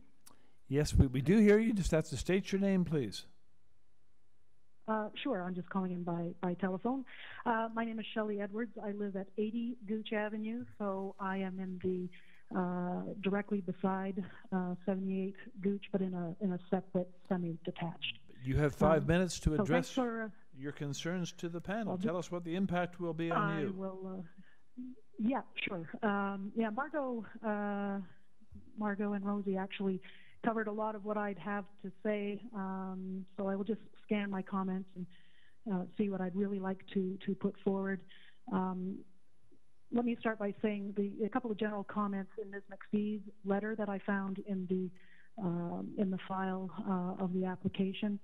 Uh, because I found some of the, the information to be incorrect or at least misleading, and I want to make sure that the committee is aware of that.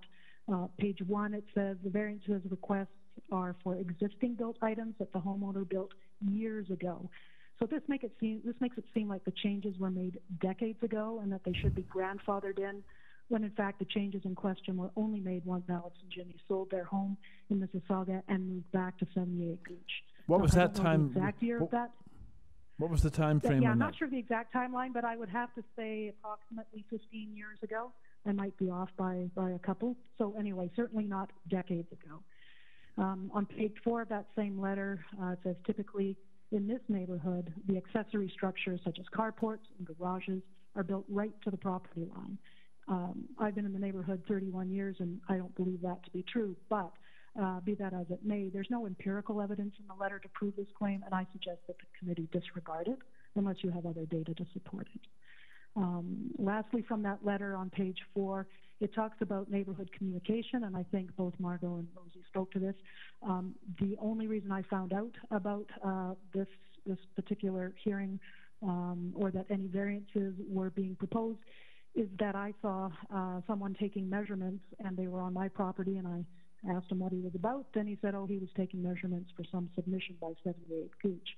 But um, anyway, my neighbor never mentioned it to me. Certainly didn't ask me to write a letter of support, so I do find that quite telling.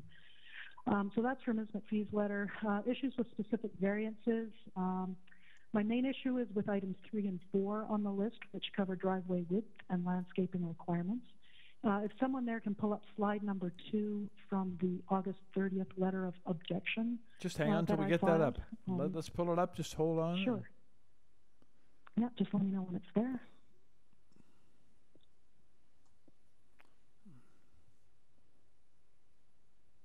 I'm sorry, when was that letter submitted? Uh, it's labeled, in that file, it's labeled August 30th, uh, letter of objection. That's the date that it was submitted, so if you look at the dates in the right-hand column, you'll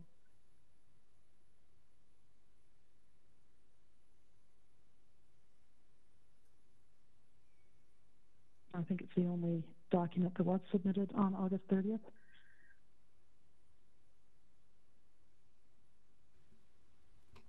This the correct document? It's got four uh, photos in it. I can't see what's on your screen because I'm calling in by phone. Okay, I, I think I have the correct document. Which slide were you referring to? Okay, so if you look, so at slide number two, right, so if you're looking at uh, that photo, I've labeled three trees that the homeowner removed prior to their driveway widening project, which at the time we didn't really know was a driveway widening project. So at least two of those trees, I believe, would have met the municipal codes related to city and private tree protection. Um, specifically, those trees were 30 centimeters or more in width at chest height. And then there was a third tree closer to the house that uh, probably wouldn't have met that requirement. So those trees are down, they're paved over. There's no way other than this picture to prove that they ever existed. But I, I have to say that removal of that green space was really quite uh, quite distressful for us. And then, um, and particularly when asking why the trees were being taken down, never got a straight answer. It only became obvious once the project uh, proceeded. Um, so subsequently, the asphalt was put down, and we saw that the driveway would be over 20 feet wide at points. And to this day, I still don't understand why the driveway expansion was made. Jimmy and Alex are a one-car family. Their driveway and carport can handle at least five vehicles. And in all the time I've lived beside them, they rarely have visitors that require a parking spot. I'll like ask one you- parking spot, let alone. I'll ask you, please, for your final comments now.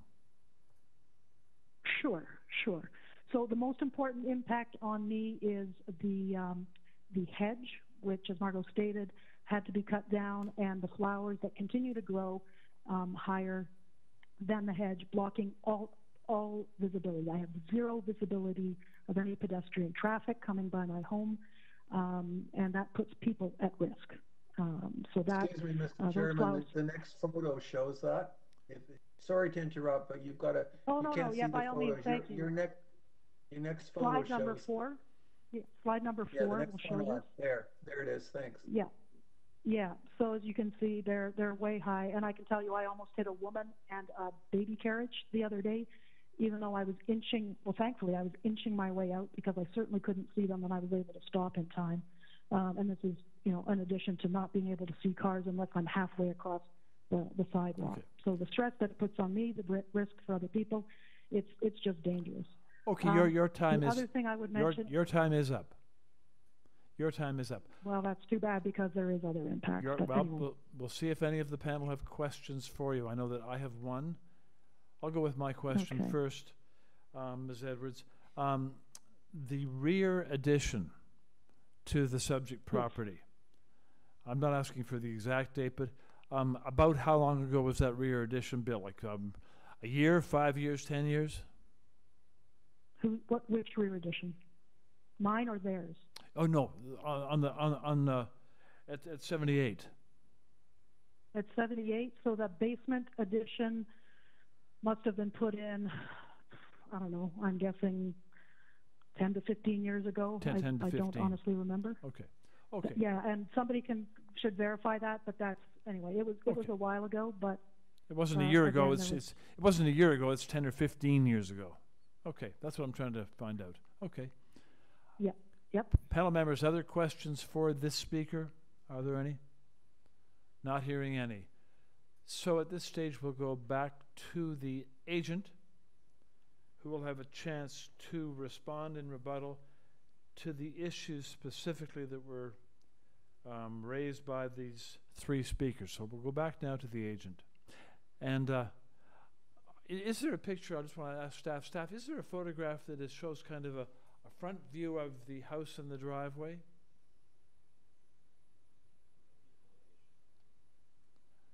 Okay, we have, we have uh, I'm thinking, no, no, I'm thinking of a photograph. Anything in the way of a photograph that, or perhaps you could bring it up on Google Earth. If you could bring up a front view of the property on Google Earth, Google Google uh, Maps. I mean, okay. Let's go back now to the agent for rebuttal. Agent. Thank you. Um, I would first like to say that I feel like the neighbors did a very good job in presenting to the panel. Um, they provided very good points in aspects for the history of the property. Um, it is a close knit community, and um, the the perfect pictures of the trees. I, I I I can't speak to that. I was not aware of that at the time when that happened. I'm not sure when that happened. Um, I would like to respond to the questions though for the adjacent neighbor, which is number 76, asked about specific questions for the addition that we're trying to do on the back.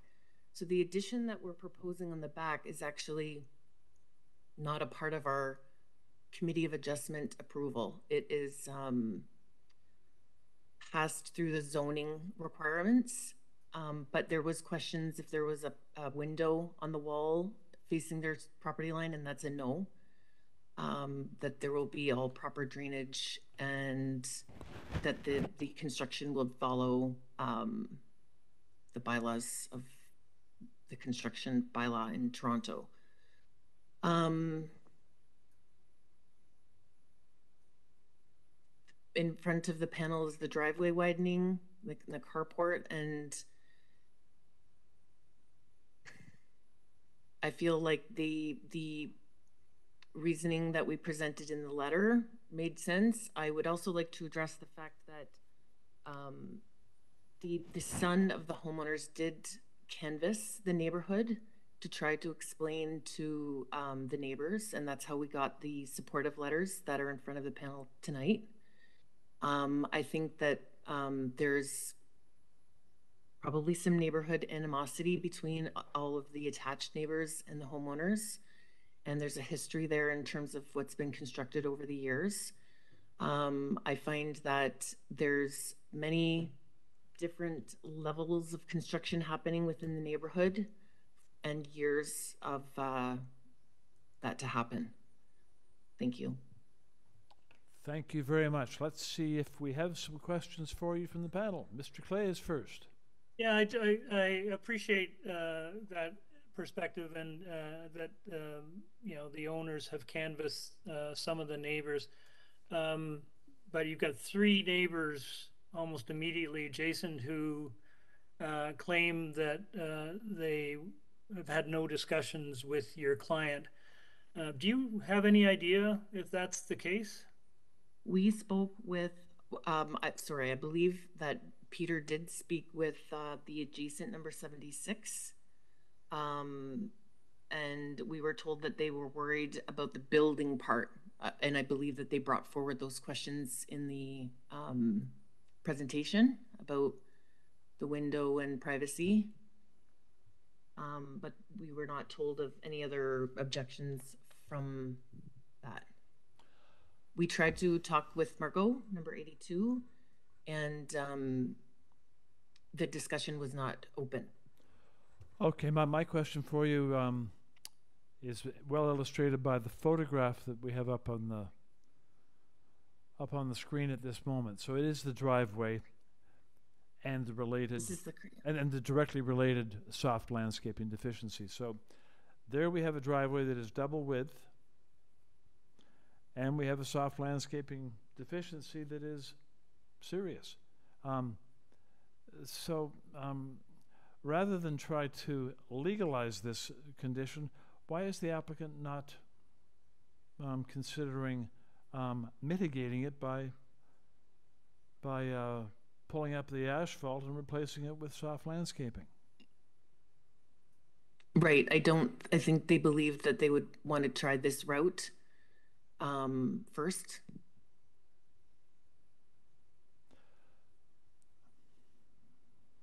Okay. Other questions, Mr. Byatt?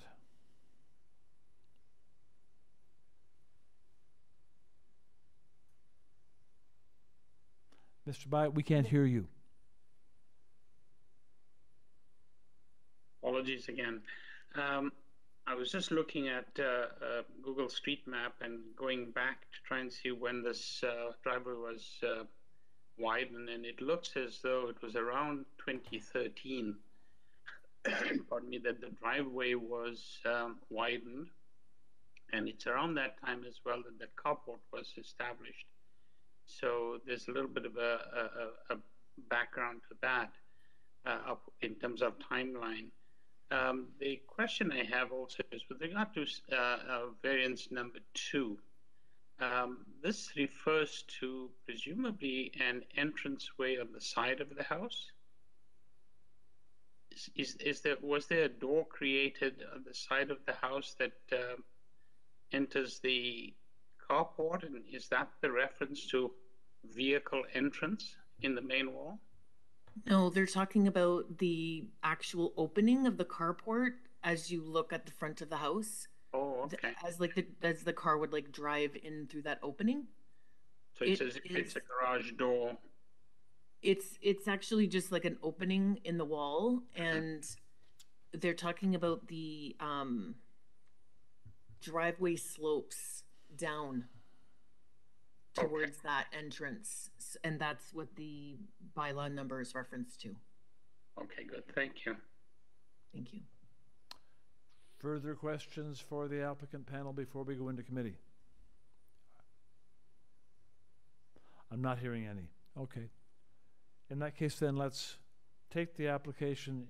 And Mr. Nipfel, are you wi- with the question? No, when, when we're in, when we're in committee, I have some comments. We're, we're going into committee now. So we're in, in committee now. Go ahead, Mr. Nipfel. Yeah. Thank you, Mr. Chairman. Uh, I have some serious difficulty with this application. Um, as, as Larry indicated, we have three people who are um, very seriously uh, opposed to this application, and it seems to me with good reason. Um, two of them are on either side of the site, the application site. I have some difficulty um, accepting the, the comment that they were consulted because particularly number 76 raised questions that presumably would have been answered during any consultation that might have taken place. So I'm I'm of the belief that there really wasn't adequate consultation, which is the reason why this meeting is going on so long and why we're wasting time here, in my view. I have no difficulties at all uh, in um, uh, refusing variances number three and four. I don't think there is any possible uh, reason to support variances three and four. The driveway is grossly over wide, um, and it has huge implications for the landscaping. I um, I'm unable to support the application as it currently exists. I would be inclined to perhaps support it, but with the exception of three and four, which I can't support. Okay, thank you. Mr. Byatt, go ahead. Um, I'd just like to echo uh, what um, Mr. Nipfel has said. It's uh, variances number three and four. I can't support those either. Okay, and no, nor can I. Um, how about the rest of it? Um, should we? Is the is the entire application worthy of approval minus those two, or is the entire application worthy of refusal? That's I think the question that we're facing.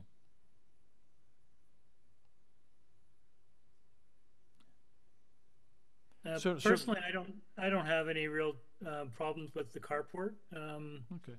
you know, you know, it's, it's, it's not an uncommon feature of many houses. I, I, I, I share my colleagues' concerns about um, the width of the driveway and its related impact on um, the deficiency in landscaping. I, it just seems to me that, you know, if, if the applicant is, um, you know, undertaking a construction project in the rear um, and needs approval for this portion of uh, or uh, of their uh, property, that you know, an effort uh, could have been made to maybe uh, address it in a different way. I, it just seems to me the applicants just kind of thrown up their hands, said, "Well, it's already there, so we're not going to do anything about it." It seems to me that there is an opportunity to uh, demonstrate to us or um, the neighbors that they're um, trying to uh, redress uh, this situation. So I,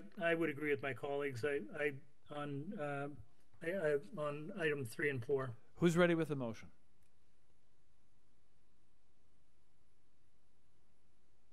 Mr. Byatt, go ahead. Thank you, um, Mr. Nipfel. Can go ahead. Uh, go ahead, Mr. Nipfel. Um, thank you. Uh, I would like to uh, move approval of the application, but with the exception of three and four being refused, um, and with a condition that the south edge of the deck is to be screened. The reason for that is the uh, next door neighbor has privacy concerns. I think they're valid, and there is no screening provided. Thank you. Is there a second to that motion? It is seconded, Mr. Byatt. Moved and seconded to approve the application with the exclusion of minor, minor variances three and four. Sorry, through you, Mr. Chair. Um, I believe there might also be urban forestry. Number two. That's Oh, correct. My Yes. apologies. I'm sorry. Forestry Yeah, Forestry not a problem. two. Yeah. That's my mistake. Sorry. Sure, no problem. Okay. Very good. Those in favor of the motion, show of hands, please. Mr. Clay, we have lost you temporarily, but we do have quorum, and uh, that vote is unanimous, so three votes. I see. I, I see Larry. Yeah, I'm I'm here. Yep. I, I, uh, and uh, I may, may I ask, did you vote uh, did you vote to support the motion? I, I did, yes. Okay, so that, thank you very much, Madam Deputy Secretary Treasurer. So um, there are four votes, unanimous vote to carry the motion. The application is approved, but with those minor variances removed. And that concludes today's uh, agenda. It is now 7:07 p.m. and um, the the hearing therefore can uh, can now be terminated. I want to thank the members of the panel for their seriousness of purpose, their preparation, and their focus to the last minute as always. I also want to thank staff for the preparation that was done to make this happen and for um, their flawless technical support during the carrying out of the hearing today. So thank you to all of those people for. Thank you, Mr. Chair, and thank you, panel members, as well as to John and Sarah. Have a good evening, everyone. Good Thank evening you to all. very much. Yeah, thanks, Sabrina. Thanks, staff. Bye-bye. Bye for now. Cheers.